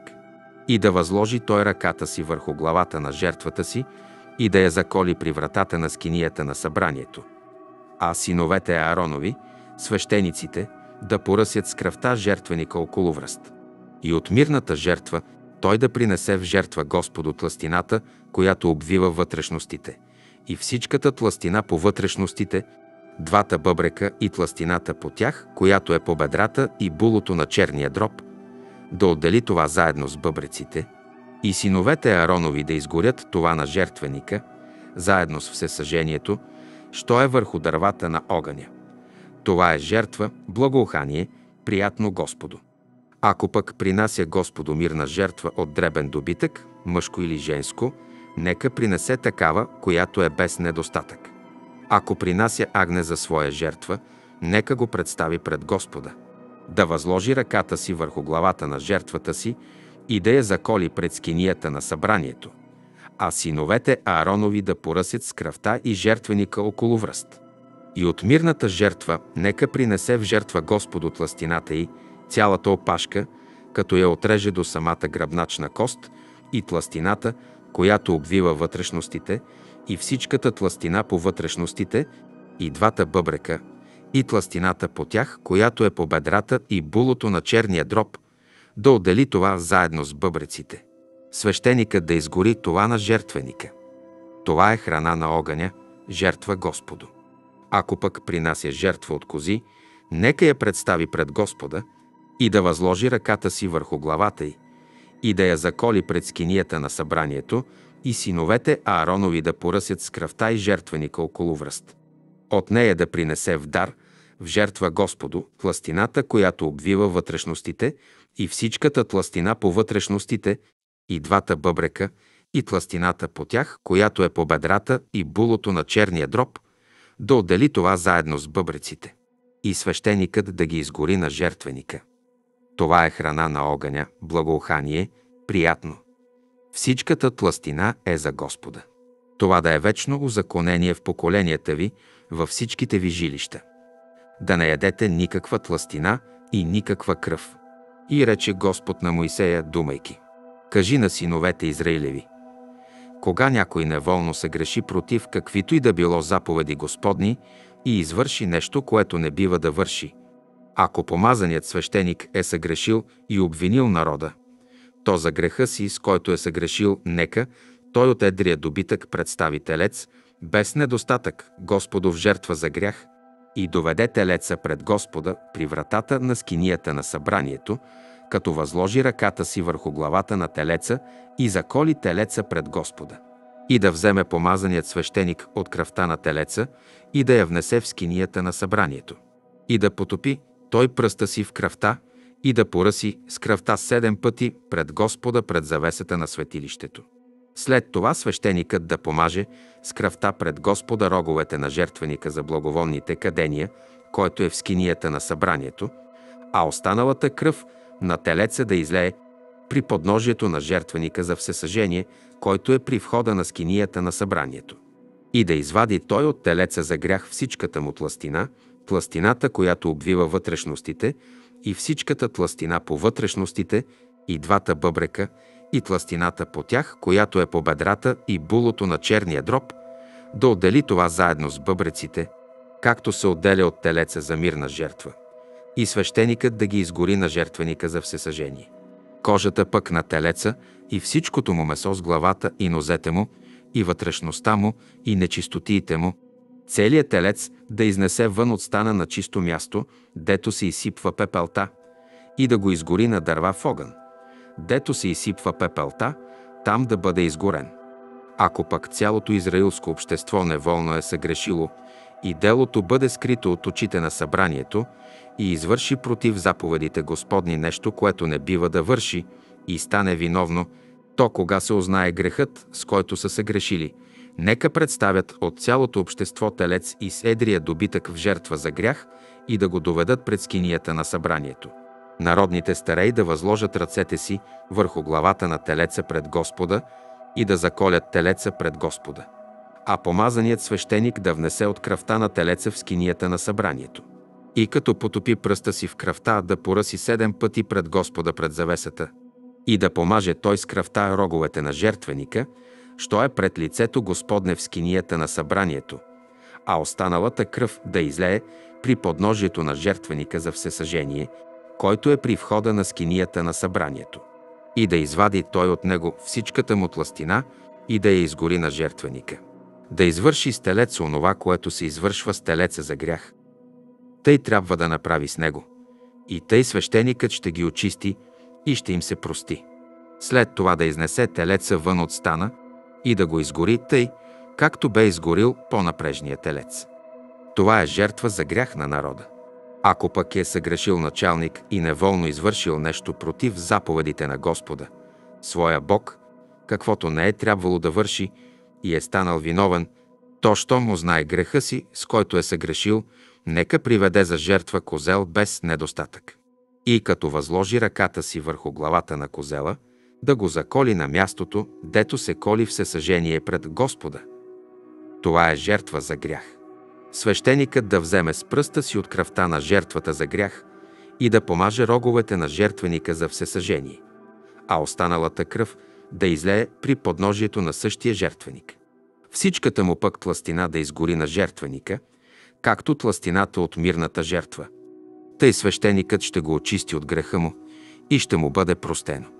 Ако някой от народа на страната неволно е съгрешил и извършил нещо против заповедите Господни, каквото не е трябвало да прави и е станал виновен, то, що му знае греха, с който е съгрешил, нека приведе за жертва коза без недостатък, за греха си, с който е съгрешил, и като възложи ръката си върху главата на жертвата за грях, да заколи в жертва за грях на мястото, жертва за всесъжение.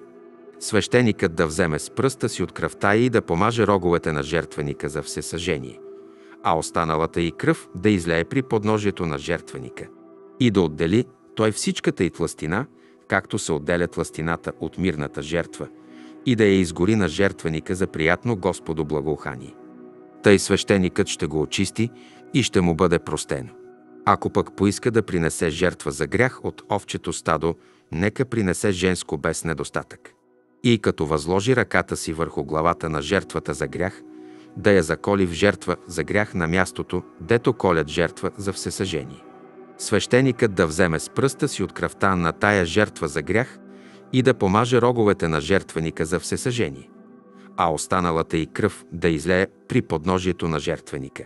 Всичката и пък тластина да отдели, както се отделя овчета тластина от мирната жертва, и да изгори това на жертвеника в жертва Господу. Тъй свещеникът ще го очисти от греха, с който е съгрешил, и ще му бъде простено. Ако някой се греши с това, че, бидейки запитан под клетва, не обади онова, на което е бил свидетел, що е видял или знае, той взима върху си грях. Или ако се допре до нещо нечисто, или до труп на нечист звяр, или до труп на нечист добитък, или до труп на нечист гад, без да е знаел за това, той е нечист и виновен. Или ако се допре до човешка нечистота, каквато и да е нечистота, която осквернява, а не е знаел за това, но сет не узнае, той е виновен. Или ако някой безразсъдно се закълне с уста, че ще извърши нещо, без да знае дали то е лошо или добро, както обикновено човеците безразсъдно се кълнат и сетне узнае, той е виновен в това. Ако той е виновен в нещо от това и изповяда, какво е съгрешил, нека принесе Господу за греха си, с който е съгрешил, жертва за вина от дребен добитък, овца или коза, за греха, и свещеникът ще го очисти от греха му. Ако пък не е в състояние да принесе овца, то за греха си, с който е съгрешил, нека принесе Господу две гурголици или два млади гълъба, единия в жертва за грях, а другия за всесъжение. Нека ги донесе на свещеника и да представи първо му ная птица, която е за грях, и да изкърши главата от шията й, но да я не отделя, и да поръси с кръвта от тая жертва за грях стената на жертвеника, а останалата кръв да изцеди при подножието на жертвеника. Това е жертва за грях, а другата да употреби за всесъжение, според наредбите, тъй свещеникът ще го очисти от греха му, с който е съгрешил, и ще му се прости. Ако пък не е в състояние да принесе две горголици или два млади гълъба, нека принесе за това, що е съгрешил, десета част от ефа, пшенично брашно в жертва за грях, да го не полива селей и да не туря отгоре моливан, защото това е жертва за грях, и да го донесе на свещеника – а свещеникът да вземе от него пълна шепа за спомен и да изгори върху жертвеника в жертва Господу. Това е жертва за грях. Тъй свещеникът ще го очисти от греха му, с който е съгрешил в някой от уния случаи и ще му бъде простено. А принадлежи на свещеника като хлебен принос. Говори още Господ на Моисея, думайки. Ако някой извърши престъпление и неволно се греши против посветеното Господу, Нека за вината си принесе Господу от овчето стадо овен без недостатък, по твоя оценка, в сребърни сикли, според свещената сикла. В жертва за вина, за оная светиня, против която е съгрешил, да заплати, като прибави при това една пета част и нека даде това на свещеника, и свещеникът ще го очисти чрез овена на жертвата за вина и ще му се прости.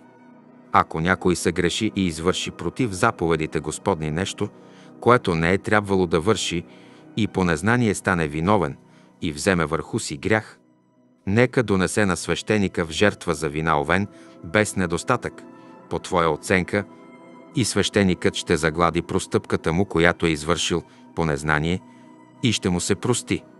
Това е жертва за вина, съгрешил е пред Господа.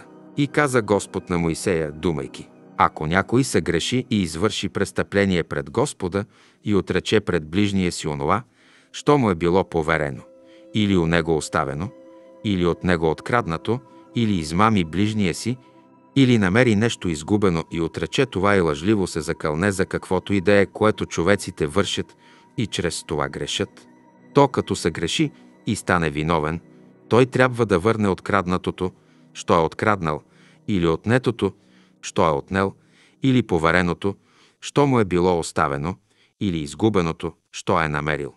Всичко това, за което лъжливо се е заклел, той трябва напълно да го върне и към това да прибави една пета част и да ономува, комуто принадлежи, в деня, когато принася жертва за вина, и за вината си нека принесе Господу при свещеника в жертва за вина от овчето стадо овен без недостатък, според твоя оценка, а свещеникът ще го очисти пред Господа и ще му бъде простено, каквото и да е сторил, всичко, в каквото се е той провинил. Каза още Господ на Моисея, думайки. Заповядай на Аарона и на синовете му. Ето законът за всесъжение. Всесъжението нека стои върху огнището на жертвеника цяла нощ до сутринта и огънят нека гори върху жертвеника. Нека свещеникът облече ленената си дреха, като надене също и долната ленена дреха, и нека снеме пепелта от всесъжението, което огънят е изгорил на жертвеника, и да я остави до жертвеника. След това нека съблече дрехите си и облече други дрехи и нека изнесе пепелта вън от стана на чисто място а огънят на жертвеника да гори да не изгасва. Нека свещеникът запалва върху него дърва всяка заран, да слага отгоре му всесъжение и да изгаря на него тластината на мирната жертва. Нека огънят гори винаги на жертвеника и да не изгасва. Ето законът за хлебния принос. Синовете Ааронови да го донасят пред Господа при жертвеника. Нека вземе шепата си от хлебния принос и от пшеничното брашно и от елея, и всички ливан, който е върху жертвата, и ги изгори на жертвеника. Това е приятно благоухание за спомен пред Господа. А останалото от него да ядат Аарон и синовете му, то трябва да се яде безквасно, на свето място, в двора на скинията на събранието да го ядат. То не бива да се пече квасно. Това аз им давам за дял от моите жертви. Това е велика светиня – както жертвата за грях и жертвата за вина. Всички Аронови потомци от мъжки пол могат да я ядат. Това е вечен дял от жертвите Господни в поколенията ви. Всичко, що се допре до тях, ще се освети. Каза още Господ на Моисея, думайки. Ето приносът от Аарона и от синовете му, който ще принесат Господу в деня, когато той бъде помазан. Десета част от ефа пшенично брашно за постоянна жертва – Едната половина от това за заран, а другата за вечер. Жертвата трябва да бъде приготвена в тава, селей. Напоена селей, принася я на късове, както се начупва на късове хлебният принос, принася я за приятно Господу благоухание. Това трябва да извършва свещеникът от синовете му, който е помазан вместо него. Това е вечна Господня наредба. Жертвата трябва цяла да се изгаря и всеки хлебен свещеников принос трябва цял да се изгаря, а не да се изяда. Каза още Господ на Моисея, думайки. Кажи на Аарона и на синовете му. Ето законът за жертвата за грях. Жертвата за грях трябва да се коли пред Господа на онова място, дето се коли всесъжението. Това е велика светиня. Свещеникът, който извършва жертва за грях, нека я яде. Тя трябва да се изяда на свето място – в двора на скинията на събранието. Всичко, що се допре до месото й, ще се освети.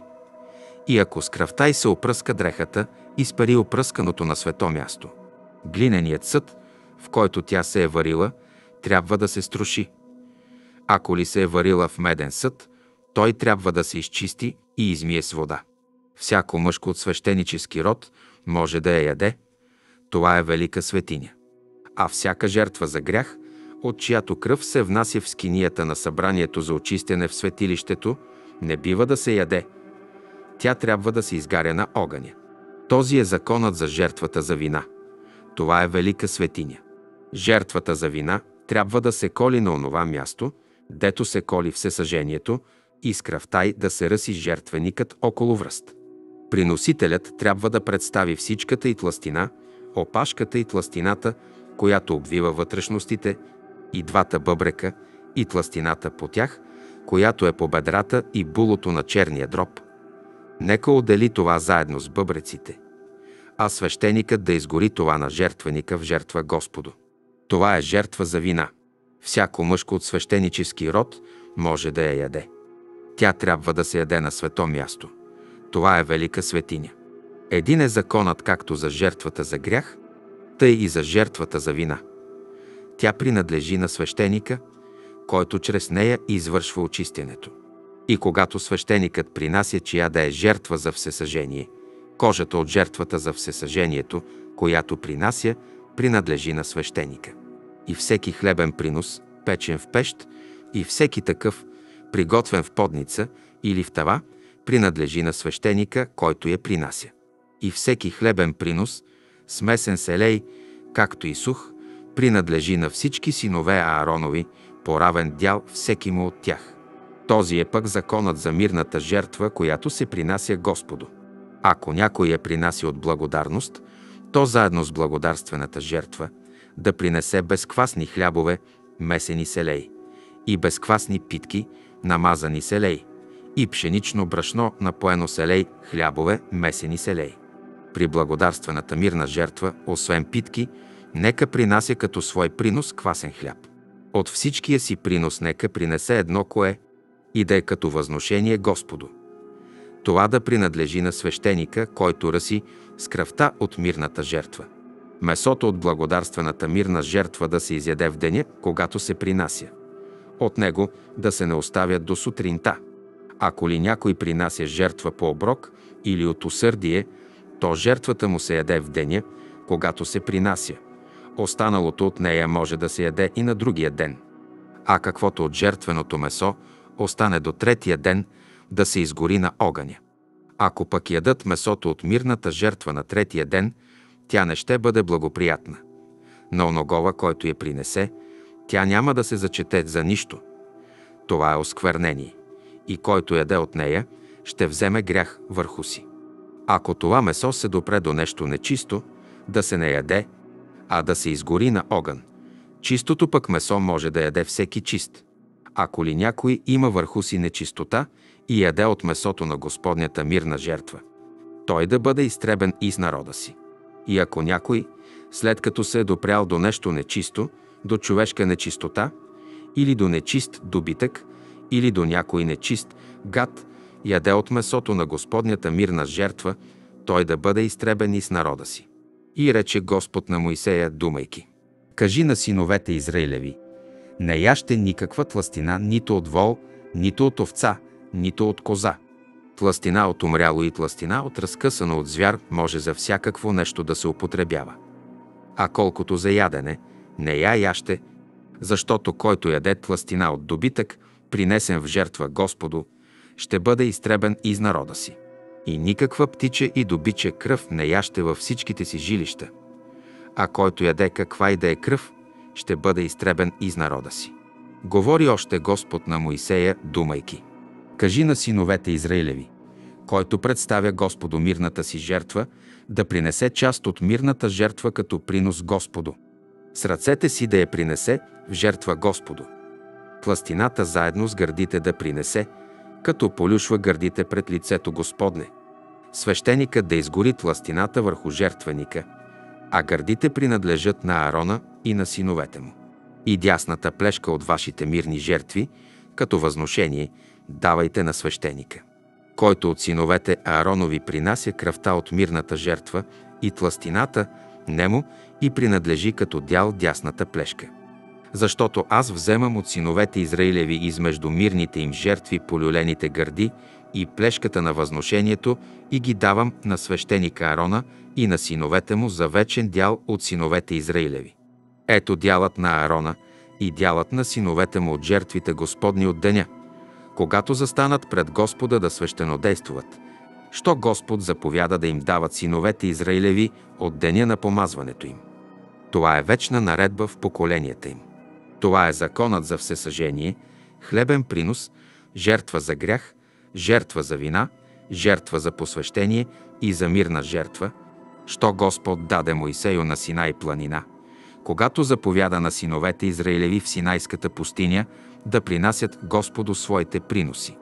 И рече Господ на Моисея, думайки, Вземи Аарона и синовете му с него, и одежди и помазен елей, и телец за жертва за грях, и два овена, и кошница с безквасни хлябове, и събери целия народ при входа на скинията на събранието.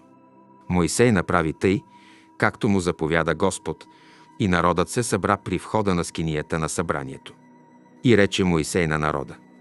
Ето, що заповяда Господ да се направи. И доведе Моисей Аарона и синовете му и ги уми с вода, облече Аарона с хитон, препаса му пояса, облече му горната риза, тури му ефода, препаса го с пояса на ефода, като с него му стегна ефода, преметна му нагръдника, а върху нагръдника тури Урим и Тумим, възложи на главата му кидара и на кидара отпред тури златната плочица, венец на светинята, както бе заповядал Господ на Моисея. Тогава Моисей взе помазан елей и помаза скинията и всички неща, що бяха в нея, и ги освети. Пораси с него жертвеника седем пъти и помаза жертвеника и всичките му принадлежности, и умивалника, и подножника му, за да ги освети.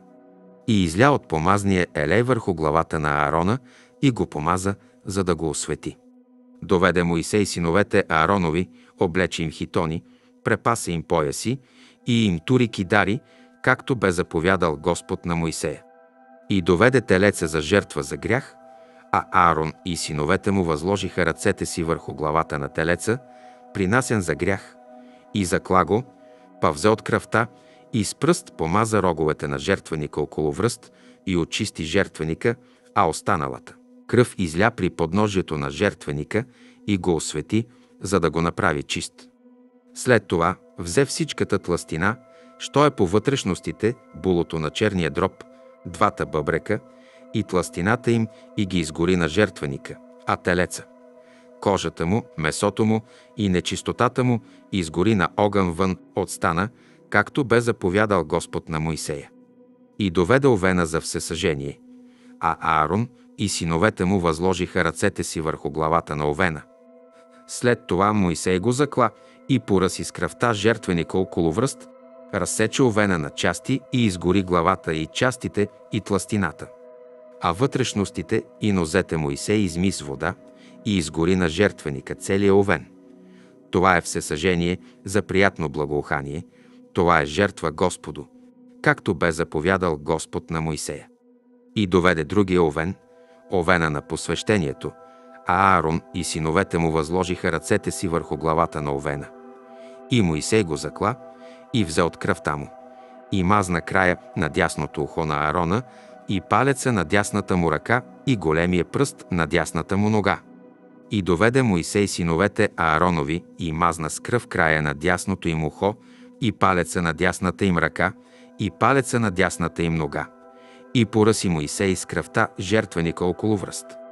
След това взе тластината, опашката и всичката тластина, която е по вътрешностите, булото на черния дроб, двата бъбрека и тластината им и дясната плешка, и от кошницата с безквасните хлябове, която е пред Господа, взе един безквасен хляб и един хляб селей и една питка и ги сложи върху тластината и върху дясната плешка. И всичко това тури в ръцете на Аарона и в ръцете на синовете му и го принесе, като го полюшваше пред лицето Господне. И взе Моисей това от ръцете им и го изгори на жертвеника заедно с всесъжението. Това е жертва на посвещението за приятно благоухание, това е жертва Господу. Взе Моисей гърдите и ги принесе, като ги полюшваше пред лицето Господне. Това беше Моисеев дял от овена на посвещението, както бе заповядал Господ на Моисея. Взе Моисей от помазния елей и от кръвта, която беше на жертвеника, и пораси Аарона и одеждите му, и синовете му, и одеждите на синовете му с него. И тъй освети Аарона и одеждите му, и синовете му, и одеждите на синовете му с него. И каза Моисей на Аарона и на синовете му. Сварете месото пред входа на скинията на събранието и там го яще с хляба, който е в кошницата на посвещението, както ми бе заповядано и казано. Аарон и синовете му да го ядат, а остатъците от месото и от хляба изгорете на огъня. Седем дни не се отдалечавайте от вратата на скинията на събранието, докле не изтекат дните на вашето посвещение, защото посвещението ви трябва да се извършва през седем дена. Както днес бе направено, тъй ще се прави по заповед Господня за ваше очистване. При входа на скинията на събранието стойте денем и нощем седем дена и бъдете на стража пред Господа, за да не умрете, защото тъй ми е заповядано. Аарон и синовете му извършиха всичко, що бе заповядал Господ пред Моисея. На осмия ден Моисей повика Аарона и синовете му и старейте Израилеви. И каза на Аарона, Вземи си измежду воловете телец за жертва за грях и овен за всесъжение, и двата без недостатък, и ги представи пред лицето Господне.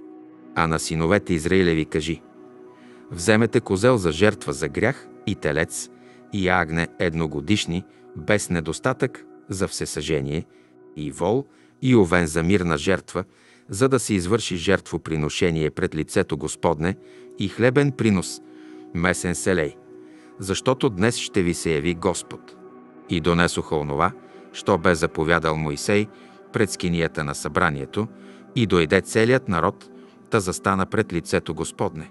Моисей рече, ето какво заповяда Господ да направите и ще ви се яви славата Господня. Моисей рече на Арона, пристъпи към жертвеника, принеси жертвата си за грях и всесъжението си, очисти себе си и народа. И принеси народната жертва и очисти народа, както заповяда Господ. Тогава пристъпи Аарон до жертвеника и закла телеца, който беше за него, в жертва за грях. Синовете Ааронови му поднесоха кръвта и той натопи пръста си в кръвта и намаза роговете на жертвеника, а останалата кръв изля при подножието на жертвеника. Пластината, бъбреците и булото на черния дроб от жертвата за грях изгори на жертвеника, както бе заповядал Господ на Моисея. Месото пък и кожата изгори на огън вън от стана. И заклав се съжението, и Ароновите синове му поднесоха кръвта. Той пораси с нея жертвеника около връст. И му донесоха всесъжението на късове и главата, и той ги изгори на жертвеника, а вътрешностите и нозете изми и заедно с всесъжението изгори на жертвеника. След това принесе принос от народа. Взе козела, който беше за греха на народа, закла го и го принесе в жертва за грях, както и първия. Принесе всесъжението и го извърши според наредбите. Принесе хлебния принос и напълни с него шепите си, и освен утринното всесъжение изгори и него на жертвеника. Закла вола и овена, които бяха от народа, за мирна жертва, а синовете на Аарона му поднесоха кръвта, и той пораси с нея жертвеника около връст, поднесоха и тластината от вола, и опашката от овена, и която покрива бъбреците и булото на черния дроб, и сложиха тластината връз гърдите, и той изгори тластината върху жертвеника. А гърдите и дясната плешка Аарон принесе, като ги полюшваше пред лицето Господне, както заповяда Моисей. След това Аарон дигна ръце към народа и го благослови и слезна след като извърши жертвата за грях, всесъжението и мирната жертва. Тогава Моисей и Аарон влязоха в скинията на събранието и, като излязоха, благословиха народа. И славата Господня се яви на целия народ. И излезе огън от Господа и изгори върху жертвеника всесъжението и тластината. И целият народ, като видя, извика от радост и падна ничком. Надав и Авиот, синове Ааронови, взеха всеки своята кадилница и туриха в тях огън, и на него посипаха кадиво и донесоха пред Господа чужд огън, за който той не бе им заповядал. И излезе огън от Господа и ги изгори, и те умряха пред лицето Господне.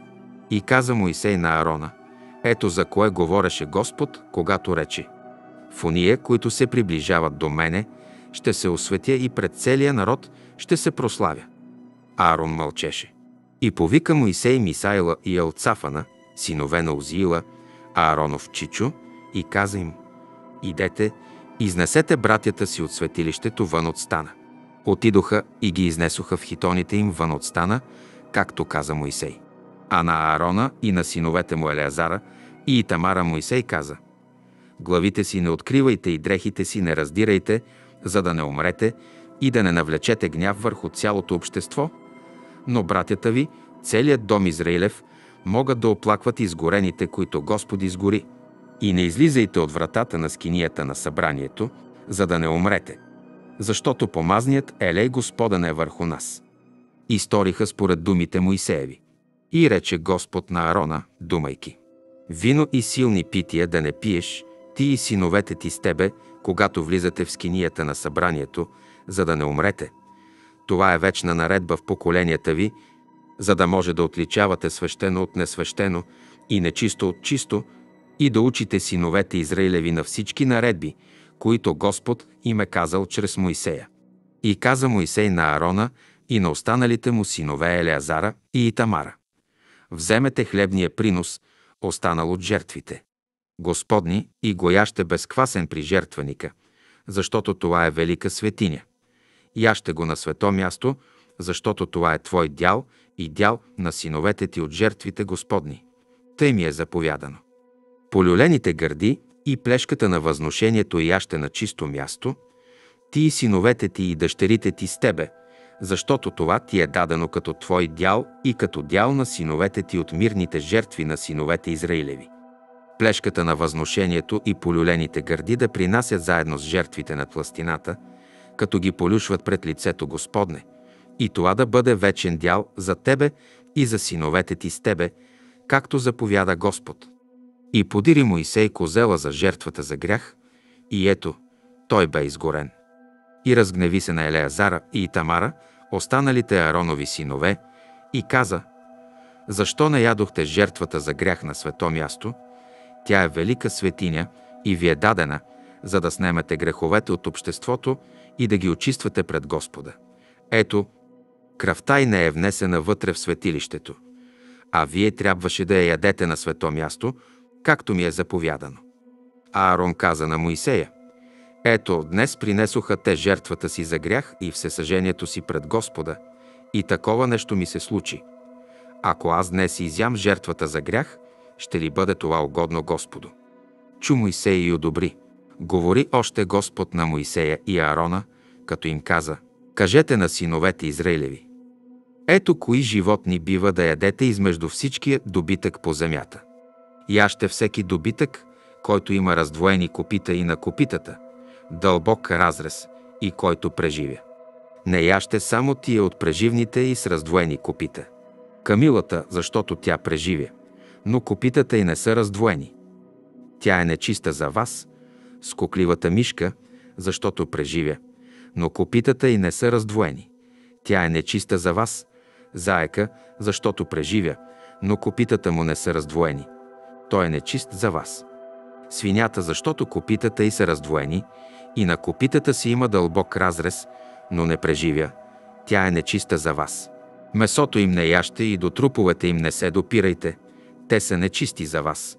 От всички животни, които са във водата, яще тия, които имат перки и люспи във водата, в моретата или в реките. Тях да ядете.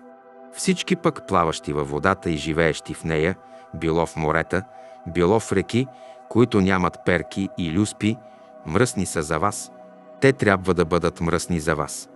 Месото им не яще и от труповете им се гносете. Всички животни, които нямат перки и люспи във водата, са мръсни за вас. А измежду птиците гносете се отия.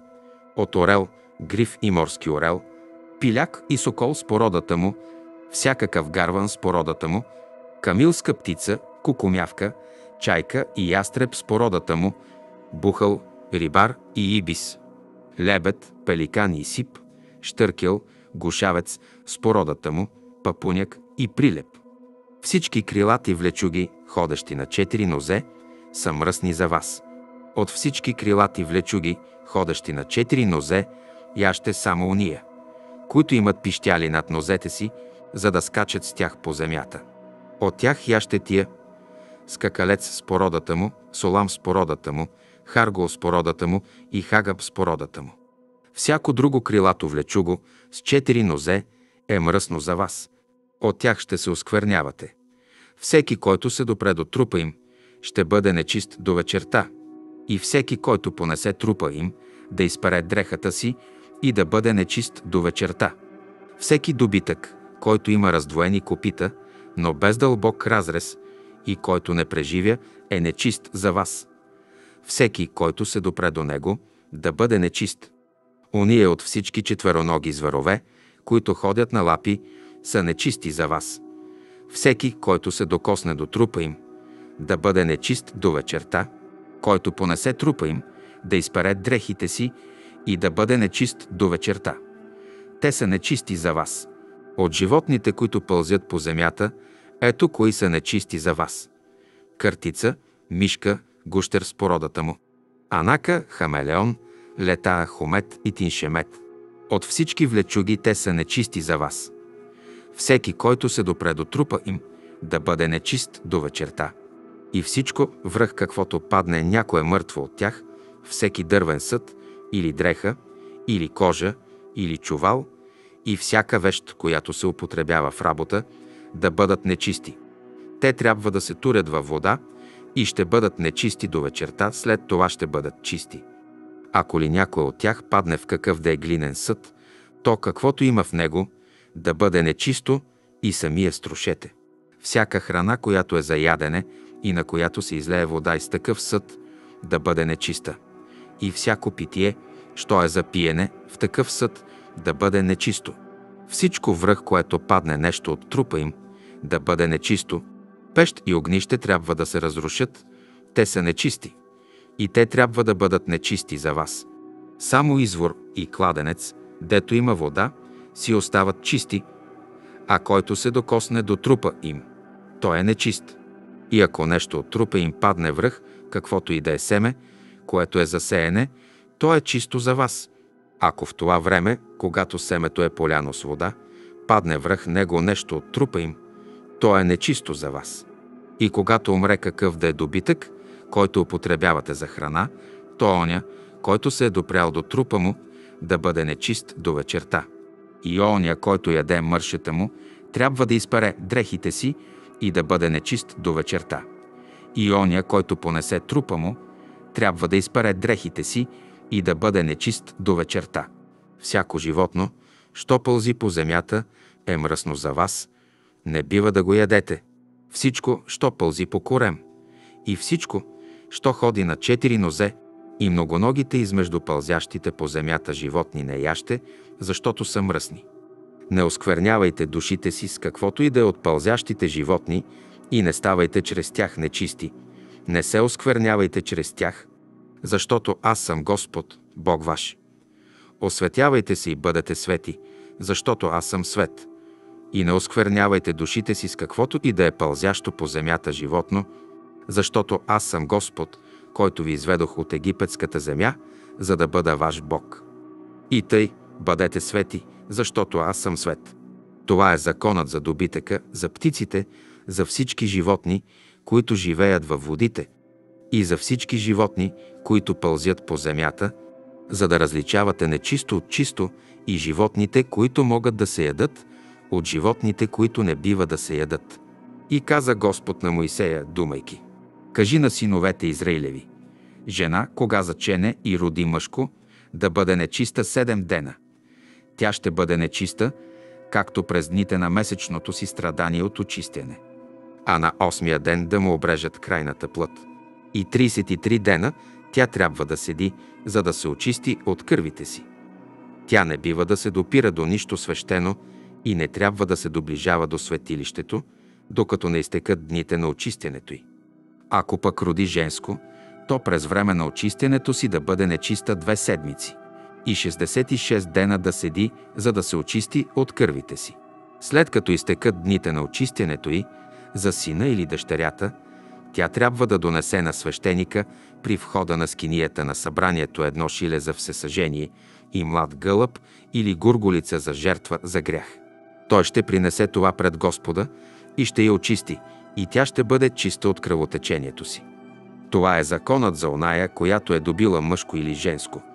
Ако пък не бъде в състояние да донесе агне, нека вземе две горголици или два млади гълъба, един за всесъжение, а други за жертва за грях, и свещеникът ще я очисти и тя ще бъде чиста. Говори още Господ на Моисея и Аарона, думайки. Кога се появи някому по кожата на тялото оток или лишии или петно и по кожата на тялото му се покаже нещо, като рана от проказа, да го доведат при свещеника Арона или при едного от неговите синове, свещеници. Свещеникът ще прегледа раната по кожата на тялото и ако космите по раната са станали бели и се вижда, че раната е задълбала в кожата на тялото му, то това е рана от проказа. Свещеникът, като го прегледа, ще го обяви за нечист. Ако пък по кожата на тялото му има бяло петно, но се види, че то не е задълбало в кожата и космите по него не са станали бели, нека свещеникът затвори човека с раната за седем дена. На седмия ден свещеникът да го прегледа. И ако раната не се изменя и не се оголемява по кожата, свещеникът да го затвори още за седем дена. На седмия ден свещеникът пак ще го прегледа и ако се забележи, че раната е станала по-малка и не се е оголемила по кожата, свещеникът да го обяви за чист, това са лишии, нека изпаре дрехите си и ще бъде чист. Ако пък лишиите почнат да се оголемяват по кожата, след като той се е явявал пред свещеника за очистяне, трябва повторно да се покаже на свещеника. Свещеникът, като види, че лишиите се оголемяват по кожата, да го обяви за нечист. Това е проказа. Ако някому излезе рана от проказа, нека го доведат при свещеника. Свещеникът да го прегледа и ако отокът по кожата е бял и косъмът е станал бял и на отока има живо месо, това е застаряла проказа по кожата на тялото му. И свещеникът да го обяви за нечист и да го затвори, понеже е нечист. Ако ли проказата се изрине по кожата и проказата покрие цялата кожа на болния от главата до нозете, колкото могат да видят. Очите на свещеника и свещеникът види, че проказата е покрила цялото му тяло, да обяви болния за чист, понеже е станало бяло. Той е чист. Но щом се види, че по него има живо месо, той е нечист. Свещеникът, като види живо месо, да го обяви за нечист. Живото месо е нечисто, това е проказа. Ако ли живото месо се измени и стане бяло, нека той дойде при свещеника. Свещеникът да го прегледа. И ако раната е станала бяла, свещеникът да обяви болния за чист. Той е чист. Ако у някого по кожата на тялото е имало цирей и е зараснал, и на мястото на цирея се е показал бял оток, или петно бяло, или червеникаво, той трябва да се покаже на свещеника. Свещеникът да го прегледа и ако се види, че петното е по-дълбоко от кожата и косъмът му е станал бял, свещеникът да го обяви за нечист. Това е рана от проказа, тя се е изринала връх цирея.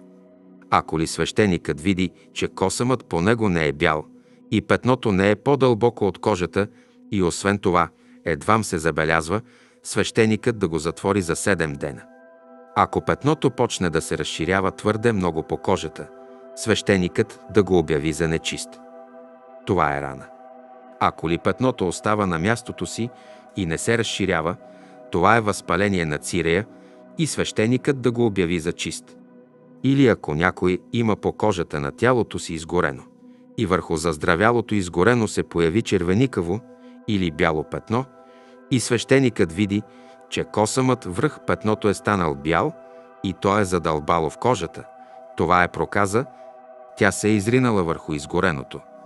И свещеникът да го обяви за нечист. Това е рана от проказа. Ако пък свещеникът види, че косъмът върху петното не е бял и то не е по-дълбоко от кожата и освен това едвам се забелязва, свещеникът да го затвори за седем дена. На седмия ден свещеникът да го прегледа и ако то се разширява твърде много по кожата, свещеникът да го обяви за нечист. Това е рана от проказа. Ако петното остава на мястото си и не се разширява по кожата, и освен това едвам се забелязва, това е оток от изгорено. Свещеникът да го обяви за чист, понеже това е възпаление от изгорено. Ако у мъж или жена излезе рана на главата или на брадата и свещеникът прегледа раната и види, че тя е задълбала в кожата и че косъмът по нея е тънък, жълтеникъв, свещеникът да ги обяви за нечисти. Това е кел, проказа по главата или брадата. Ако ли свещеникът прегледа раната от келя и се окаже, че не е задълбала в кожата и косъмът по нея не е черен, свещеникът да затвори келевия за седем дена. На седмия ден свещеникът да прегледа раната и ако келят се не разширява и по него няма жълтеникъв косъм и се види, че келят не е задълбал в кожата. Болният да се остриже, но келевото място да се не остриже и свещеникът повторно да затвори келевия за седем дена.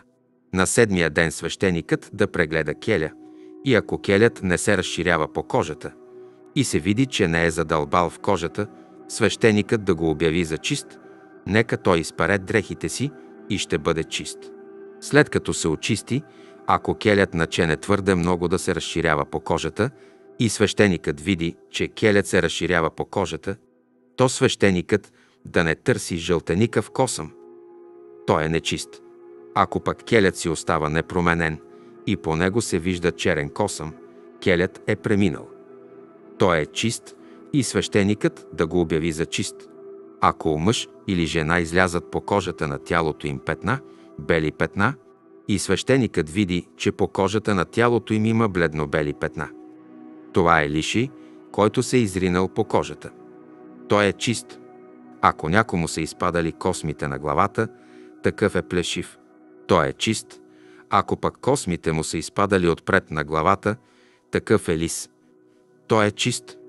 Ако ли по плешивото място или по лисото се появи бяло или червеникаво петно, то по плешивото място или по лисото му се изринала проказа. Свещеникът да го прегледа и ако види, че отокът на раната е бял или червеникав по плешивото или по лисото му място и изглежда като проказа по кожата на тялото, такъв е прокажен, той е нечист. Свещеникът да го обяви за нечист. На главата му има рана. На прокажения, който има тая рана, дрехата да се раздере и главата му да бъде открита и да бъде забулен до устата и да вика «Нечист, нечист». През всичко време, докле трае раната му, той трябва да бъде нечист. Той е нечист и трябва да живее отделно. Неговото жилище да е вън от стана. Ако се яви зараза от проказа върху дреха, дреха вълнена или дреха ленена, или върху основа, или вътък ленен, или вълнен, или върху кожа, или върху каквото и да е кожено изделие, и петното бъде зеленикаво или червеникаво върху дрехата, или кожата, или върху основата, или вътъка, или върху каквато и да е кожена вещ. Това е зараза от проказа. Тя трябва да се покаже на свещеника свещеникът да прегледа заразата и да затвори заразената вещ за седем дена. На седмия ден свещеникът да прегледа заразеното и ако заразата се е разширила по дрехата или по основата, или по вътъка, или по кожата, или по каквото и да е кожено изделие, това е люта проказа, нечиста рана. Той трябва да изгори дрехата, било основата, било вълнение или ленения вътък, било каквато и да било кожена вещ, връх която бъде заразата, защото това е люта проказа, трябва да се изгори на огън. Ако свещеникът види, че заразата не се е разширила по дрехата или по основата, или по вътъка, или по каквато и да било кожена вещ, свещеникът да заповяда да се изпере онова, връх което има зараза, и повторно да го затвори за седем дена. Ако след изпиране заразената вещ свещеникът види, че заразата не е променила вида си, то, дори и ако не се е разширила заразата, веща е нечиста и да се изгори на огън, това е изядена тръпчинка върху лицето или върху опакото. Ако ли пък свещеникът види, че след изпирането и заразата едвам се забелязва, то свещеникът нека я отдере от дрехата или от кожата, от основата или от вътъка. Ако ли се появи пак върху дрехата или върху основата, или върху вътъка, или върху каквато и да е кожена вещ, това е зараза, която се изринва, да се изгори на огън, онова, върху което е заразата. Ако след като изпареш дрехата, или основата, или вътъка, или каквато и да е кожена вещ, заразата се изгуби от тях, те трябва повторно да се изпарат и ще бъдат чисти.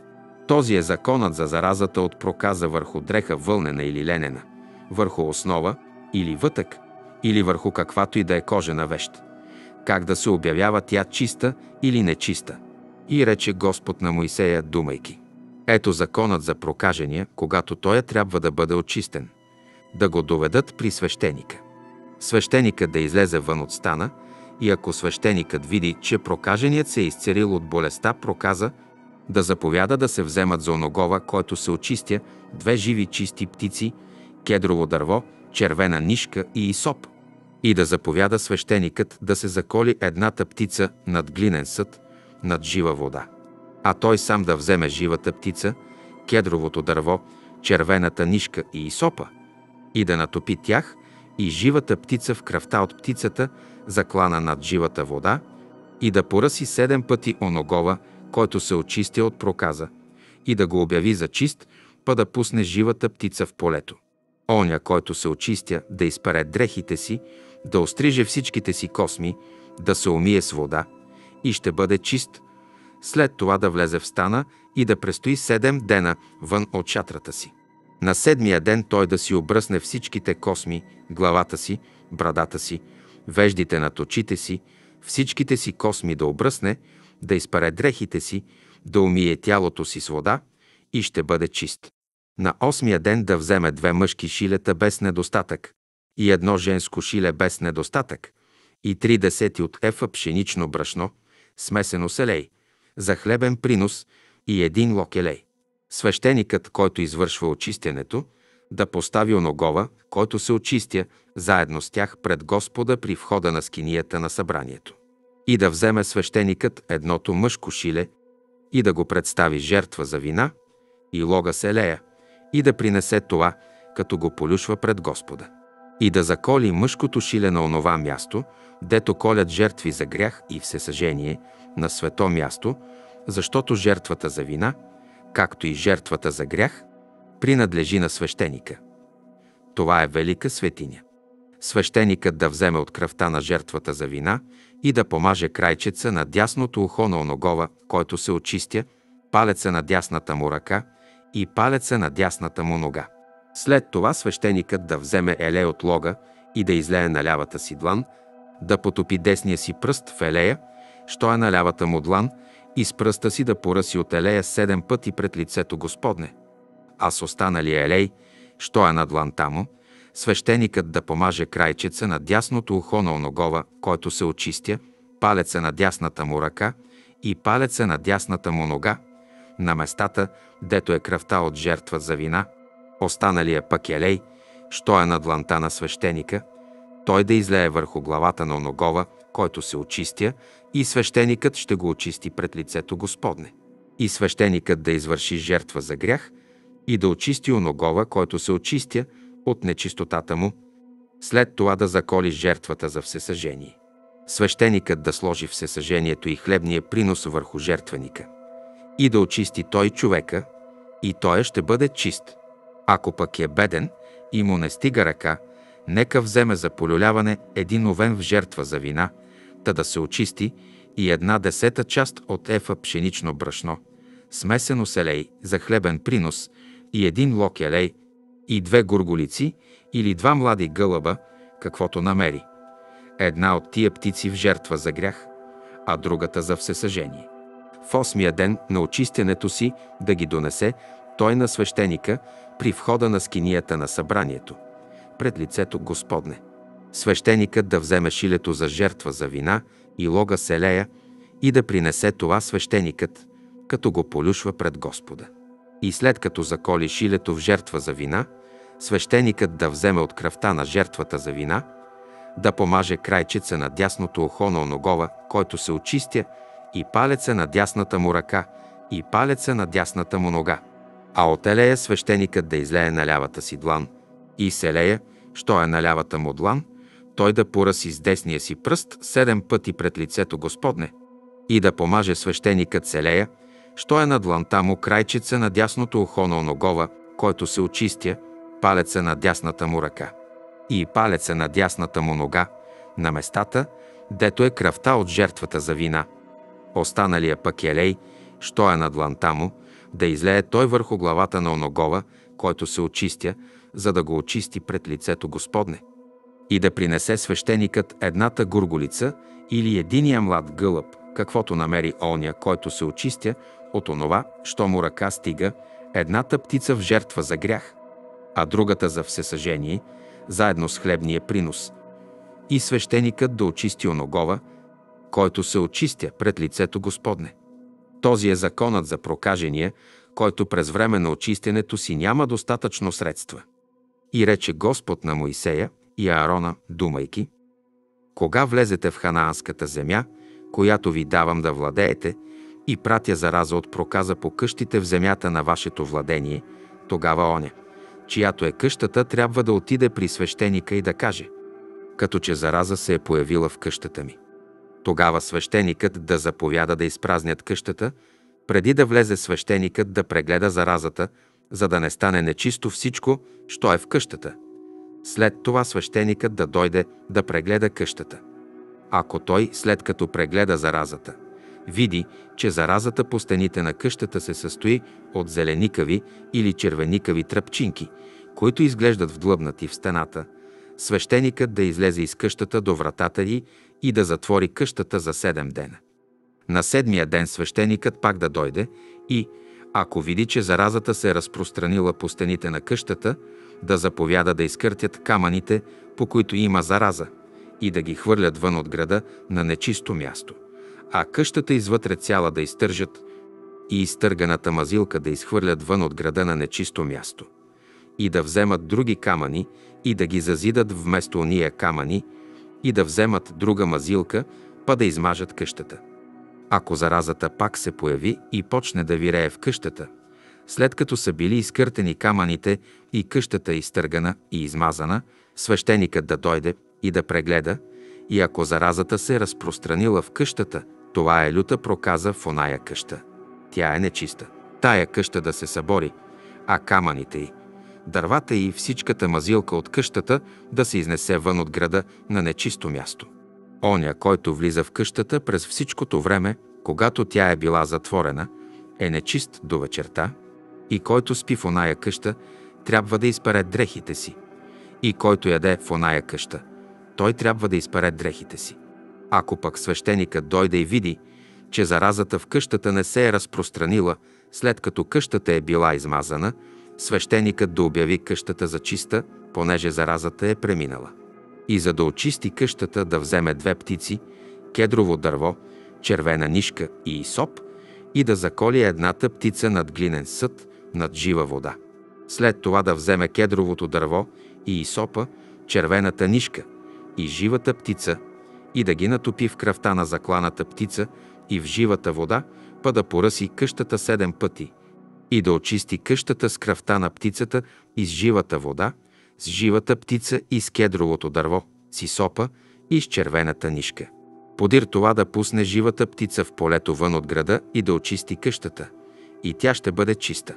Този е законът за всяка зараза от проказа и за кел, и за проказа по дрехи и по къщи, и за оток, и за лиши и петна, за да се посочи кога тия неща са нечисти и кога чисти. Този е законът за проказата. И рече Господ на Моисея и Аарона, думайки. Обадете на синовете Израилеви и им кажете Ако някой има течение от тялото си, той е нечист поради течението си. И ето за неговата нечистота от течението му. Кога течението му изтича от тялото му и кога течението му се задържа в тялото му, това е негова нечистота. Всяка постелка, на която легне оня, който има течение, е нечиста. И всяка вещ, на която седне, е нечиста, и който се допре до постелката му, да изпаре дрехите си и да се умие с вода и да бъде нечист до вечерта. Който седне на някоя вещ, на която е седял оня, който има течение, да изпаре дрехите си и да се умие с вода и да бъде нечист до вечерта.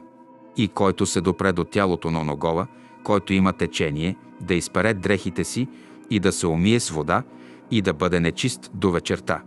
Ако оня, който има течение, плюне върху чист, то той да изпаре дрехите си и да се умие с вода и да бъде нечист до вечерта.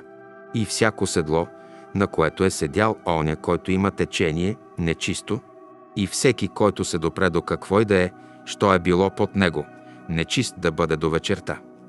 И който вдигне това, да изпере дрехите си и да се измие с вода и да бъде нечист до вечерта. И всеки, до когото се допре оня, който има течение и не си е умил ръцете с вода, да изпаре дрехите си и да се измие с вода и да бъде нечист до вечерта. Глинен съд, до който се допре оня, който има течение, да се струши, а всеки дървен съд да се умие с вода.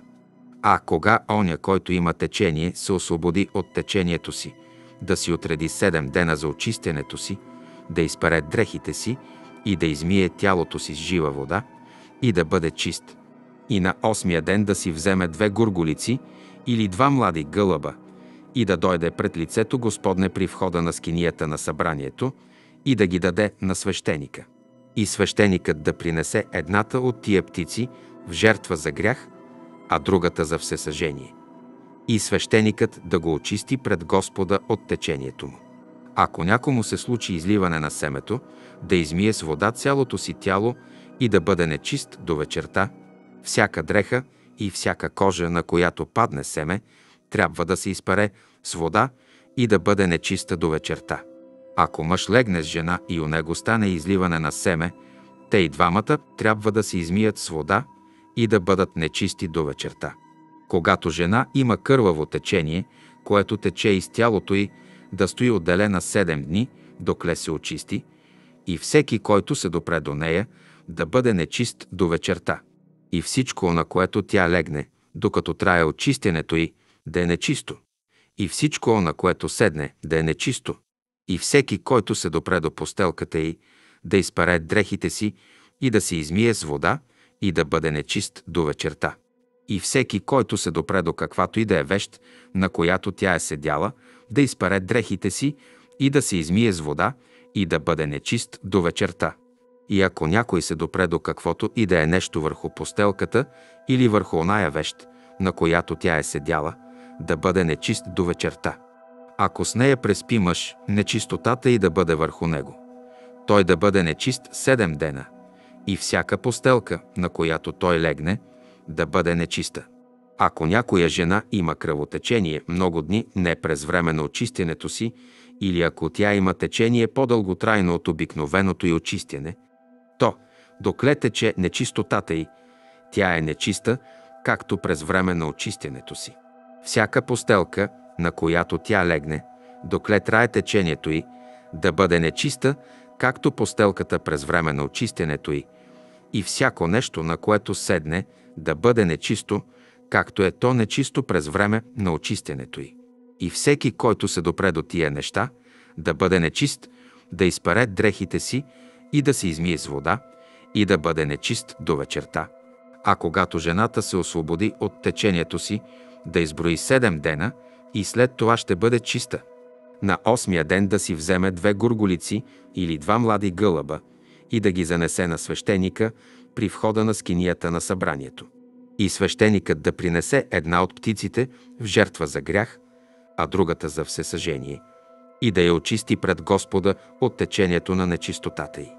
Тъй предпазвайте синовете Израилеви от тяхната нечистота, за да не умрат поради нечистотата си, като оскверняват моето жилище, що е между тях. Този е законът за оногова, който има течение, и за оногова, комуто се случи изливане на семето, що го прави нечист, и за оная, която страда от кръвотечение, и за ония, които имат течение, мъж или жена, и за мъжа, който преспи с нечиста. И говори Господ на Моисея след смъртта на двамата Аронови синове, когато те, след като пристъпиха пред лицето Господне, умряха и рече Господ на Моисея, кажи на брата си Арона, да не влиза всяко време в светилището зад завесата пред очистилището, що е върху ковчега, за да не умре, защото аз ще се явявам над очистилището в облак.